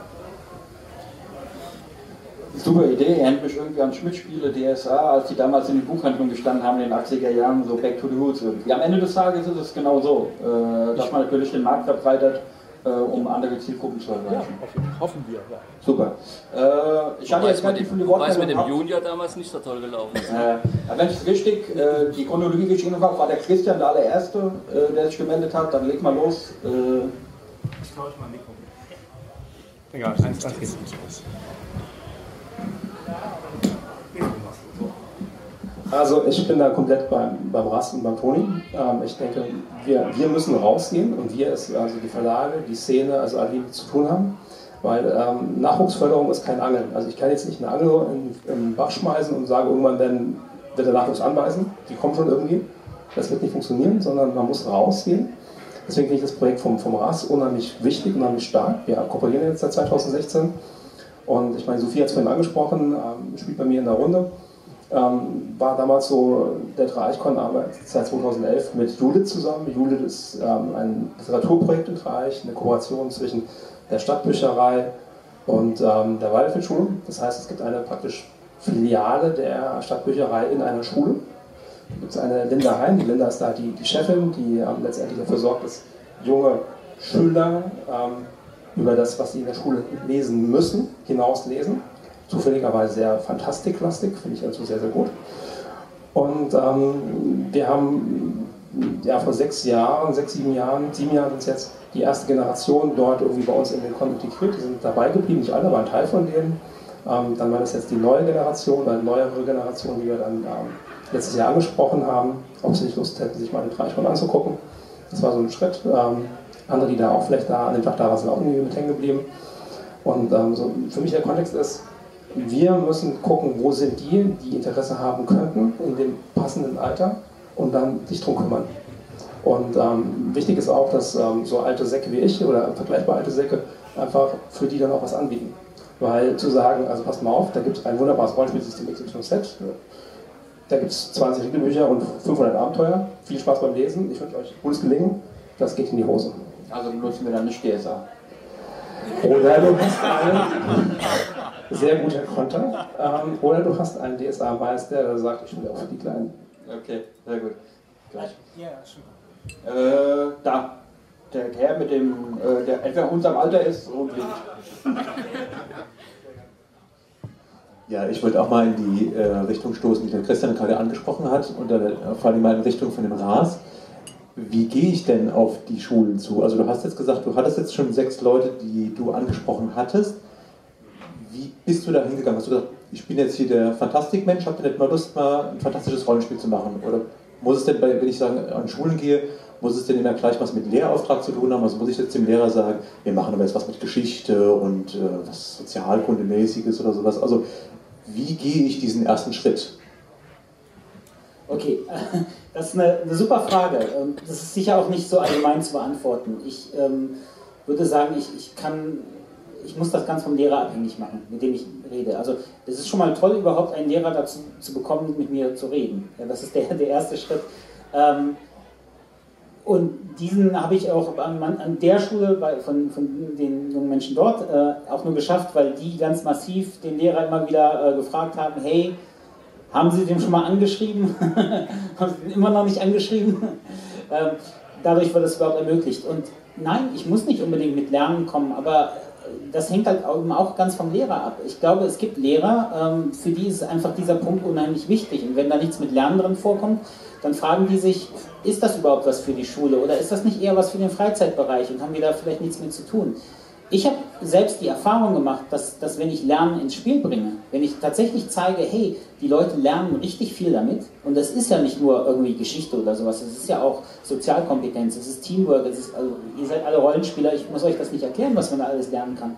Ähm, aber wenn man, wenn man das mal aufzeigt, was das alles an Lernerfahrung bringt, ähm, dann hat man meistens schon irgendwo die Aufmerksamkeit. Und wenn man dann noch sagt, und die machen das alles freiwillig, ja, die, die, die haben da auch noch Spaß dabei, ja, dann, äh, ich glaube schon, das ist so ein bisschen, dann werden die so ein bisschen neidisch, die Lehrer auch, weil das kennen die halt nicht. Für die meisten im Alltag ist es schon so, dass vielleicht hat man hier oder da der eine Schüler Lust, aber oft ist es schon so, dass man vor so einer Klasse sitzt und man weiß, die würden lieber irgendwie ähm, vor ihren Videokonsolen sitzen, als jetzt hier in der, in der Schule. Und ich glaube, das ist schon etwas, was Lehrer faszinieren kann. Also wenn man tatsächlich zeigen kann, hey, wir, wir kombinieren tatsächlich hier Spiel und, und Lernerfahrung in einem, äh, dann werden viele Lehrer hellhörig, aus meiner Erfahrung. Es gibt aber auch Lehrer, die sagen, ey, ich finde Rollenspiel total toll, wenn ihr mir erklärt, wie ich das in meiner Klasse mache, ich bin dabei. Also würde ich sagen, hängt ganz von denen ab. Frage beantwortet? Ich wollte mal so ein bisschen, ja, habt ja, du hattest jetzt schon mal so äh, Schüler gehabt, die quasi Interesse hatten wie hast du dieses grundsätzliche Interesse erstmal geweckt? Also so den, den allerersten Kontakt? Indem ich mit denen eine Runde gespielt habe. Ganz einfach. Ich glaube, ich wollte da gleich auch noch was zu sagen, aber wir sollten erst noch die letzte Frage gleich beantworten. Ich glaube, es geht fast nichts drumherum, um irgendwo den persönlichen äh, Anknüpfungspunkt zu geben. Ja? Ähm, und der ist nicht nur irgendwo in einem Video oder sowas, sondern ich glaube, äh, das mal gesehen zu haben, jemanden zu kennen, der gespielt hat oder so, ähm, irgendwie mal live zugesehen zu haben, ich glaube, das sind die Punkte, wo man anfängt tatsächlich so interessiert an der Sache zu sein, dass man anfängt. Und dann im Nachhinein, müsste, also im weiteren Schritt müsste man tatsächlich den Leuten auch die Möglichkeit geben, irgendwo zu spielen. Es reicht eben nicht, äh, wenn die das irgendwo mal sehen, äh, dann ist man noch lange nicht beim Rollenspielen, sondern man muss dann auch irgendwie die Gelegenheit haben, mal eine Runde mitspielen zu können oder mal in so eine Runde reinzuschnuppern oder sowas. Das ist unheimlich wichtig. Ich gehe gleich noch mal ein bisschen stärker darauf ein, wenn ich darf. Dankeschön. So, dann hatten wir, ich glaube, der junge Mann mit der Brille, äh, vielleicht kannst du gerade das Mikro weitergeben. Äh, ja, äh, was ich eigentlich nur sagen wollte, ist, dass ich am Anfang bei dem ich rede einfach so, ich hasse mich doppelt zu hören. Ähm, ja, das ist schrecklich. Äh, was ich sagen wollte, ist, als ich angefangen habe mit Pen Paper und Rollenspiele, war das Problem, dass ich mich mit meiner Gruppe zusammengetroffen hatte und keiner von uns hatte generell eine Ahnung davon. Und dann habe ich mir die Rolle des Meisters aufgelastet und habe dann das DSA-Regelwerk durchgelesen. Ich habe es mir nochmal durchgelesen. Respekt. Nochmal durchgelesen. Nochmal durchgelesen. Wir haben die erste Runde gespielt und wir sind total daran gescheitert einfach äh, wo ich dann einfach sagen muss, dass einfach die Schwierigkeit einfach zu hoch war. Und wir hatten selber nicht so die Ahnung davon, dass wir jetzt ein anderes System benutzen können und waren einfach komplett damit überfordert, dass man da vielleicht auch irgendwo anknüpfen kann. Was ich auch häufig gehört habe, jetzt auch in der Runde, auch generell, dass eher die Leute drauf zugehen, auf die anderen, die halt schon mal gespielt haben. Und dass darüber der Zugang eventuell leichter ist, als einfach Leute ins kalte Wasser zu schmeißen. Okay, danke. Das, das äh, Patrick, ich mal ganz kurz an dich weil das Problem, was er beschrieben hat, das hast du ja vorhin schon recht gut adressiert, nämlich dass ihr die Erfahrung gemacht habt, dass man auf jeden Fall es den Leuten relativ einfach machen muss, lernen zu kommen und jeder auf jeden Fall A, schon konkrete Lösungsansätze hat und B, an Dingen arbeitet, aber das ist sicherlich ein Problem, ich habe vorhin lustigerweise DSA genannt, aber das ist mal stellvertretend dafür, dass äh, für ein sehr komplexes System, was es schwierig macht, aber ihr seid ja schon viel weiter und macht viele Dinge besser. Äh, ja, äh, ich glaube auch, dass jetzt die alten Säcke, die heute äh, Rollenspiele spielen und ähm, dann im Prinzip jungen Leuten erklären können, was Rollenspiel ist, auch damals nicht angefangen hätten, sinnvoll Rollenspiel zu spielen, wenn sie mit ja, DSA 4 hätten anfangen müssen zum Beispiel. Ja?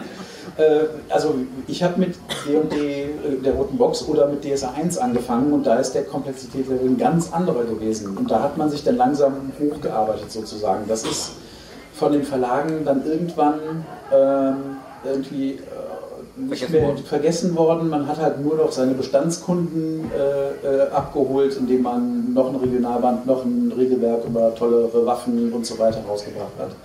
Und äh, diese, diese, äh, diese Grundbox, die halt einen ganz anderen Komplexitätslevel hat, die gibt, gab es sehr lange einfach nicht mehr, weil man nur die Leute angesprochen hat, die halt es schon spielen tatsächlich. Okay, dann lass ganz kurz, bevor ich zu dir komme. Ich würde jetzt nur mal ganz kurz anhaken, nämlich äh, Komplexität, Schwierigkeit ist ein ganz wichtiges Thema. Vielleicht kannst du noch mal ganz kurz, wenn du das Mikro noch hast, an die zwei, an die zwei Kollegen, die vorne sitzen, von der Dragon Legion äh, geben.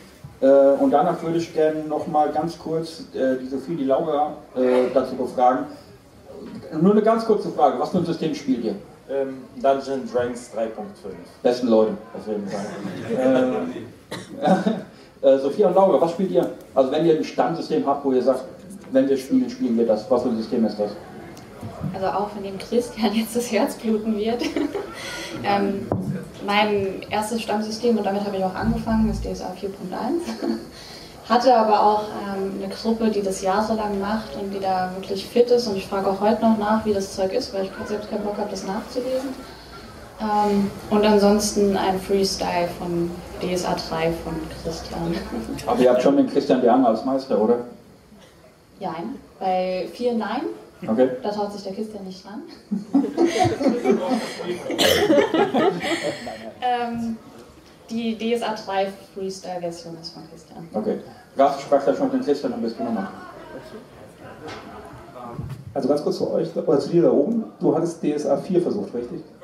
5, oh Gott. Okay. Ähm, Das ist ja ähnlich. also vielleicht eins vorneweg. Also ich bin ähm, nicht ein Fan von einem Regelwerk, sondern ich bin ein Fan von, einem, von einer Rollenspielwelt. Deswegen kann ich sagen, ich liebe DSA die Welt. Ähm, Laura ich hatten da schon ein paar Diskussionen, deswegen habe ich sie ja kurz angesprochen gehabt, ähm, weil ich der Meinung bin, das sehe ich wie du es schon angedeutet hast, dass manche Regelwerke so komplex sind, dass für Neueinsteiger, wenn die alleine sind, dass die eigentlich nicht scheitern können. Weil man kann DSA studieren, das geht schon. Also man braucht halt 20 Semester oder so. Ähm, deswegen glaube ich, ist es wichtig, halt eine einfache, ein einfaches Regelwerk zu haben und um die Verlage vielleicht in Schutz zu nehmen, du hast ja das Problem, du hast ja beide. Du musst deine Stammkundschaft bedienen. Da gibt es natürlich auch schon ein paar, die sagen, ey, das ist alles viel zu einfach, man kann es noch viel, viel komplizierter viel cooler machen, dass man genau ausrechnen kann, wie schnell ist der Fall, wann kommt der auf, wie ist die Entfernung, irgendwelche Wegrationen, sonstige Sachen. Also ich kann das ja beliebig weiterführen. Es gibt Leute, die lieben das, ähm, ich nicht. Und ähm, da brauchst du aber wirklich einen von denen, der die jungen Spieler mitnimmt, weil dann sollte es auch der Meister am besten sein. Oder das halt ein einfaches Regelsystem für die Einsteiger, was aber die alten Hasen nicht so interessiert. Da bist du eigentlich in diesem Zwiespalt als Verlag. Das ist glaube ich genau das kein Problem. Also letztendlich kommen wir wieder an den Punkt an, wo du beides brauchst. Du brauchst für die, die keinen alten Hasen haben, irgendwas Einfaches, dass die reinkommen, dass die erstmal sozusagen angefixt werden. Und bei den komplexen Sachen brauchst du irgendeinen der alten Säcke, der sagt, ich übernehme das für die, für die äh, Next Generation und ich meister das für die. Sonst wird es nicht funktionieren. Okay. Ja, los Yay. okay. Ähm, ich muss jetzt einen Bogen machen von vorhin. Du hast gesagt, ja, ähm, der Rass sagt so, ja, komm, was die in Amerika machen, das schaffen wir sowieso nicht und sowas. Äh, das muss ich ein bisschen relativieren und komme dann darauf wieder zurück, was hier gesagt wurde. Ähm, ja, ich glaube, es ist halt nicht der richtige Weg, genau das Gleiche zu machen, was die Amerikaner machen. Ich glaube sehr wohl, dass wir sehr, sehr viel schaffen. Ich glaube, wir müssen vielleicht ein paar andere Wege gehen.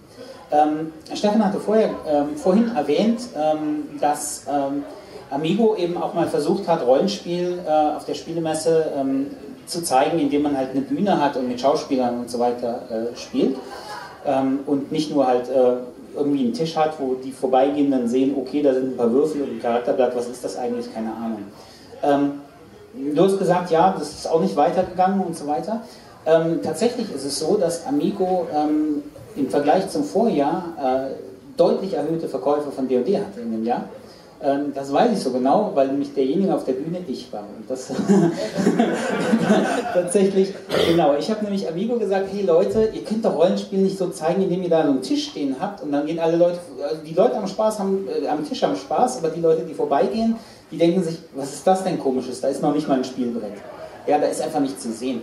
Und darum habe ich gesagt, lass uns mal Schauspieler nehmen, wir verkleiden uns, wir stellen uns auf die Bühne und spielen das äh, immer episodenweise, immer 15 Minuten. Die Story geht immer weiter und machen das auch schön interaktiv. Das, äh, ich hatte eine Szene, wo zum Beispiel der äh, Böse dem König die Krone geklaut hat und dann über den Marktplatz verschwinden wollte und die Helden hinterhergejagt sind. Und dann hat er, dadurch, dass die so laut geschrien haben, hat er sich halt umgedreht, hat dann in seine Tasche gefasst, hat dann einen Haufen Goldmünzen rausgeholt und ich hatte so Schokoladenmünzen in die Menge geworfen und dann kam halt keiner mehr durch. Und ähm, tatsächlich das, äh, war das super positiv für die Verkäufe auf der Spielemesse.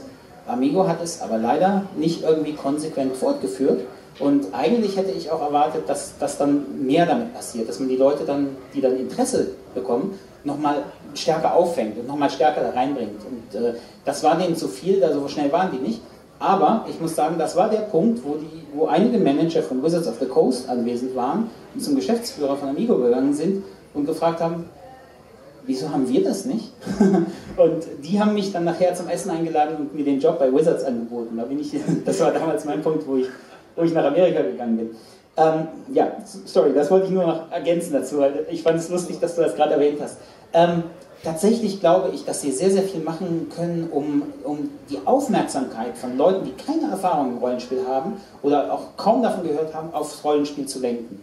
Ich glaube, wir müssen vielleicht ein bisschen kreativer sein, neue Sachen probieren, ähm, vielleicht auch besser kooperieren und sowas. Ich hab, ähm, wir haben mit der Dragon Legion äh, dieses Jahr auf der RPC äh, ein Event gemacht, das äh, hieß Go Goblins Go. Ähm, da äh, stand ich auf der Bühne und habe für 250 Leute oder sowas eine Spielrunde geleitet. Die 250 Leute haben alle Goblins gespielt, eine Goblin-Horde, die auf Schatzsuche war. Und ähm, es war sehr, sehr lustig. Äh, ab und zu mussten welche nach vorne kommen und mit so einem riesigen Würfel würfeln. Und meistens sind die dabei gestorben, weil Goblins halt sehr, sehr schnell sterben und so ungefähr die Hälfte von allen ist draufgegangen, von allen Charakteren. Und einige haben ein paar Goldmünzen gefunden, die wir die dann äh, verteilt haben. Das Ganze habe ich nochmal ein bisschen perfektioniert und im September haben wir das in Island auf der Midgard Convention äh, geleitet. Da ist das so gut gelaufen, dass die gesagt haben, ihr müsst nächstes Jahr wieder dabei sein. Ähm, und das Tolle war, das ist halt eine Convention, wo sehr viele Cosplayer oder Leute aus ganz anderen Bereichen sind, so wie Toni auch immer sagt, ähm, lass uns noch mal gucken, ob die Leute aus anderen Bereichen vielleicht auch Interesse an Rollenspiel haben. Ich glaube, dabei klappt das. Und ich habe schon mal ähm, so ein bisschen mit den Organisatoren der, der APC geredet, ob es nicht möglich ist, sowas mal vor 1000 Leuten zu machen oder so im ganz großen Rahmen, dass man vielleicht das auch anders aufbaut, nochmal anders mit Sound und Licht und äh, Special Effects und sowas aufbaut. Ich glaube, wir müssen einfach anders denken. Und ich glaube, bis wir da sind, wo die Amerikaner sind, wo die einfach irgendwie welche YouTube-Channels oder sowas haben können, ähm, da müssen wir erstmal die Basis schaffen von denen, die Rollenspiel begeistert sind und das auch noch weitergeben. Also die Jungs dort sind das beste Beispiel. Wenn man so weit kommt, ja, dann äh, es, geht es ganz schnell, dass auf einmal zehn andere in der Klasse auch sagen, wir spielen auch. Ja, oder die, die geben das ja weiter, die Begeisterung. Wie viele in eurer Klasse spielen Rollenspiel inzwischen? Sechs, sieben. Sieben? Okay. Ja? Das ist dann Nummer 8. Alles klar. Okay, also gen genauso funktioniert das. Und dann, dann sind diese äh, YouTube-Channels toll. Also dann, äh, wenn man schon das erste Interesse hat, dann guckt man sich das an, dann äh, kommt man auch mit ganz anderen Sachen in Kontakt, dann probiert man andere Systeme aus und so weiter. Und ich glaube, wir, wir müssen noch mal so ein bisschen in, ins Auge nehmen, dass, dass wir überhaupt an diese Leute rankommen. Also diese ersten Schritte. Und ich glaube, da müssen wir einfach kreativer sein. Und ich finde schon mal toll, äh, so eine Diskussionsrunde zu haben. Ähm, ganz kurz vor Schluss möchte ich auch noch eine kleine Sache anmerken, genau wie letztes Jahr. Normalerweise, wenn ich zu diesen Runden komme, dann bringe ich immer irgendwas mit. Das habe ich auch dieses Jahr. Geschenke. Ja, Geschenke. Richtig. Äh, von daher, ähm, gib mir bitte kurz vor Schluss nochmal das Wort, aber so, glaube ich, äh, müssen wir rangehen. Mache ich, sehr gut. Äh, ja, dann sind wir erstmal gespannt auf das Goblin Rollenspielsystem, was wir nächstes Jahr auf dem KS-Con ausprobieren werden. Ähm, äh, Stefan, du wolltest was sagen? Ja, ich wollte auch noch was dazu beitragen. Ich war ja in den 90er Jahren, äh, in der zweiten Hälfte der 90er Jahre bei Fantasy Productions. Und da ist natürlich ähm, Ende der, also 1999, äh, 2000, äh, die DSA 4, das DSA 4 Regelwerk designt worden und äh, konzipiert worden. Da hatte ich nichts mit zu tun, äh, zunächst mal. Ähm, ich will jetzt keine Namen nennen, Patrick. Äh, du kennst ja einige äh, Mitarbeiter, die da vorangeschritten sind und, ähm, und das jetzt dann so aufgebläht haben, wie wir es dann auch kennengelernt hatten. Und ich habe, als ich den ersten Entwurf da sah und ähm, die Fühler angeguckt, habe gesagt, er hat die Hände über den Kopf zusammengeschlagen und gesagt, das, das ist doch was für die absoluten Super-Nerds, ja. Wir entwickeln uns doch da in die völlig falsche Richtung und das, ähm, das kann doch so nicht funktionieren. Ähm, ich habe dann wenigstens mal folgenden Vorschlag gemacht. Der ist ja hier auch schon mal ganz kurz angeklungen. Ich habe gesagt, dann bring doch mal zunächst mal so einen Flavortext, ja? so, einen, so einen Text, der äh, aus der Welt heraus eine Geschichte erzählt, von den handelnden Figuren. Ja? Nimm doch für die, für die Basisbox äh, die typischen Archetypen, also die äh, da äh, entsprechend ähm, angelegt wurden, und, ähm, und führ die durch eine Geschichte kurz. Ja? So immer abschnittsweise natürlich das, was du äh, da in dem Kapitel behandelst. Und als zweites machst du, eine, machst du ein Kapitel unmittelbar anschließend, noch, alles noch bevor die Regeln ansetzen, äh, dass du sagst, ähm, jetzt machen wir mal eine, jetzt gehen wir mal eine Spielrunde. Jetzt würden wir mal umsetzen, was diese, dieses Bild, dieses textliche Bild der Charaktere jetzt äh, in Form eines Rollenspiels mit Spielern, die sie dann spielen, äh, mit ihren Würfelwürfen und so weiter und so fort, ähm, äh, darstellen würde und äh, wie man das umsetzen würde. Und danach erklärst du erst die Regeln, damit die Leute mal überhaupt reingekommen sind und Gefühle für haben. Ähm, übrig geblieben sind so ein paar Flavortexte in der DSA 4 Box und das andere, die anderen Vorschläge von mir sind da wieder verschwunden. Also DSA 4 ist da an der Stelle meines Erachtens völlig in die falsche Richtung gelaufen. Christian, bevor du jetzt das Wort ergreifst, oder ich würde dann gerne noch was an. Okay. Ich war, ich war dann, Patrick. Christian wird nicht mehr das Wort erteilt heute. Doch, doch, bin gleich fertig. Ähm, wir saßen dann, äh, Patrick äh, war auch dabei, ähm, äh, bei, in, in Waldems, ähm, etwa so zwei Jahre bevor die DSA 5 äh, ähm, so einem konstruktiven Treffen, du erinnerst dich bestimmt noch. Ähm, da waren alle Lizenznehmer vom Schwarzen Auge da und dann äh, hat äh, auch der Verlag gesagt, dass sie eben die DSA 5 äh, äh, Regelwerk vorbereiten und so weiter. Und dann hatte ich ähm, an der Stelle mal vorgeschlagen, na, hol doch auch bitte dann die Leute in ganz anderer Form ab, ja, dort wo sie, ähm, wo sie sind, wo sie spielen. Äh, was machen sie denn? Ähm, das zum Beispiel, ich habe vorher gesagt, dass da Rollenspiele jetzt Rollenspiele spielen, ja, aber auf der anderen Seite spielen ja die den ganzen Tag, die haben das alles immer in ihrer Tasche. Macht, lass uns doch eine App entwickeln, ähm, mit, einem, mit Charakteren, die du da äh, nehmen kannst und führe sie damit ins Rollenspiel ein, bring sie dann über ihre Kontaktliste äh, zusammen mit anderen Spielern, um da Rollenspiel sozusagen so ähm, eine, eine Quelle zu schaffen, so wie du es mit den Schulen sehr intensiv machst. Nutzt doch die technischen Geräte dafür. Also Stefan, dazu sag ich dir eine Sache, du warst letztes Jahr nicht dabei. Aber die, die dabei waren, letztes Jahr, können sich vielleicht erinnern, dass ich letztes Jahr eine Idee hatte und gesagt habe, warum machen wir nicht eine App, äh, die ungefähr genau das tut, äh, was du ja. gesagt hast. Und die einhellige Meinung war unmöglich, ähm, also nicht realisierbar.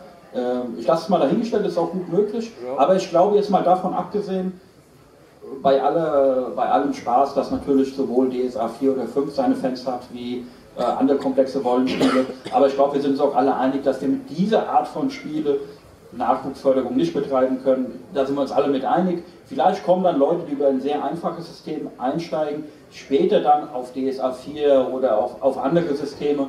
Ich glaube, das ist tatsächlich nicht so äh, das, das Problem, sondern wie wir festgestellt haben, eben diese, diese Einstiegsbarriere so niedrig wie möglich zu halten, um Leute dazu zu begeistern, Rollenspiel zu spielen, sei es jetzt, wenn der Einstiegspunkt das Handy ist. Es ist mir vollkommen egal, ob Leute über Apps da drauf kommen oder im YouTube-Kanal. äh, oder über aktive Arbeit, wie es der Gast macht in der Schule. Hauptsache ist ja, dass wir einfach junge Leute dazu kriegen, wieder Rollenspiel zu spielen, äh, weil wir haben ja alle gesagt, das Spiel an sich ist nicht das Problem.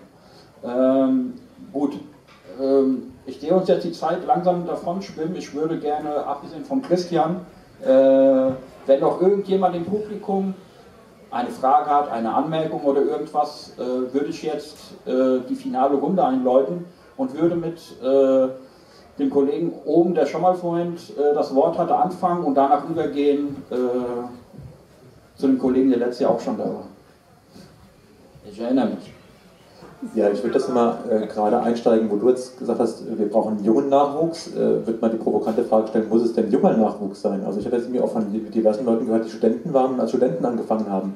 Müssen es denn unbedingt junge Neueinsteiger sein? Nein, es müssen, es müssen natürlich nicht junge Einsteiger sein, aber der Punkt ist, in 30 Jahren sind wir alle tot und es wäre natürlich einfach geil, äh, wenn es da, da ein paar Leute gibt, die immer noch Rollenspiel äh, spielen würden und halt nicht nur Leute, die äh, in 80 im Altersheim äh, dann DSA 4 spielen, weil sie lange genug studiert haben. Äh, dann würde ich übergehen zu äh, dem Mann im grünen T-Shirt. Dankeschön. Ähm, bisschen eine andere Stoßrichtung. Ich habe im letzten Jahr eine ganz bizarre Erfahrung gemacht. Ich habe mich äh, so nach den Erfahrungen des Panels vom letzten Jahr ein bisschen offensiver positioniert, so als wenn ihr da Bock drauf habt, könnt ihr mich ansprechen. Und ich habe im letzten Jahr ohne mein Zutun, sondern weil die Leute so ein bisschen auf mich zugekommen sind, acht neue Leute an dieses Hobby rangeführt. Davon sind sechs Frauen und der Altersschnitt ist bei 38.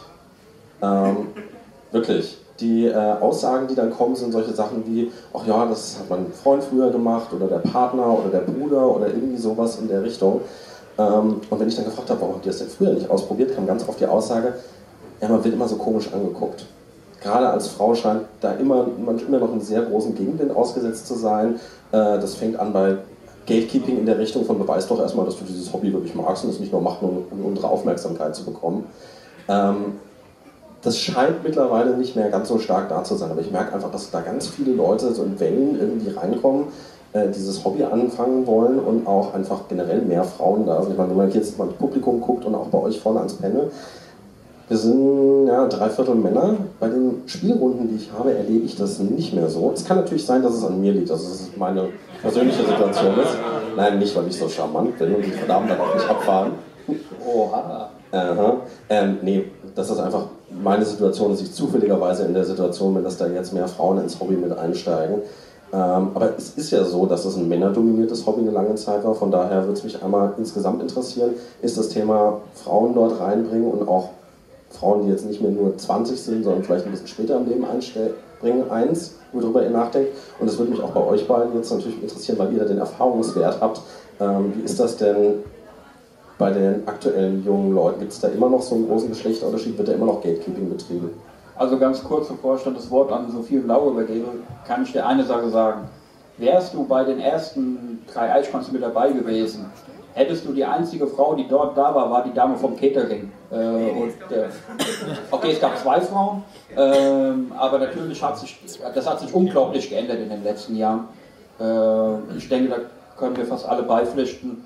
Natürlich, es ist ein Stück weit, vielleicht jetzt nicht keine reine Männerdomäne, wir haben immer noch mehr Männer als Frauen, aber wir haben halt doch einen deutlich höheren Frauenanteil beim Rollenspiel wie vor 15 Jahren, wie vor 20 Jahren, wo das wirklich die absolute Ausnahme war. Bevor es zum Christian weitergeht, ja, Sophie und Laura. Okay, also ich habe da unterschiedliche Erfahrungen gemacht. Die Rollenspielrunde, mit der ich eingestiegen habe, war quasi eine Männerrunde, durch die ich durch meinen Freund gekommen bin. da war noch ein Mädchen, die auch durch ihren Freund reingekommen ist. Das war ähm, ja, schon klar männerdominiert. Die Runde, die wir mit Christian haben, da haben es die Männer nicht lange ausgehalten, mit Ausnahme von Christian. Wir sind einfach eine Mädelsrunde. Und ähm, Wir sind fünf Mädels und ähm, haben sehr gute Erfahrungen. Sophie ist in der Runde mitunter. Wir haben erst äh, Anfang des Jahres angefangen. Alles über den Christian, alles Einsteiger mit Ausnahme von mir. Und ähm, das läuft wahnsinnig gut und ähm, auch ganz anders als mit Jungs in der Runde tatsächlich. Was willst du damit sagen? Dass die Jungs mehr regelorientiert sind. Ähm, da der Christian eh nicht so der Fan von Regeln ist, spielen wir mit weniger Regeln und ähm, sehr viel Charakterspiel, sehr viel Rollenspiel. Ähm, der Fokus ist einfach ein bisschen anders und das nehmen gerade die Mädels extrem gut an. Also das heißt, Männer wollen gewinnen und Frauen wollen spielen? Würde ich so nicht sagen. Okay. Äh, Christian? Hast du dazu was zu sagen? Auf jeden Fall. Ich würde gerne noch gerade ergänzen. Und zwar, ähm, der Andi hat vollkommen recht. Also wir hatten im März 95 das erste Dreier Rollenspieltreffen. 324 Besucher, 323 Männer. War doch mal eine Schätzung super, oder? Ja, natürlich. Plus die Frau vom Catering. Das hat sich geändert. Also die Erfahrung, die du machst, kann ich nur unterstreichen. Ähm, wir hatten jetzt auf dem Radcon ein Gespräch mit der Koppe, der dort ähm, Warwischen Horts macht. Und haben uns wir zusammengesessen und festgestellt, 75 Prozent der jungen Dreichcon-Generation, also Dreichcon-Helfer, sind Frauen. 75 Prozent. Ähm, von der jungen Generation ist der Toni der einzige Mann von der Führungsebene. Alle anderen, die da wirklich was äh, mittlerweile auf den Weg bringen, sind Mädels. Und deswegen würde ich gerne nochmal das Mikro an Laura und Sophie geben, weil ähm, dass sie sozusagen dieser Selbsthilfegruppe aus alten Herren mal helfen, in dem Sinne, was aus eurer Sicht mit der Erfahrung, die ihr jetzt habt, ich weiß, dass die unterschiedlich lang ist, aber aus eurer Sicht die Generation 15 bis 25 am ehesten anspricht. Stichwort zum Beispiel, wir waren in einem Dreikonteam auf der Comic-Con oder auf der RPC mit Messeständen. Also wenn wir, die wir diese Szene lange, lange begleitet haben und ähm, bestimmt haben auch irgendwo, ähm, nicht wie, da bin ich komplett beim Andi, lass uns 40 Jahre gehen, nicht 30, 40 hört sich besser an. Okay. In 40 Jahren eigentlich mehr da sind, dass wir eine Perspektive haben, dass da nach Hawks kommt, also aus eurer Sicht, wie müssen die Verlage, die Vereine, die Conventions die Generation 15 bis 25 ansprechen, damit die sagen, perfekt, da will ich dabei sein. Die Frage geht an euch beiden, weil ihr seid die Zukunft. Also ich würde da tatsächlich ganz gerne nochmal auf das Thema, ja im Prinzip YouTube, Twitch, was hier relativ stark abgestritten wurde, dass das funktionieren würde, weil ich bin da relativ Von mir nicht. gegen. Okay. Eigentlich nur vom Gast. Okay. Auch nicht direkt. Ich sage, es ist nicht der erste Schritt. Ähm, ich bin durchaus der Meinung, dass man dort ansetzen könnte. Das Problem ist, natürlich funktioniert es nicht, wenn jetzt ein Verlag auf einmal anfängt, YouTube-Videos zu machen, weil es kommen halt wirklich nicht per Zufall, vielleicht ein paar, aber nicht wirklich Leute da drauf. Aber der Punkt ist mit, es gibt genügend Instanzen auf YouTube oder ähnlichem, die einen Bekanntheitsgrad haben, den man nutzen könnte und die tatsächlich in der Rollenspielszene auch sind. Also was beispielsweise möglich wäre, ist von ähm, zwei Wochen, glaube ich, lief der zweitgrößte deutsche Charities-Livestream. Ich weiß nicht, ob irgendjemand Dude für die Welt hier was sagt. Das ist nach ungefähr Friendly Fire der zweitgrößte deutsche Charity-Livestream. Ein Fan haben wir da oben. Und die haben äh, in beiden Nächten, also der Stream läuft 48 Stunden, die haben in beiden Nächten acht Stunden lang Pen and Paper gespielt. Und dort waren auch immer noch knappe über 1000 Zuschauer die komplette Zeit. Und das ist beispielsweise ein Punkt, wo man eventuell ansetzen könnte, weil wenn dort jemand noch präsent wäre, weil es ist ja scheinbar Interesse da. Es, es gucken Leute zu und es interessieren sich bestimmt auch genug Leute dafür, zumindest wenn man den Chat noch glauben konnte, der daneben herlief. Wenn man da vielleicht mehr Präsenz zeigen würde und halt die interessierten Leute nehmen würde, die dort sind. Und das ist halt auch genau die Altersgruppe, die es in etwa trifft. Okay, es ist wahrscheinlich mehr 20, aber es ist in etwa dem Rahmen der Altersgruppe, die es trifft. Dass man da vielleicht etwas mehr Präsenz zeigen würde, dann könnte das durchaus deutlich mehr Leute ansprechen. Und dann würde halt auch sowas wie YouTube und sowas funktionieren. Ja, glaube ich, glaube ich auch. Wir können uns ja mal vornehmen, dass wir, wenn wir die, den dritten Teil äh, der Podiumsdiskussion Nachwuchsförderung und Rollenspiel äh, machen, äh, uns vielleicht bis dahin mal zusammensetzen und an verschiedenen Dingen arbeiten, die wir jetzt alle besprochen haben, weil ich glaube, wir sind ja vielleicht in einem recht äh, kompetenten Rahmen unterwegs mit verschiedenen Kompetenzen, die eigentlich, die die einzelnen Leute haben. Und vielleicht kriegt man da was auf die Beine gestellt, wenn wir das später mal connecten. Ganz kurz, bevor es weitergeht, äh, die Dame in Grün, die zufällig auch meine Frau ist, äh, hat auch noch eine Frage. Aber eigentlich ist der Zug für mich jetzt schon fast wieder um die Ecke, weil ich wollte ihm nur zustimmen. Ich war über 15 Jahre ja die einzige äh, Frau in diversen Rollenspielrunden, wo sich immer alle Freundinnen von den anderen äh, Rollenspielern geweigert haben, das auch nur einmal auszuprobieren. Ja, ich habe meine Frau gezwungen mitzuspielen. Okay. Ähm, da oben. Es muss jetzt allerdings tatsächlich, liebe Freunde der guten Unterhaltung, äh, die letzte Frage aus dem Publikum sein und dann geht es hier nochmal rum, dann sind wir leider mit der Zeit vorbei. Also, wenn es irgendwie geht, bitte kurz fassen. Ähm, ich wollte nur kurz ansetzen, wo du gesagt hast, mit äh, auf YouTube äh, Rollenspiel vertreten und sowas, wo du es angesprochen hast, jetzt bei Gut für die Welt. Ähm, verfolge ich jetzt seit etwa zwei Jahren etwa von dem Pete's Meets. Die ist auch relativ, also mit einem großen Publikum, also wir reden hier von mehreren tausend Zuschauern, ähm, auch ähm, DSA spielen jetzt äh, vor allem. Und das ist doch eine Sache, wo eigentlich schon in der Altersgruppe, die von wirklich von jungen Leuten, wir reden hier von ab 15-Jährigen, wo ja quasi getrackt wird äh, auf den äh, sozialen Medien, bis natürlich auch ins höhere Alter, zähle ich auch mal mit dazu, ähm, ja, halt die Leute sich das anschauen und es dann doch präsenter ist. Also das sind ja auch nicht zu vernachlässigende Zahlen. Und da ist es, glaube ich, wäre es aus Verlagssicht wahrscheinlich interessanter, mal damit reinzugehen, weil wir haben so viele Partner, bezahlte Partnerschaften auf YouTube mittlerweile, ähm, wo von, von Firmen quasi, äh, von, von Publishern, von, von anderen Firmen äh, versucht wird, irgendwie Marketing zu betreiben. Warum nicht auch da? Ganz kurz, Patrick, ich gebe es dir gleich. Aber ich habe da so ein verrücktes Bild im Kopf mit Product Placement. Wenn wir halt alle Rollenspiele an einen Tisch bekommen und äh, wir trinken dort äh, Pepsi-Dosen und äh, essen Pizza vom Pizza Hut äh, und so weiter, äh, kriegt man vielleicht über ganz andere Kanäle noch äh, einige Leute mit ins Boot, die durchaus gewillt sind, äh, da den einen oder anderen Dollar äh, in die Kappe zu schmeißen. Aber äh, weiter geht's. Äh, ja, die konkrete Antwort auf diese Frage, warum das nicht gemacht wird, ist, dass die Rollenspielbranche sehr klein ist.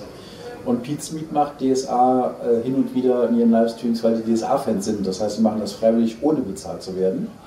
Äh, wenn man die Reichweite hat wie Pete's Meet oder Gronk oder sowas und man die anfragt, was wir getan haben, wollt ihr nicht mal ein Let's Play, eine Reihe Let's Plays machen für Rollenspiele, dann bekommt man von dem Manager oder dem Chef oder was weiß ich wem die Antwort, wo eine Zahl mit in, diesem, in diesem, in dieser Antwort steht, die einfach nicht realistisch ist für einen Rollenspielverlag in Deutschland.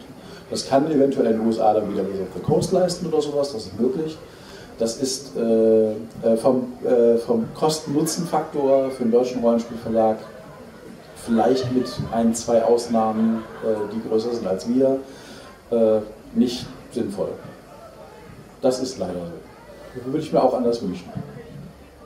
Äh, ja, das ist natürlich so ein bisschen das, was wir vorhin schon hatten, wo es dann am Ende natürlich doch ein bisschen am Budget habert, weil natürlich einfach auch in Deutschland einen etwas begrenzteren Rahmen an, an Leuten haben, die dafür Interesse haben. Ich glaube aber trotzdem, dass man es vielleicht in einer vernünftigen Art und Weise äh, ohne Unmengen auszugeben hinbekommen kann. Äh, ja, was heißt hinbekommen kann? Es wird ja schon hinbekommen. Ich meine, Pete Smith macht das ja auch freiwillig, DSA spielen. Ja? Oder äh, die Rocket Beats machen das ja auch freiwillig. Es gibt ja genug äh, äh, YouTuber, die eine sehr hohe Reichweite haben, die da eine Affinität zu haben. Und äh, klar, wenn ich natürlich, aber die Sache ist, wenn ich jetzt speziell was von mir da gerne gefeatured haben wollen würde, ist es halt äh, eine Sache, äh, eine monetäre Sache. Ja, genau, ja. Aber der Effekt von den Jungs, die das machen, wird ja schon positiv sein. Ja. Also es passiert ja schon. Also da muss ich Patrick komplett zupflichten. Es sind natürlich da Summen, die aufgerufen werden, aufgrund der Verknappung der Zeit, die natürlich in solchen Kanälen auch äh, äh, stattfindet, dass ein äh, Wettbewerb äh, zwischen sehr potenten äh, Playern im, äh, in der Unterhaltungsindustrie stattfindet. Und da reden wir jetzt nicht über Rollenspiel, sondern da reden wir über große Computerspielhersteller. Ja. Christian, hast du was zu sagen? Die Laura. Laura. Okay, ich glaube, da sind jetzt inzwischen ein paar Punkte zusammengekommen. Ich weiß nicht, vielleicht sehe ich das auch ein bisschen blauäugig. Ähm, ich weiß nicht, wie realistisch das ist. Also ähm, was mich vor allen Dingen anspricht, wenn es um neue Hobbys geht, sind A, meine Freunde, wenn die mir was erzählen. Gut, da haben die Verlage leider keinen Einfluss drauf, aber so ein Lauffeuer hilft. Die andere Sache ist, alle möglichen Medien, man hat irgendwelchen Leuten auf Instagram, die man folgt und die zeigen einem irgendwas. Das muss nicht mal unbedingt bezahlte Werbung sein. Man denkt sich, oh mein Gott, das will ich auch haben. Und ähm, ich weiß nicht, wie realistisch es ist, aber auch mit Leuten wie Rocket Beans oder anderen, die ja auch wirklich Leidenschaft für das Hobby haben, die Interesse haben, auch so eine Kooperation zu machen. Einfach ganz gezielt Richtung Jugendförderung oder so etwas. Unbezahlt. Weiß nicht, wie realistisch sowas ist. Ähm, ist möglich, aber nicht als Verlag leider. Also, dann könnte vielleicht der Verein. Ja. Als Verein geht das, als Verlag ist das ganz schwierig. Okay. Also Christian, du weißt Bescheid. Ähm, war nur ein Spaß. Also auch da geben wir schon an die junge Generation ab, weil die junge Generation an die junge Generation ab. Ja, ich habe ja gesehen, ihr habt seit neuestem auch einen Instagram-Account. Ja. Und eine neue Webseite. Ja. Verrückt. Okay. Ähm, ah, vielen Dank. Sehr gut gemacht. Ähm, ja, wir sind schon ein bisschen über die Zeit. Äh, nein, wir haben noch zwei Minuten. Ähm, aber 90 Minuten gehen schnell vorbei. Ich bedanke mich bei allen Teilnehmern, die hier vorne waren. Äh, es war genau wie letztes Jahr, ich glaube, sehr informativ. Ähm, ich hoffe, euch im Zuschauerraum hat es genauso viel Spaß gemacht. Äh, ich freue mich insbesondere, dass wir viele junge Leute hier haben, die wir auf die eine oder andere Weise für Rollenspiel begeistern konnten. Äh, nicht zuletzt dank so Leuten wie Ras oder auch Christian Leana und andere vom WG-Team, die es alle auf die Beine stellen. Deswegen auch an dieser Stelle ein großes Dank für diese Bühne, die ihr uns hier bietet und die ihr allen Leuten bietet, äh, die an dem Hobby irgendein Interesse haben. Und ich freue mich, wenn wir uns äh, nächstes Jahr wiedersehen. Ich glaube, du bist garantiert dabei. Äh, und ansonsten vielen Dank für die Aufmerksamkeit äh, und habt noch einen schönen Abend. Ach, ich habe vergessen, es tut mir so leid. Äh, Ras wollte noch Geschenke verteilen. Äh, dann trotzdem schon mal im Voraus danke und ich übergebe äh, das absolut letzte Wort an Ras als Nikolaus. Danke. Nein, so direkt ist es nicht, aber ähm, wir reden ja viel davon, ähm, Nachwuchsförderung zu machen und die jungen Leute ins Rollenspiel zu bekommen. Ähm, ich bin dann halt, habe dann auch einen ganz großen Ehrgeiz, das dann auch umzusetzen. Und ich hatte letztes Jahr gesagt, wir gehen in die Schulen und wir sind in die Schulen gegangen. Ähm, auch dieses Jahr sage ich, wir müssen das größer machen, wir müssen eigentlich viel mehr machen und das werden wir auch machen. Ähm, und da ihr hier alle hingekommen sind, seid, äh, vermute ich mal, dass der ein oder andere vielleicht auch Interesse hat, auch selbst da aktiv zu werden. Und ähm, da knüpfe ich nämlich genau an. Ich würde gern, äh, dass wir vielleicht als, als äh, große Gemeinschaft zusammen da mehr schaffen. Und wenn ihr tatsächlich Interesse habt und vielleicht sagt, hey, ich habe super Kontakte zu einer Schule oder ich bin selbst Lehrer oder ich will was machen und ich will dabei sein, ja, dann habe ich ein Geschenk für euch. Und dann möchte ich, dass ihr äh, hiernach kurz bei mir vorbeikommt und euch in eine Liste eintragt, denn wir möchten ein, ähm, ein Rollenspiel äh, launchen, mit dem wir quasi in Schulen, äh, gerade mit dem Thema Sprachförderung, also Englisch und so weiter, die Leute dazu bewegen, äh, mehr Fantasy-Rollenspiel auszuprobieren. Wir haben dazu eine äh, echt coole Website generiert, die eine äh, programmiert, die eine Shared World ist. Das heißt, alle Sachen, ähm, die man in einer seiner Heimrunde spielt, werden Teil dieser Shared World und können auch von anderen benutzt werden. Das heißt, die Dörfer, die ich erstelle, die Charaktere, die ich erstelle, werden alle da reinkommen. Äh, wir haben dazu ein Regelwerk geschaffen, wir haben dazu ein Settingbuch geschaffen und eine riesige Landkarte, äh, auch ein paar Abenteuer, die man so als Einstieg nutzen kann. Wenn ihr tatsächlich sagt, hey, ich möchte mithelfen, sowas zu verbreiten, in Schulen zu gehen, Schulen dazu zu bekommen, Rollenspiel zu machen und so, dann möchte ich euch ein Hardcover-Buch des Settings schenken, ich möchte euch ein Hardcover-Buch Regeln schenken, ich möchte euch die Karte schenken, ich möchte euch ein Abenteuer schenken, also ein ganzes Paket. Ähm, das kriegt ihr dann von mir. Dazu müsst, ich habe die noch nicht, die werden gerade noch gedruckt, die werden wahrscheinlich erst im Januar oder sowas da sein. Ja, sorry, ich konnte nicht meinen Nikolaus-Sack mitbringen. Aber wenn ihr sagt, hey, ich will was dafür tun, dass wir junge Leute ins Rollenspiel bekommen, kommt bitte gleich kurz zu mir, schreibt euch auf die Liste, dann halte ich euch auf dem Laufenden. Ihr kriegt auch keinen Spam von mir. Ich kriege nur eine Mail, wo drin steht, hier und da ist das Buch und dann könnt ihr euch das abholen und äh, mit mir zusammen was bewegen. Und dann hoffe ich, dann stehen wir nächstes Jahr hier und sagen, pass mal auf, wir berichten mal, was passiert ist in diesem Jahr. Und das hat sich alles getan. Super. Danke. Vielen Dank, Krass. Ansonsten einen schönen Abend und Dankeschön.